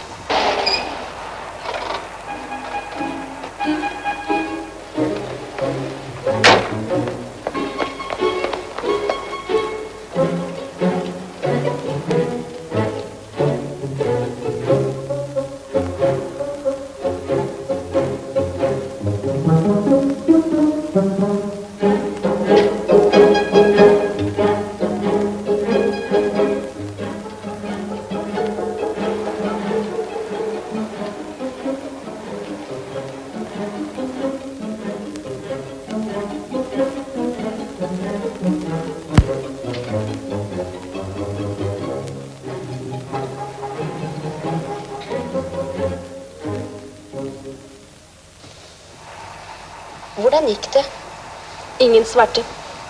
Er det ingen andre du kan ringe til? Ikke det jeg vet. Kan vi ikke kjøre hjem til deg? Det bor nazister i huset. Har du ingen andre slektninger? Jo, det er sant. Jeg har en gammel onkel. Men han bor helt på Nordstrand, og dessuten har han ikke telefon. Og vi skulle jo hente tante Geir ved Gaustad sykehus. Vi kjørte jo onkelen din nå, så henter vi tante Gerd siden. Jeg tør ikke ta den turen gjennom byen en gang til.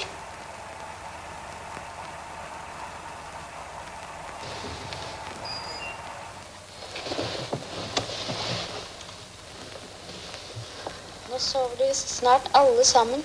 Prøv om du kan sove, du òg. Jeg sover når vi kommer frem.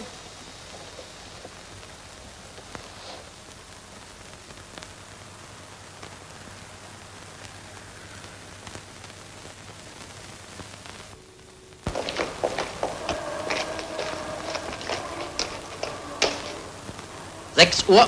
Operation beendet.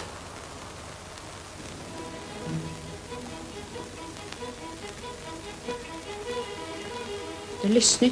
Nå kjører vi. Skal vi ikke vente på tante Gerd? Hun hadde vært her nå, hvis hun kunne. Kanskje hun ikke har fått drosje? Da kunne hun ha gått. Til fots. De har tatt henne, det er jeg sikker på. Det var en tysk bil som stanset utenfor da vi dro. Kanskje du har rett. Ja. Slå av. Eh, det som, er, som gjorde sterkt inntrykk på meg denne gangen Jeg så faktisk filmen som tolvåring. Og da gjorde den et enormt inntrykk. Eh, det er den siste scenen hvor vi ser tyskerne som jager en mor med et barn inn i eh, eh, inn i politibilen for å ta dem med, med til køya. Meg bekjent så er det fram til 2020 det eneste tilfellet av at dette at 26.11.1942 eh, gis et visuelt uttrykk i en norsk film. Så, så, så det er årsaken til at jeg stoppa såpass mye opp med den. Jeg, Jeg håper jo inderlig at vi kan få eh, skal vi se.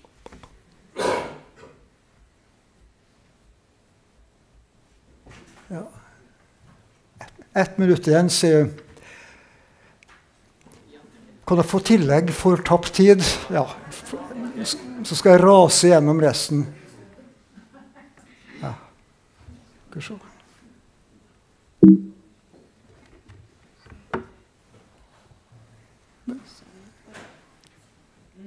Ja.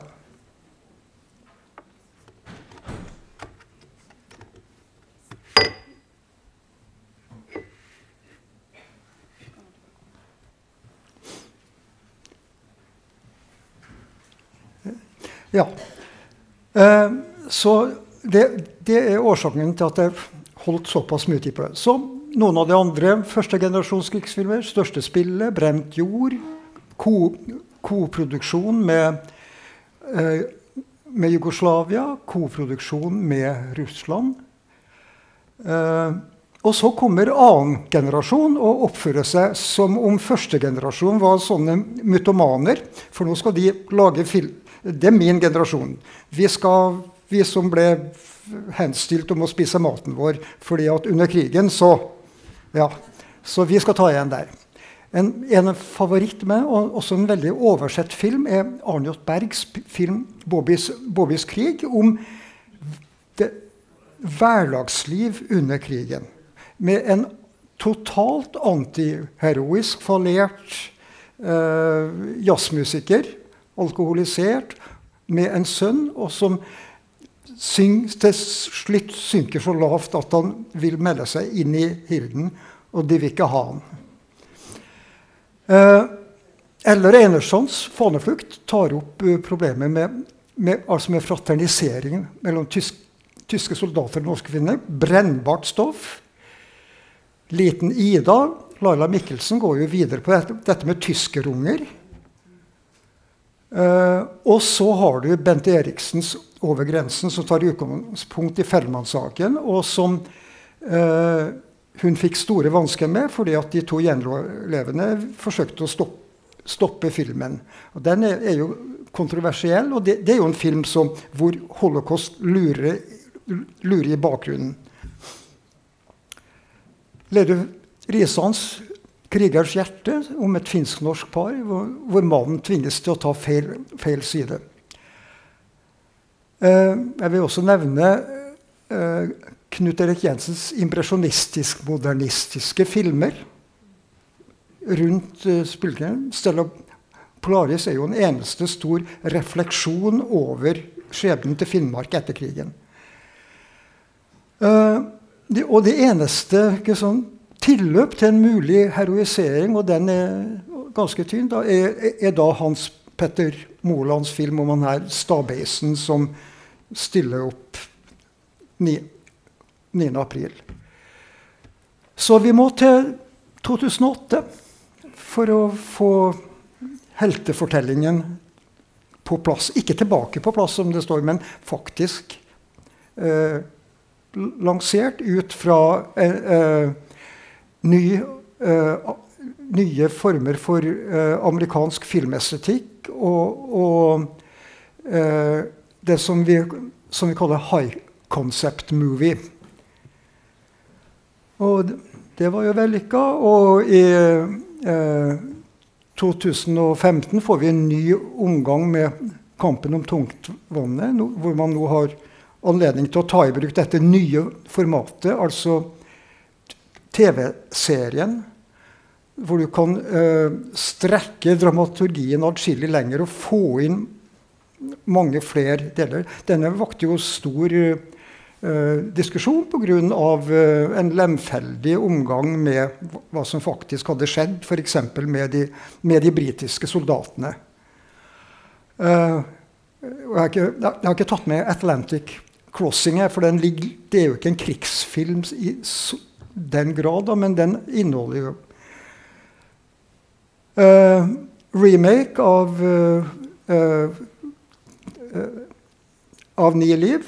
Veldig hederlig og med eh, fornya og sterkere eh, eh, bakgrunn i den kollektive fortellinga. Slik at krigen Men vi må vente til 2020. Altså 62 år etter at Sigvald Mortmann Moe lagde sin film, så dukker holocaust opp på norske filmstjerner med to filmer. Som, uh, hvor den ene er da størst, største forbrytelsen uh, om, om, familien Bråde, og slik den ble fortalt av Marte Michelet. Og hvor selvfølgelig den eh, episke scenen med Donau som forlater kaia med norske, norske tilskuere, er et sentralt punkt. Og eh, i, i, 2020 kom også flukten over grensen, som på veldig mange måter er et ekko av, eh, av, av, av, I slik en natt. I slik en natt var jo basert på en virkelig historie om det jødiske barnehjemmet og hun, legen som kjører, er jo løselig basert på Nick Wall. Så, så øh, øh, Nå skal jo litt om Altså, okkupasjonen filmer etter krigen. To kompilasjonsfilmer. Altså fra film fra Forsvarets film, filmtjeneste i London remade som fem år som vi så dem, hvor det var mye gjen, gjenbruk fra 1946-filmen. Og Lyder Skjelviks eh, film om Art Trondheim i, i okkupasjonsårene. Og så er, så er, det ikke så veldig mange eh, filmer, dokumentarfilmer med tilknytning til holocaust. Men eh, Jon Haukeland og Tore Vollan sitt 'Mannen som elsket Haugesund' er jo et godt eksempel på det. Eh, og selvfølgelig, nå skal jo Elsa, Elsa Kvamme uh, komme og snakke om sitt arbeid, men jeg må jo framheve i denne konteksten da, at uh, trikken til Auschwitz på veldig mange måter blir den optimale skildringen i norsk dokumentarfilm om, om det her. Så kort fortalt 30 spillefilmer av uh, egentlig overraskende kvalitet når vi ser tilbake på det, og overraskende i sitt mangfold.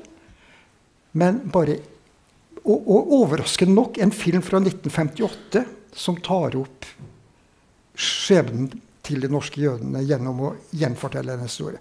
Men det ser det ikke ut som samtida på den måten tok, tok til seg. Før det nå dukker opp igjen i, i, i altså 2020, og det kommer vel sikkert flere. Så det var med tekniske pauser det.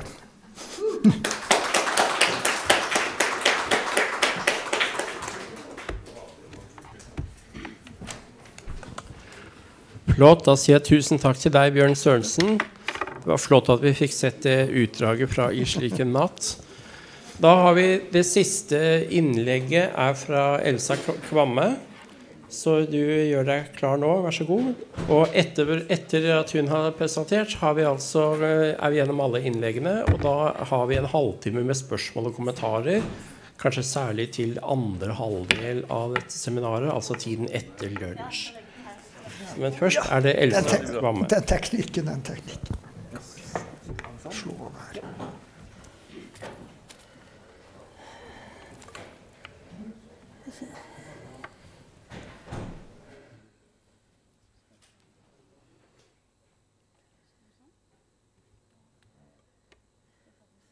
Ja, altså. Hva skjer nå? Så kommer den, og så den.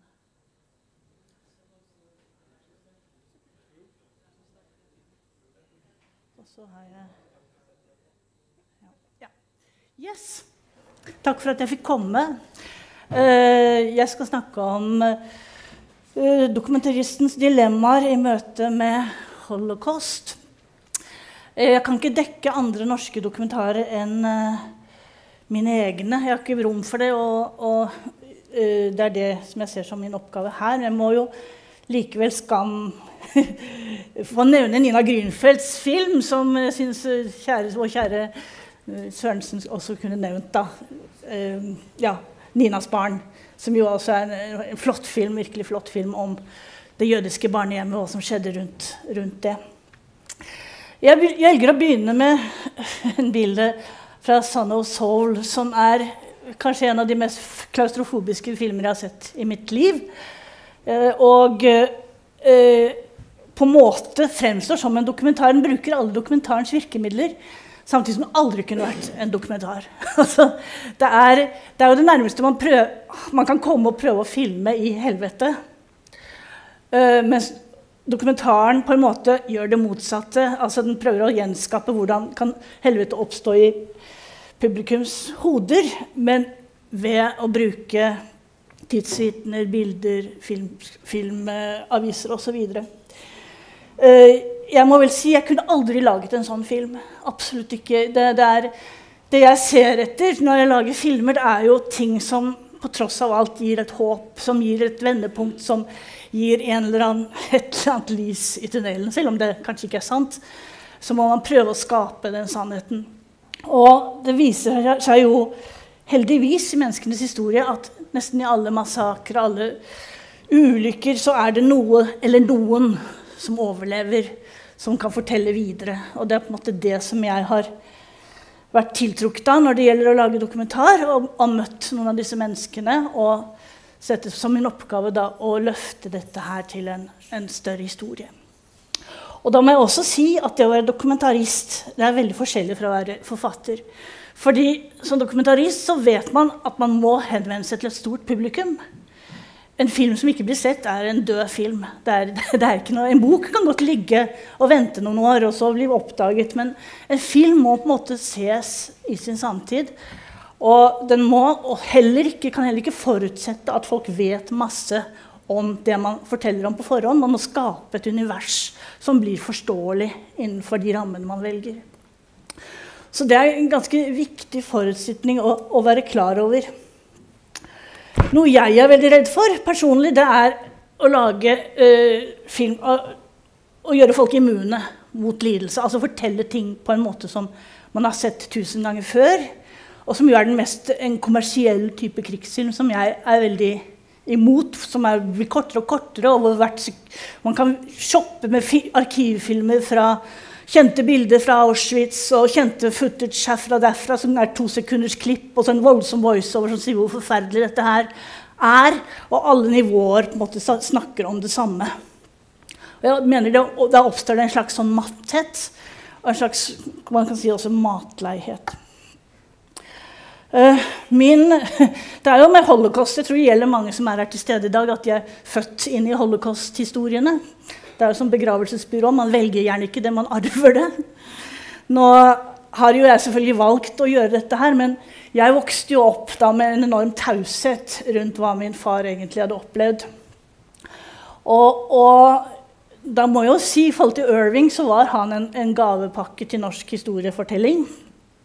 Fordi han, gjorde, han, var en katalysator som gjorde at veldig mange av disse gutta her begynte å snakke. De fant frem gamle dagbøker. De så at det de opplevde, som jo det store lidelseshierarkiet, er ganske lavt nede. Det er ikke de som led mest, og ikke de som hadde det verst. Og Derfor var det en viss skam egentlig forbundet med det. Det, det, det glapp. De måtte bare fortelle dette hadde skjedd, og dette hadde vært sånn og sånn. Og det var en av grunnene til at min far startet da den norske Buchenwald-foreningen. Og begynte å lage sånne veteranturer. Og det var det jeg ble med på en sånn tur. Og det var da begynnelsen på min første dokumentar, 'Studenter i rasestaten', som ble til to, Buchenwald-tåken, som nå er samlet under Tysklandsstudenter. Da hadde jeg altså disse levende menneskene som var tidsvitner, og som jeg ønsket å formidle. Og jeg ønsket å gjøre det best mulig måte. Så jeg fikk til et, med, et, samarbeid med Forsvaret på Akershus, som jo hadde et fantastisk arkiv av ja, footage, kan du si. Og det viste seg jo også at det finnes Jeg trodde da jeg begynte at dette er ganske håpløst, for det fins jo ikke annet materiale. Det blir talking heads osv. Men det viser seg faktisk mer og mer eh, at det fins utrolig mye materiale. Utrolig mye bilder. Og også filmaviser ja, osv. Og, og det som dukket opp, var bl.a. 200 bilder fra Sendheim. Hvor da disse norske studentene skulle omvendes til å bli eh, SS-elite. Og altså er på en måte den andre siden av holocaust. Eh, dette eksperimentet gikk veldig dårlig. Eh, og de, de neste puljer da ble da, som min, sammen med min far, eller min far var en av de, sendt i Buchenwald. Uh, og herfra fins det faktisk, det oppdaget jeg noen år senere også, en god del bilder. Men da jeg lagde filmen, så fant jeg bare tegninger. Men de var desto mer uttrykksfulle. Og var jo en del av det som de norske studentene ble utsatt for i de første tre ukene.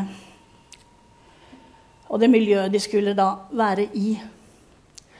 Eh, når de møttes, disse to gruppene de, de, Programmet var jo at de skulle først tuktes, og så skulle de lokkes inn til å bli en del av den nye nazieliten.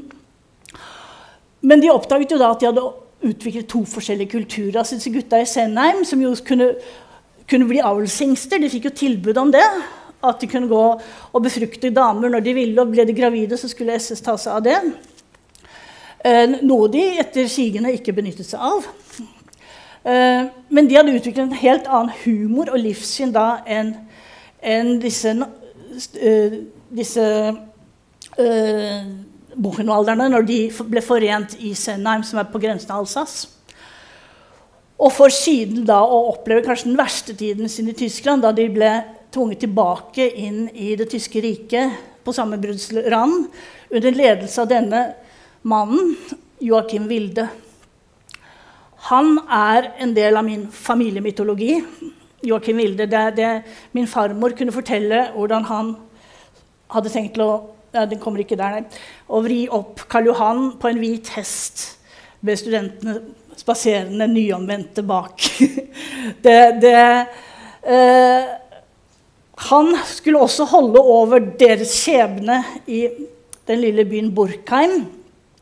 Og vi reiste tilbake. Og jeg, jeg, benyttet meg da av noe jeg benyttet meg veldig mye av senere, å få folk tilbake til stedene hvor de virkelig opplevde essensielle ting. Og måtte se hvordan de reagerer på å bli satt i den situasjonen. Her, her blir de stilt opp der hvor de ble stilt opp da de hadde nektet å bemanne en ferge over Rhinen, for det ville være krigsinnsats. Og da ble truet med å bli skutt alle som en. Og Joakim Wilde var lederen, og han var omgitt av ukrainske soldater som ropte 'skyt, skyt'.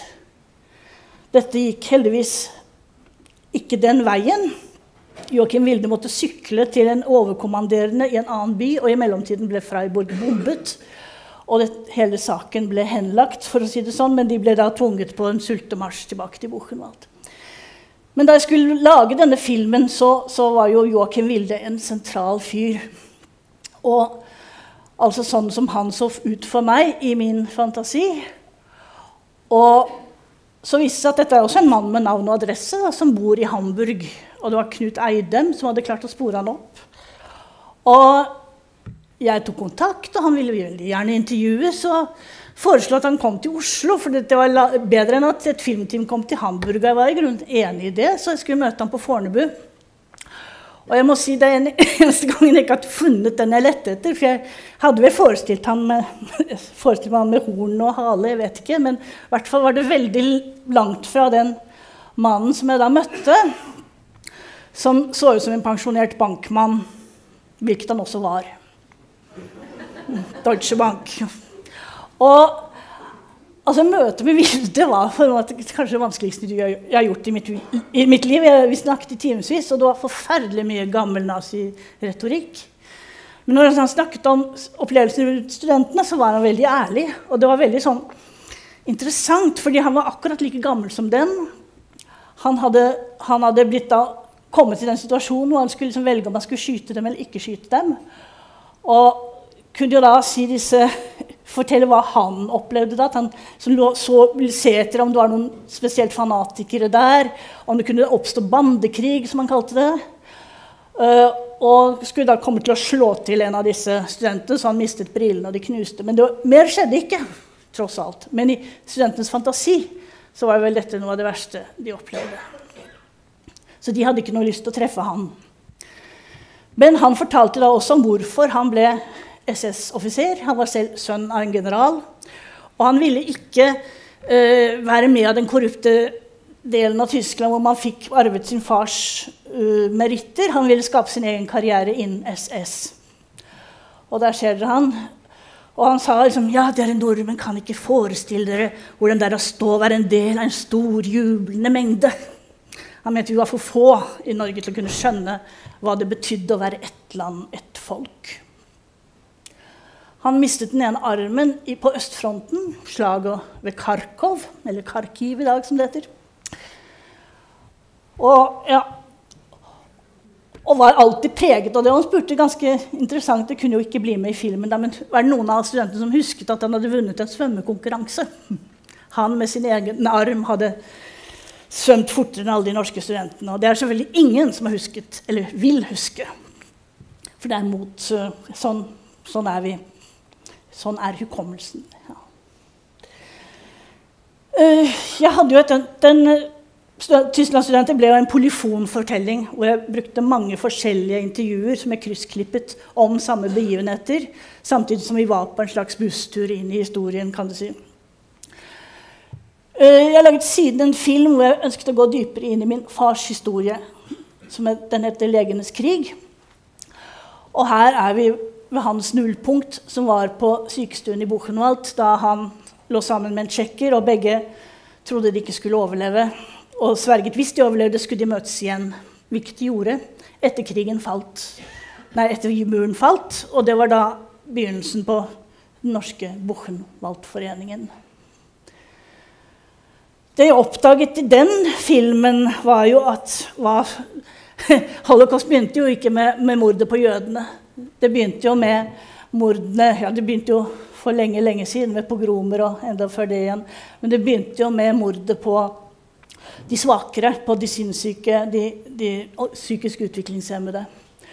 Og jeg fant en propagandafilm hvor det står Skal disse sunne menneskene, altså arbeiderklassen, bo i sånne trange, narrow, ja, trange smug, mens palasser bygges for for uh, sinnssyke og psykisk utviklingshemmede. Og det, ja, den, den, de to klippene har jo vel kanskje fortsatt en viss relevans for noen diskusjoner i dag. Men uh, dette er vel noen av de tristeste bildene man ser, der disse her blir ledet av en lege inn i et gasskammer som nå er museum, og hvor det har vært som ligger i kjelleren av et sykehus i Bernburg. Og hvor tusenvis har blitt avlivet. Min far spurte hvor lang tid tok det. Hun sa 20 minutter, og min far sa det var lang tid. Jeg trodde kanskje det skulle bli like ille for han å komme tilbake til anatomien, atomen i Buchenwald. Uh, hvor han selv som medisinstudent ble tvunget til å obdusere fanger som døde av naturlige årsaker, altså stort sett tuberkulose. Men for han så var ikke det noe egentlig dystert minne, fordi han var jo medisinstudent, så det var på en måte en del av hans studie. å endelig få gjøre noe fornuftig og endelig få liksom kunne ja, i hvert fall studere. da. For det verste for de norske Buchenwald-studentene var jo at de lang tid ble internert uh, uten å ha noe som helst å gjøre annet enn å få forelesninger i raselære. Og jeg nettopp lest en dagbok som, som, jeg fikk oversendt, hvor det var faktisk en som hadde lagt på seg syv kilo i Buchenwald. Så mens de på den andre siden de sulta i hjel, så gikk de der og ble slags fetegriser for Det tredje riket, som ikke skulle gjøre noe som helst. Så kom vi til da, Sammy Steinmann. Sammys beretninger hørte jeg også i Den norske Buchenwald-foreningen. Han holdt en times foredrag. Og det er vel liksom et, et, av de sterkeste foredragene jeg har hørt. Fordi, og jeg tenkte med en gang dette er en, en film. Altså, dette er en, en, en, skal man si perfekt historie. Det er i hvert fall en, en, en usedvanlig historie. Fordi Sammy har veldig mye av det jeg er ute etter i, i fortellingen. En del paradoksale opplevelser. Som f.eks. da han møter Quisling, da han kommer tilbake fra, fra Auschwitz. Men eh, jeg og min mann Per Johan Isdal som er der, vi skrev en artikkel for en del år siden som heter 'Katarsis i drama og psykoterapi'. Hvor det er en, en eh, teori som jeg kaller for Hamlet-teorien, som, som, jeg anvendte litt i komposisjonen av dette, denne filmen. Og teorien går ut på at ethvert menneske har Hvert godt drama har seks nivåer. Og hvis vi skal oppsummere og, at skal et drama ha en katarsisk virkning, så må det både appellere til hjerte og hode. Hvis det bare er følelser, følelser, så har det ingen virkning. Er det bare hode, hode, så glemmer man det. Så det første nivået, det er det individuelle dramaet, kan du si, som for Sammy jo da var Når han sitter der på trikken fra Nordstrand, skal han stikke av, eller skal han ikke stikke av? Og han var redd familien ville bli tatt, foreldrene ville bli tatt hvis han stakk av. Uh, og han visste heller ikke hvor han skulle dra. Andre nivå er et kjærlighetsdrama. Nå hadde ikke han, Han var bare 17 år, han hadde ikke truffet sin Ofelia. Men han hadde en utrolig kjærlighet til livet. Og det altså det som inspirerte meg i hans fortelling, og det som jeg tror også unge mennesker er veldig glad i akkurat trikken til Auschwitz. At hvor mye han var glad i livet og ville kjempe for det, det hadde ingen grenser. På slutten av filmen så kommer det også et kjærlighetsdrama hvor han seiler inn Oslofjorden og sier 'Jeg vil aldri gifte meg med en jødinne'. Jeg vil ikke mine barn skal oppleve noe lignende. Men det brøt han heldigvis. Han giftet seg jo med sin Bodil. Tredje er jo et familiedrama, som her var jo broren, bro, broren døde, faren kom seg til Sverige. Faren sa jeg hadde to sønner, fikk én igjen. Men familiedrama var ikke det som først og fremst var fremme i denne historien. Men det kriminelle nivået syns jeg også var veldig interessant.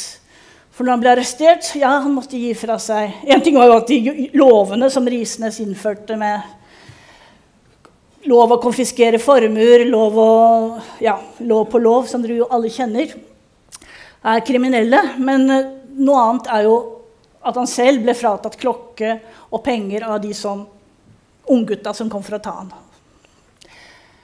Eh, det er jo mange kriminelle nivåer i denne historien. Men så er det siste Det er det sosiale nivået, det glemte jeg. Det er jo også for, for kommet mye frem i de siste bøkene. Ikke, ikke minst Berit Reisel og og Synne Korell om hvor lang tid det tok for jøder å få statsborgerskap i Norge. Altså var det 27 år også for foreldrene hans. Samtidig som de gjorde en klassereise som jo var gedigen. Fra å være lutfattige folk fra Litauen til å bli hadressmann på Stortorget. Eh, men det siste nivået er jo det politiske, det, og det kjenner dere alle godt. Og det var jo politiske spillet som gjorde at, at disse ble tatt. Men det er også en politisk forståelse av etterkrigstiden som jeg vokste opp med, som jeg i grunnen fant i stor grad ikke stemte med hvorfor de ble deportert. Uh, Eichmann sa jo at norske, arrestasjonen av de norske studentene kom veldig overraskende på Nei, på de norske jødene kom veldig overraskende på ham. Og her hadde jeg, i motsetning til i, forrige, i Legenes krig, vanskelighet med å finne bilder av antagonistene. Så jeg bestemte meg for at hele den korrespondansen, at vi ville prøve å animere hva som faktisk skjedde av telekommunikasjon, at det var en del av antagonistens stemme.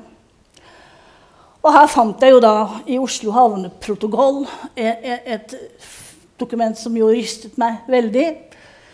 Hvor du kan si 26.11. der var det en båt som gikk med mel. Og så kommer den som har tropper, men hvor det også da er last jøder.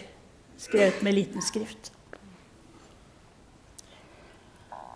Og det samme jo selvfølgelig når de insisterer på at skrivemaskinen skal bli med Donau tilbake. Og dette er vel et, et dokument som ja, som er for meg like rystende som å se et gasskammer egentlig i funksjon. Overlevelses. For Sammy så var dette en, en hard reise. Og er, han var den siste gjenlevende. Og første gang han reiste uten Julius Palciel og andre med. Og nå er det Som dokumentarist så skal man alltid, det første budet er du må filme når det skjer. Når folk får vite noe de ikke vet, når de ser noe de ikke har sett før. Og dette var et sånt øyeblikk. Uh, var, dette var hvor gasskammeret med de norske jødene var. Uh, han hadde aldri vært der før. Han visste ikke at det var der det var. helt i utkanten av leiren.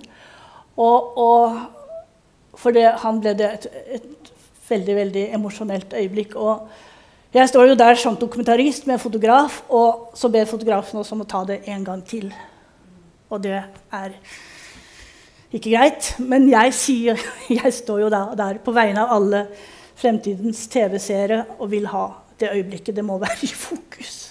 Jeg ler når jeg sier det. Det er ikke noe å det var et skrekkelig øyeblikk, egentlig. Men, men, jeg angrer ikke på det.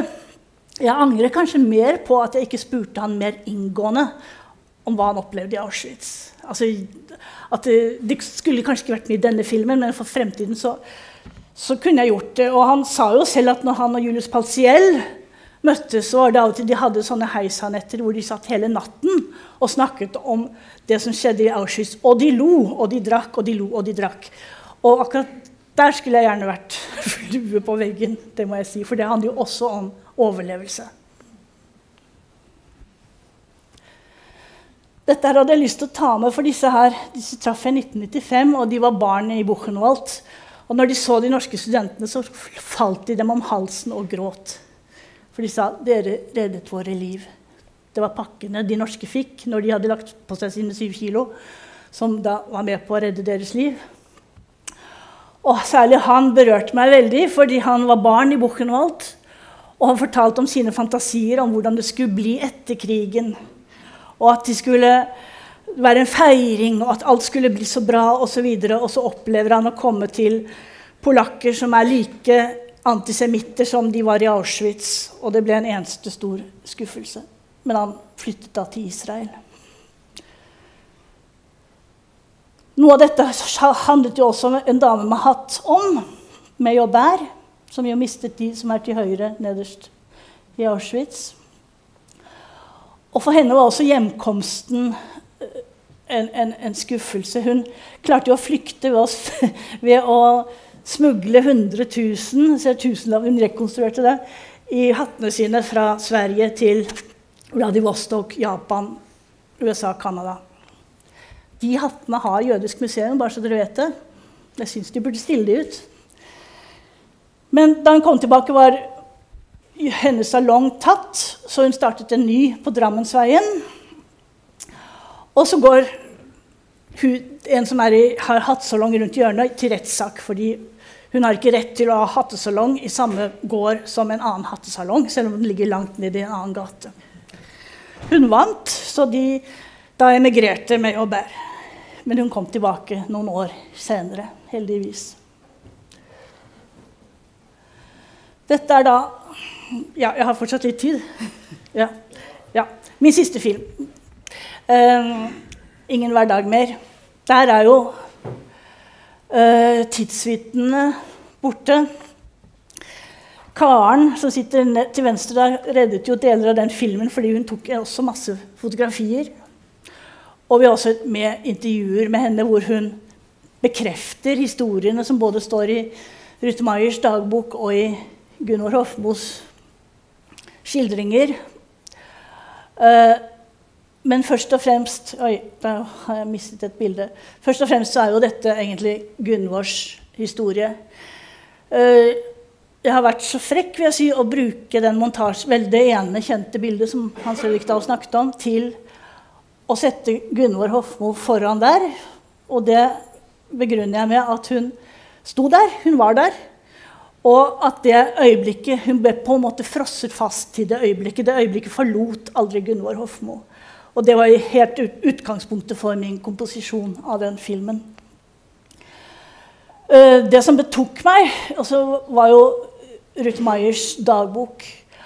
Og også Julia Schachts dagbokstemme for så vidt når hun leser den. Og det er noe med den dagboken som jeg hadde lyst til at vi skulle komme nærmere. Men for å komme nærmere, så måtte jeg ha en billedside. Og da igjen var det at, at jeg måtte bruke skuespillere som kunne gå ut og inn av det andre filmmaterialet.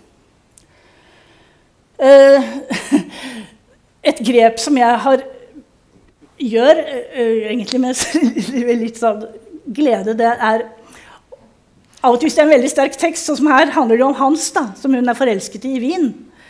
Uh, og hans forvandlinger. Og da hadde jeg brukt en, egentlig en, en østerriksk filmavis som det var helt umulig å få. Altså Østerrike de er veldig vanskelige når det gjelder arkivmateriale. Men som så mange ganger så var det Steven Spielbergs filmarkiv i Washington som reddet meg, så jeg fant et annet utdrag. Men jeg gir da Hans et, et ansikt og en historie som er kan du si, litt hinsides. Det er jo ikke han som sitter der, det er ikke hans i forrige bilde. Men fordi, jeg, fordi dagboken påstår det, så, så, kunne det også være hans. Um, en annen som jeg blir veldig opptatt av som sagt, Jeg er jo alltid opptatt av å finne antagonister som er de som Som heter det drivende, heter det innen dramaturgi. Og Hallis Negård Østby er jo også en dame som er veldig interessant å sette søkelyset på og som eh, det er veldig få bilder av. Eh, men hun skrev jo denne ulykksalige boken 'Jødeproblemet og dets løsning', hvor hun kapittel for kapittel skriver det som før har vært nevnt i dag også, hvordan jødene har sneket seg inn på alle områder hvor de egentlig er middelmådige. Men enten det er musikk, så er det Mendelssohn, det er ikke Beethoven. Altså hun argumenterer konsekvent for hvordan de har tilsniket seg en posisjon i verden.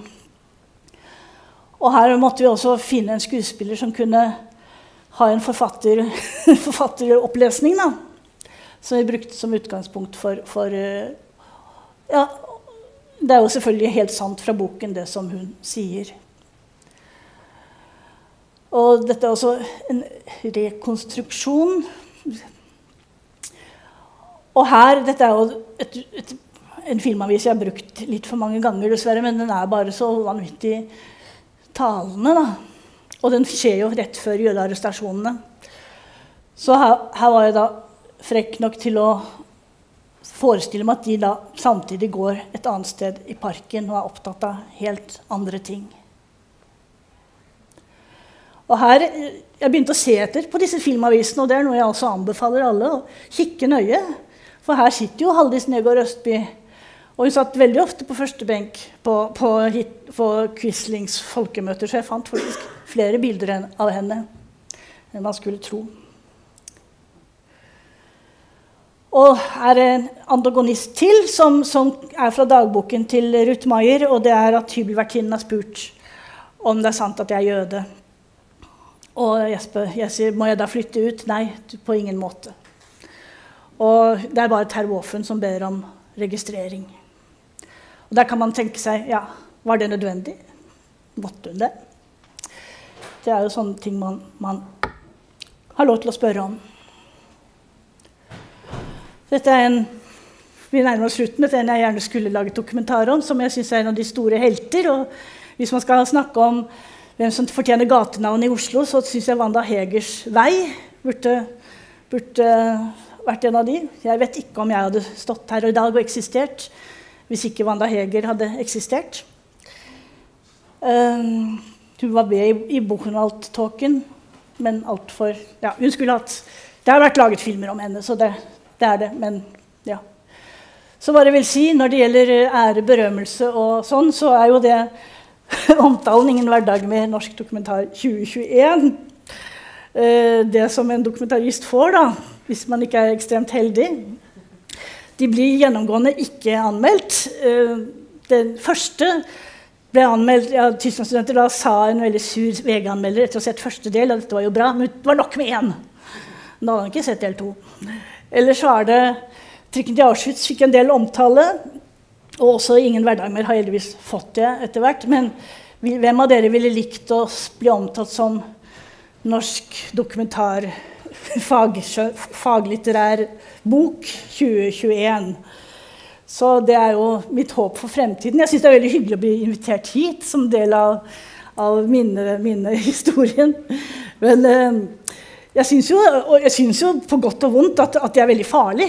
At man ikke anmelder og går nærmere inn med kritisk blikk på dokumentarer.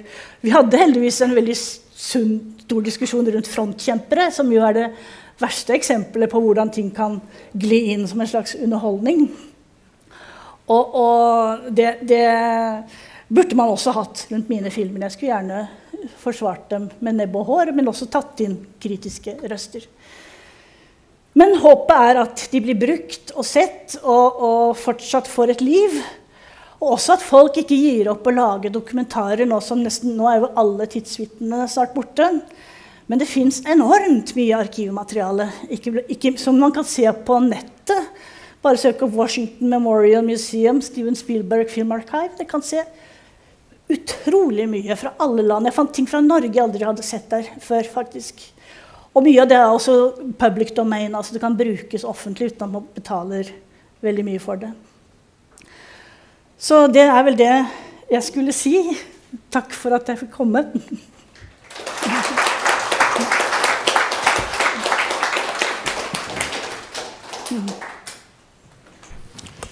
Ja, tusen takk til deg, Elsa Kvamme.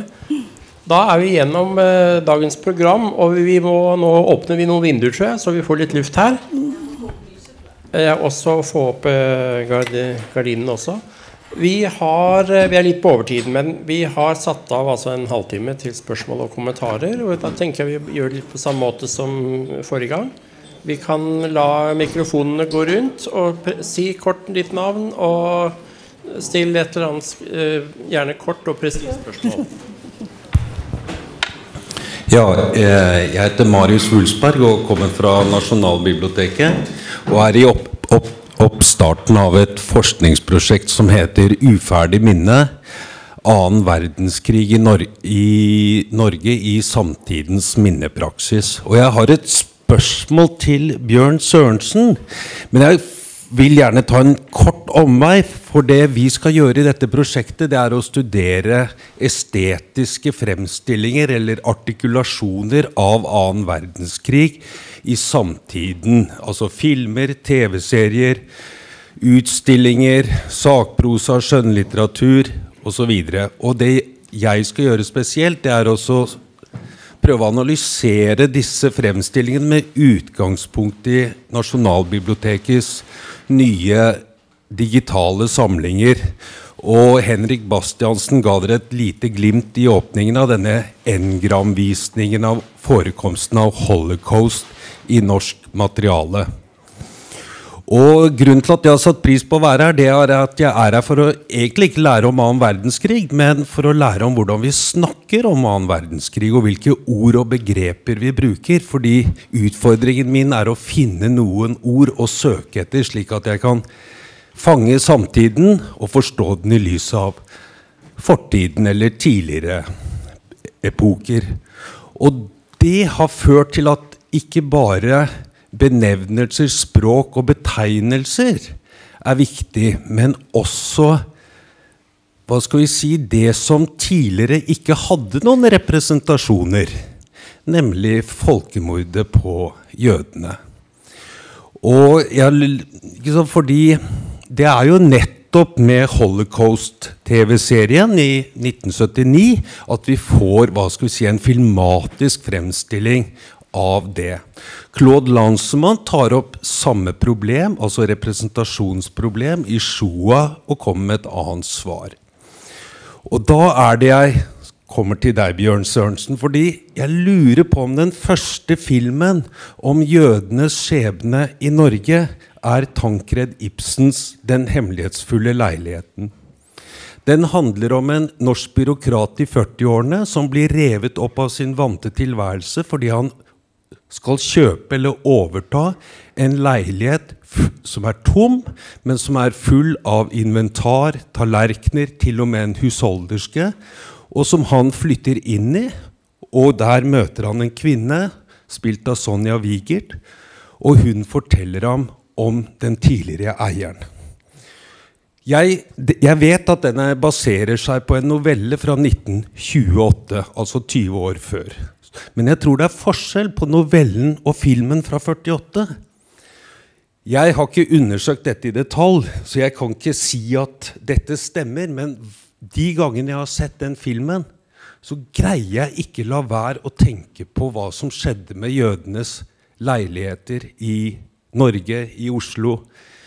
Og at denne filmen er ikke bare modernistisk i sitt formspråk, men også står i en dialog med den estetisk-filosofiske tenkningen omkring det vi i dag kaller holocaust, men som ikke de gjorde. Eh, og som vi finner oss Adornos påstand om at poesi ikke er mulig å skrive etter Auschwitz, i Paul Celands forfatterskap, diktning, i Maurice Blanchots bøker i Frankrike, og som på en måte preget hele 40- og 50-tallet. denne her, Det at ikke man kan fremstille det. Så det er min utfordring til deg, Bjørn Sørensen. Har du et svar? Er 'Den hemmelighetsfulle leiligheten' den første filmen om jødenes skjebne i Norge? Ja, altså Min første, første, reaksjon på det der er jo Oi! Ja. på lyden der. Ja. Eh, hvorfor ikke? Den andre reaksjonen er nok litt at ikke dette er en etterrasjonalisering. Ut fra at du har møtt den filmen med en annen kunnskap enn f.eks. folk gjorde i 19, altså så langt tilbake. Og jeg mener jeg har lest uh, ganske mye om Tancred Ibsen, bl.a. hans sjølbiografi. Og jeg kan ikke se noen referanser der. Altså. Men det er mulig at han har hatt det i bakhodet òg. Men i og med at den er gjort så kort tid etter krigen, så tror jeg jeg vil holde på parentesen der. Men jeg føyer til parentesen.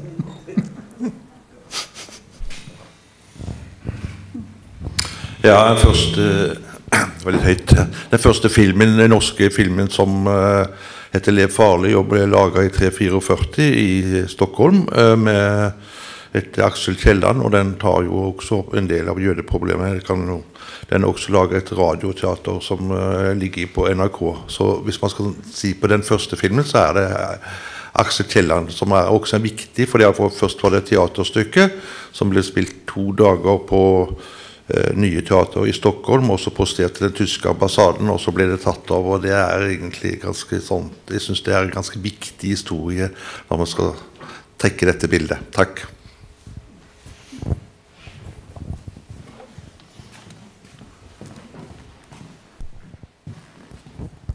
Ja, etter en sånn eh, tenksom dag som dette, hvor vi alle er litt trøtte, så kunne det kanskje være en idé å, å forsøke å formulere hva som er det samlende, overgripende tema her i dag. Og jeg tror at Elsa Kvamme har eh, kommet veldig nær når hun sier at Forsøkene på å bringe historien til live må appellere både til hodet og til hjertet. Hun har selv appellert veldig til begge deler. Den, hun lager intellektuelle filmer som får oss til å tenke. Samtidig er det estetisk helt uaviselige. Og det er et stort verk som Elsa Kvamme har stått for. Men når vi ser tilbake på de filmene som Bjørn Sørensen har vist oss, så er det klart det er et bredt felt av virkemidler. Baalsrud. Jeg ble vekket som 15-åring av um, Ervin Leisers film 'Sannheten om hakekorset'. Det forandret mitt liv. Brukt mitt liv til å undersøke nazismens ideologi. Shoa har jo en helt annen estetikk, en helt annen problematikk enn mange andre filmer, hvor han bevisst ikke tar sikte på å appellere til følelsene. Bare helt stillestående, rolig fremstilling av et uhyggelig tema, som nettopp ved å være så stillestående får temaet til å fremtre enda verre. Og hva er forskningens rolle her? Hvorfor er det enkelte som skriver bedre enn andre? Hva er forholdet til undervisning, pedagogikk og ulike former og bildende kunst, og ikke minst musikk? Vi har, har ikke berørt musikken her. Hva kommer det av at Hitler likte Wagner så godt? Jeg har ingen løsning på dette, men jeg syns disse refleksjonene melder seg naturlig etter en usedvanlig flott dag.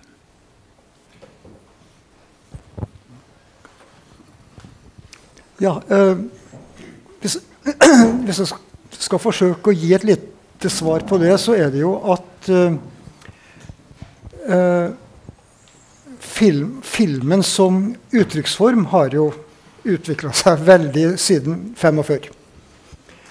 Og eh, mitt spesialfelt er jo da dokumentarfilm. Og Shoah er jo en merkesten i dokumentarfilmformen òg. I det formatet han har valgt. Og jeg har alltid brukt å vise Og, og det reiser også en del etiske, moralske problemer. Jeg har alltid pleid å vise studentene mine den scenen med barberen i Tel Aviv. Hvor går grensen for hva filmskaperen har lov til å gjøre? Og, og likevel så aksepterer jeg hva han gjør. For, og, og det, det fins mange måter å gjøre dette på, slik at uh, uh, vi får satse Altså uh, han, i, altså, I slik en natt helse innafor det norske paradigmet på feltet. Den er litt siderumpa, men det inneholder et par fantastiske rolleprestasjoner av Lalla Carlsen og Joakim Holst Jensen, som er langt sterkere enn jeg husker han var. Så, uh, det, men den opererer innafor et ganske lukka kunstnerisk paradigme. Og så er det folk som bryter det, og noen som bryter det, er folk som lager sånne skjellsettende filmer som Shoah. Så, så, så,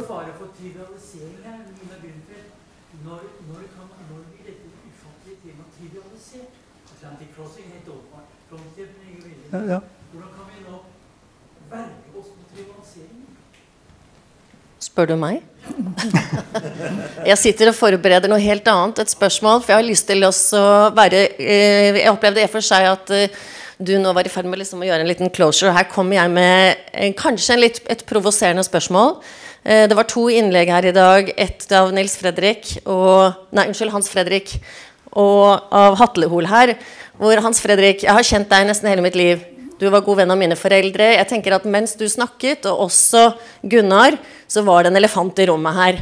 Og jeg har lyst til å spørre deg, Hans Fredrik, i dag Vi lever i en tid hvor eh, man legger seg flat, man erkjenner, man eh, vedgår hva man har sagt eller gjort av ulike måter. Du hadde et veldig spesielt standpunkt i forhold til Irving, og du nevner det ikke når du står her. Og jeg har lyst til å utfordre deg til å tenke hva du tenker om den tiden i dag. For det er også en del av holocaust-narrativet.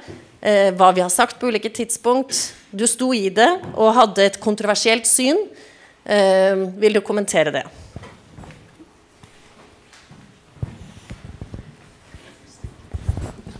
Å, kjære venn.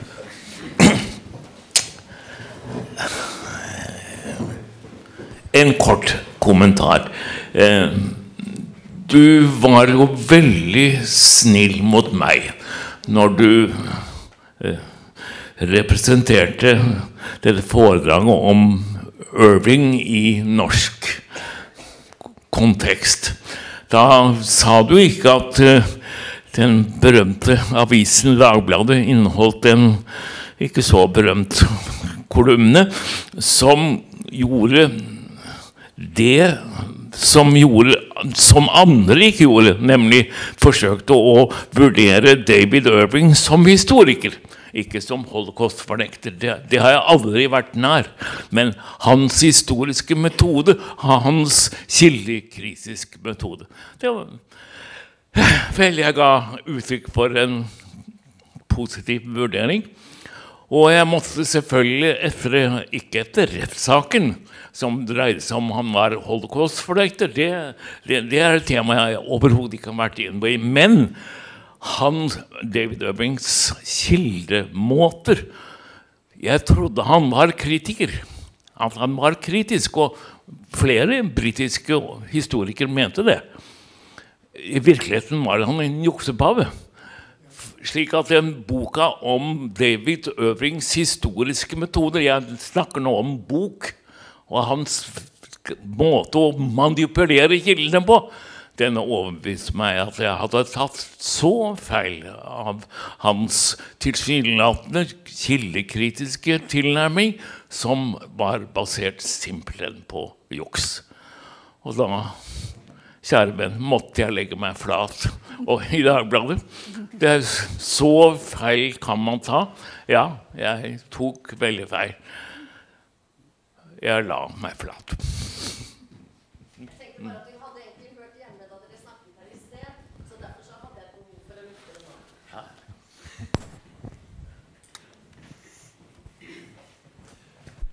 Hallo? Ja, jeg vet ikke om Elsa Kvamme er hun godt? Nei, jeg er her. Da her, ja. Om du kunne tenke deg å gå inn i dette med holocaust-fornekting som film. Det er, går vel an, men det er slitsomt. Men vi kommer til å leve med dette med holocaust-fornekting. Det kan jeg love dere. Altså, vi har Etter Irving så hadde vi jo Norman Finkelstein. En britisk eh, jeg vet ikke hva han er, historiker kanskje, med to foreldre som overlevde Auschwitz. Og hans eh, tese var at uh, det er noe som heter holocaust-industrien. Han skrev en bok med det navnet. Og det var egentlig et jødisk-israelsk uh, komplott, en konspirasjon, for å forsvare alt det stygge Israel skal ha gjort etter seksdagerskrigen. Heldigvis så Det var noen studenter som fikk han hit. Men heldigvis hadde vi da Oddbjørn Fure. Han rykket ut. Han var da direktør på dette instituttet og fikk avverget det. da, Så han ble aldri akseptert her ute. Men det rare hender jo da at Ja, han var også det at de, de jødene jeg har snakket med, de, de, snakker om at man trakk ned rullegardinen etter krigen og trakk det opp igjen seinere, for man orket ikke før. Og det er vel ikke noe rart, egentlig. F.eks. Kurt Wallner, som mistet vel en forelder. Men han sloss på Ivo Jima, som var meget blodig. Så han orket ikke å snakke om det, men han snakket om det til meg etter hvert. Så eh, Ja, eh, hva mer skulle jeg si? Eh, det dukket også han Finkelstein. altså Han lever, han, på en måte. Jeg ble dratt med på et møte i Palestina-komiteen. Og da var det 500 stykker. Svært, flott møte. Og hvem var hovedinnleder? Jo, det var Finkelstein med sin konspirasjon om holocaust-industrien. Jeg kom ikke til orde, for han snakket så mye. Og hvem var eh, dirigent? Jo, det var doktor Gilbert. Så det var den dagen. Så vi har noe å stri med. Ok. Er det flere innlegg? Nå er vi en time på overtid, så jeg tror vi snart skal sette strek. Ja, Et par innlegg til. Vi tar det siste nå med Øystein, og så runder vi av etter det. Ja, um, Jeg vet ikke om noen la merke til hvem som jakta på jødene i slik en natt. Det var jo ikke realiteten, nemlig norske politifolk, men tyske soldater. Er veldig påfallende ting. og jeg tenker jo det at um, i, når det gjelder holocaust, så er det jo sånn at um, en har jo gjerne et ønske da, å på en måte plassere skyld sånn klart, få litt sånn klare kategorier. Kanskje litt sånn he, klare helter og sånn. Men som historiker Torgeir Sævrås har sagt, det, altså, nazismen forurensa jo alle som kom i kontakt med han. På en måte sånn at Alle som har levd i et, et nazistisk samfunn, ble på et eller annet nivå tilskitna, prega av det som, det som skjedde. Og så, når en da i etterkant um, dette, her, så har en da to fallgruver. Den ene er jo å si at siden alle var med, hadde et eller annet Det var så mange som var med, så blir på en måte alt likt. Og på den andre liksom at en finner noen klare skurker, og så bare sier en det var de som drev på med tvilsomme ting, og så de andre var egentlig ganske greie. Og det er for oss som jobber med holocaust, et sånn evig problem hele tida. Hvordan skal han håndtere dette her at på en måte, alle har et eller annet på samvittigheten, men samtidig som noen har så uendelig mye mer på samvittigheten enn andre? Det, er at det liksom det fins ingenting som er helt rent, kan du si.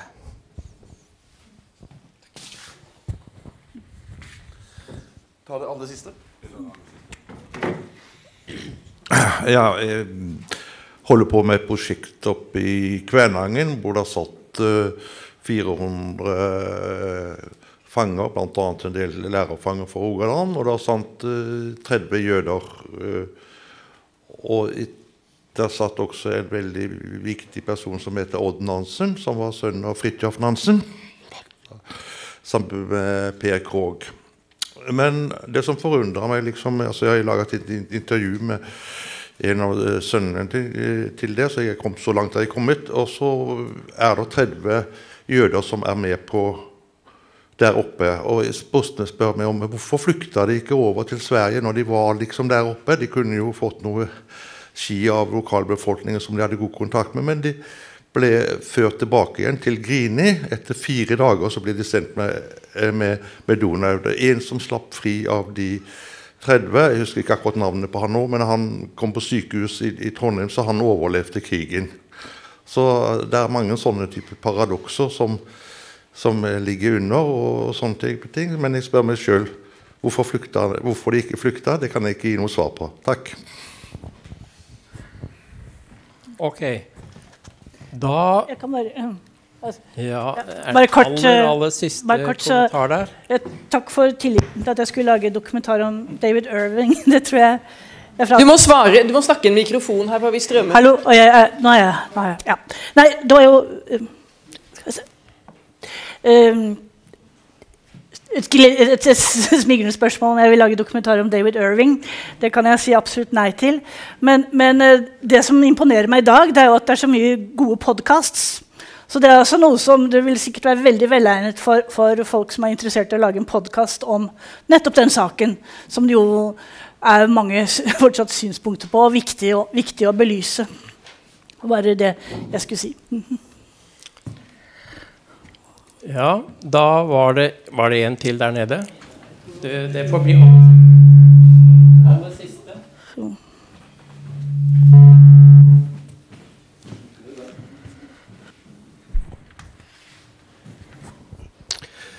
Bare, jeg skal være kort.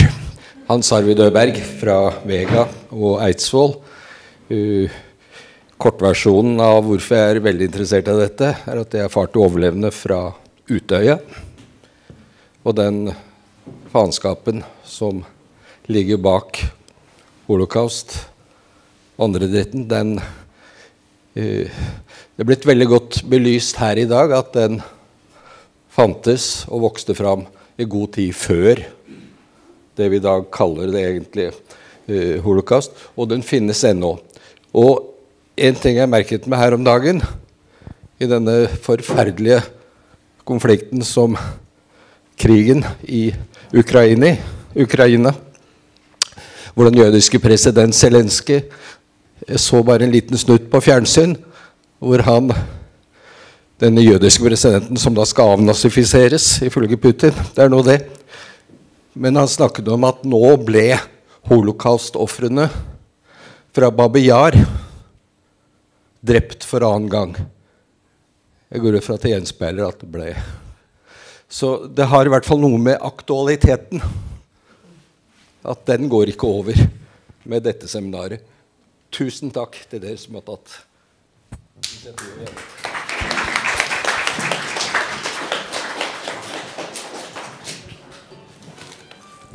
Da eh, setter vi strek der for dagens eh, seminar. Og jeg vil gjerne takke alle sammen som har kommet, og alle innledere. Og alle som har fulgt med på strømmingen. Så vil jeg gjerne si til alle som har vært innledere, at vi tenker, Carl Emil Fugt og jeg, å lage temanummer av Mediehistorisk tidsskrift eh, til høsten basert på dette seminaret. Og vi er interessert i artikkelversjoner av alle innlegg. Så vi håper at alle vil stille opp og skrive en artikkelversjon basert på sitt innlegg. Og vi har god plass i tidsskriftet, og det kan ligge gratis og åpent tilgjengelig på nettsidene mediehistorisk.no som en digital ressurs for skoleelever, studenter, forskere, stipendiater og sånt for all overskuelig fremtid. Og det håper jeg alle vil bidra til. Så da, til slutt vil jeg si tusen takk til Guri Heltnes og alle fra KL-senteret for støtten til dette seminaret. Jeg, tr jeg tror bare at uh, Tusen takk. Skal vi klappe for Henrik uh, her nå? Det har vært storartet at Henrik Bass altså tok kontakt i fjor høst og ville lage dette seminaret midt i blinken for oss på Hålesenteret, som dere skjønner.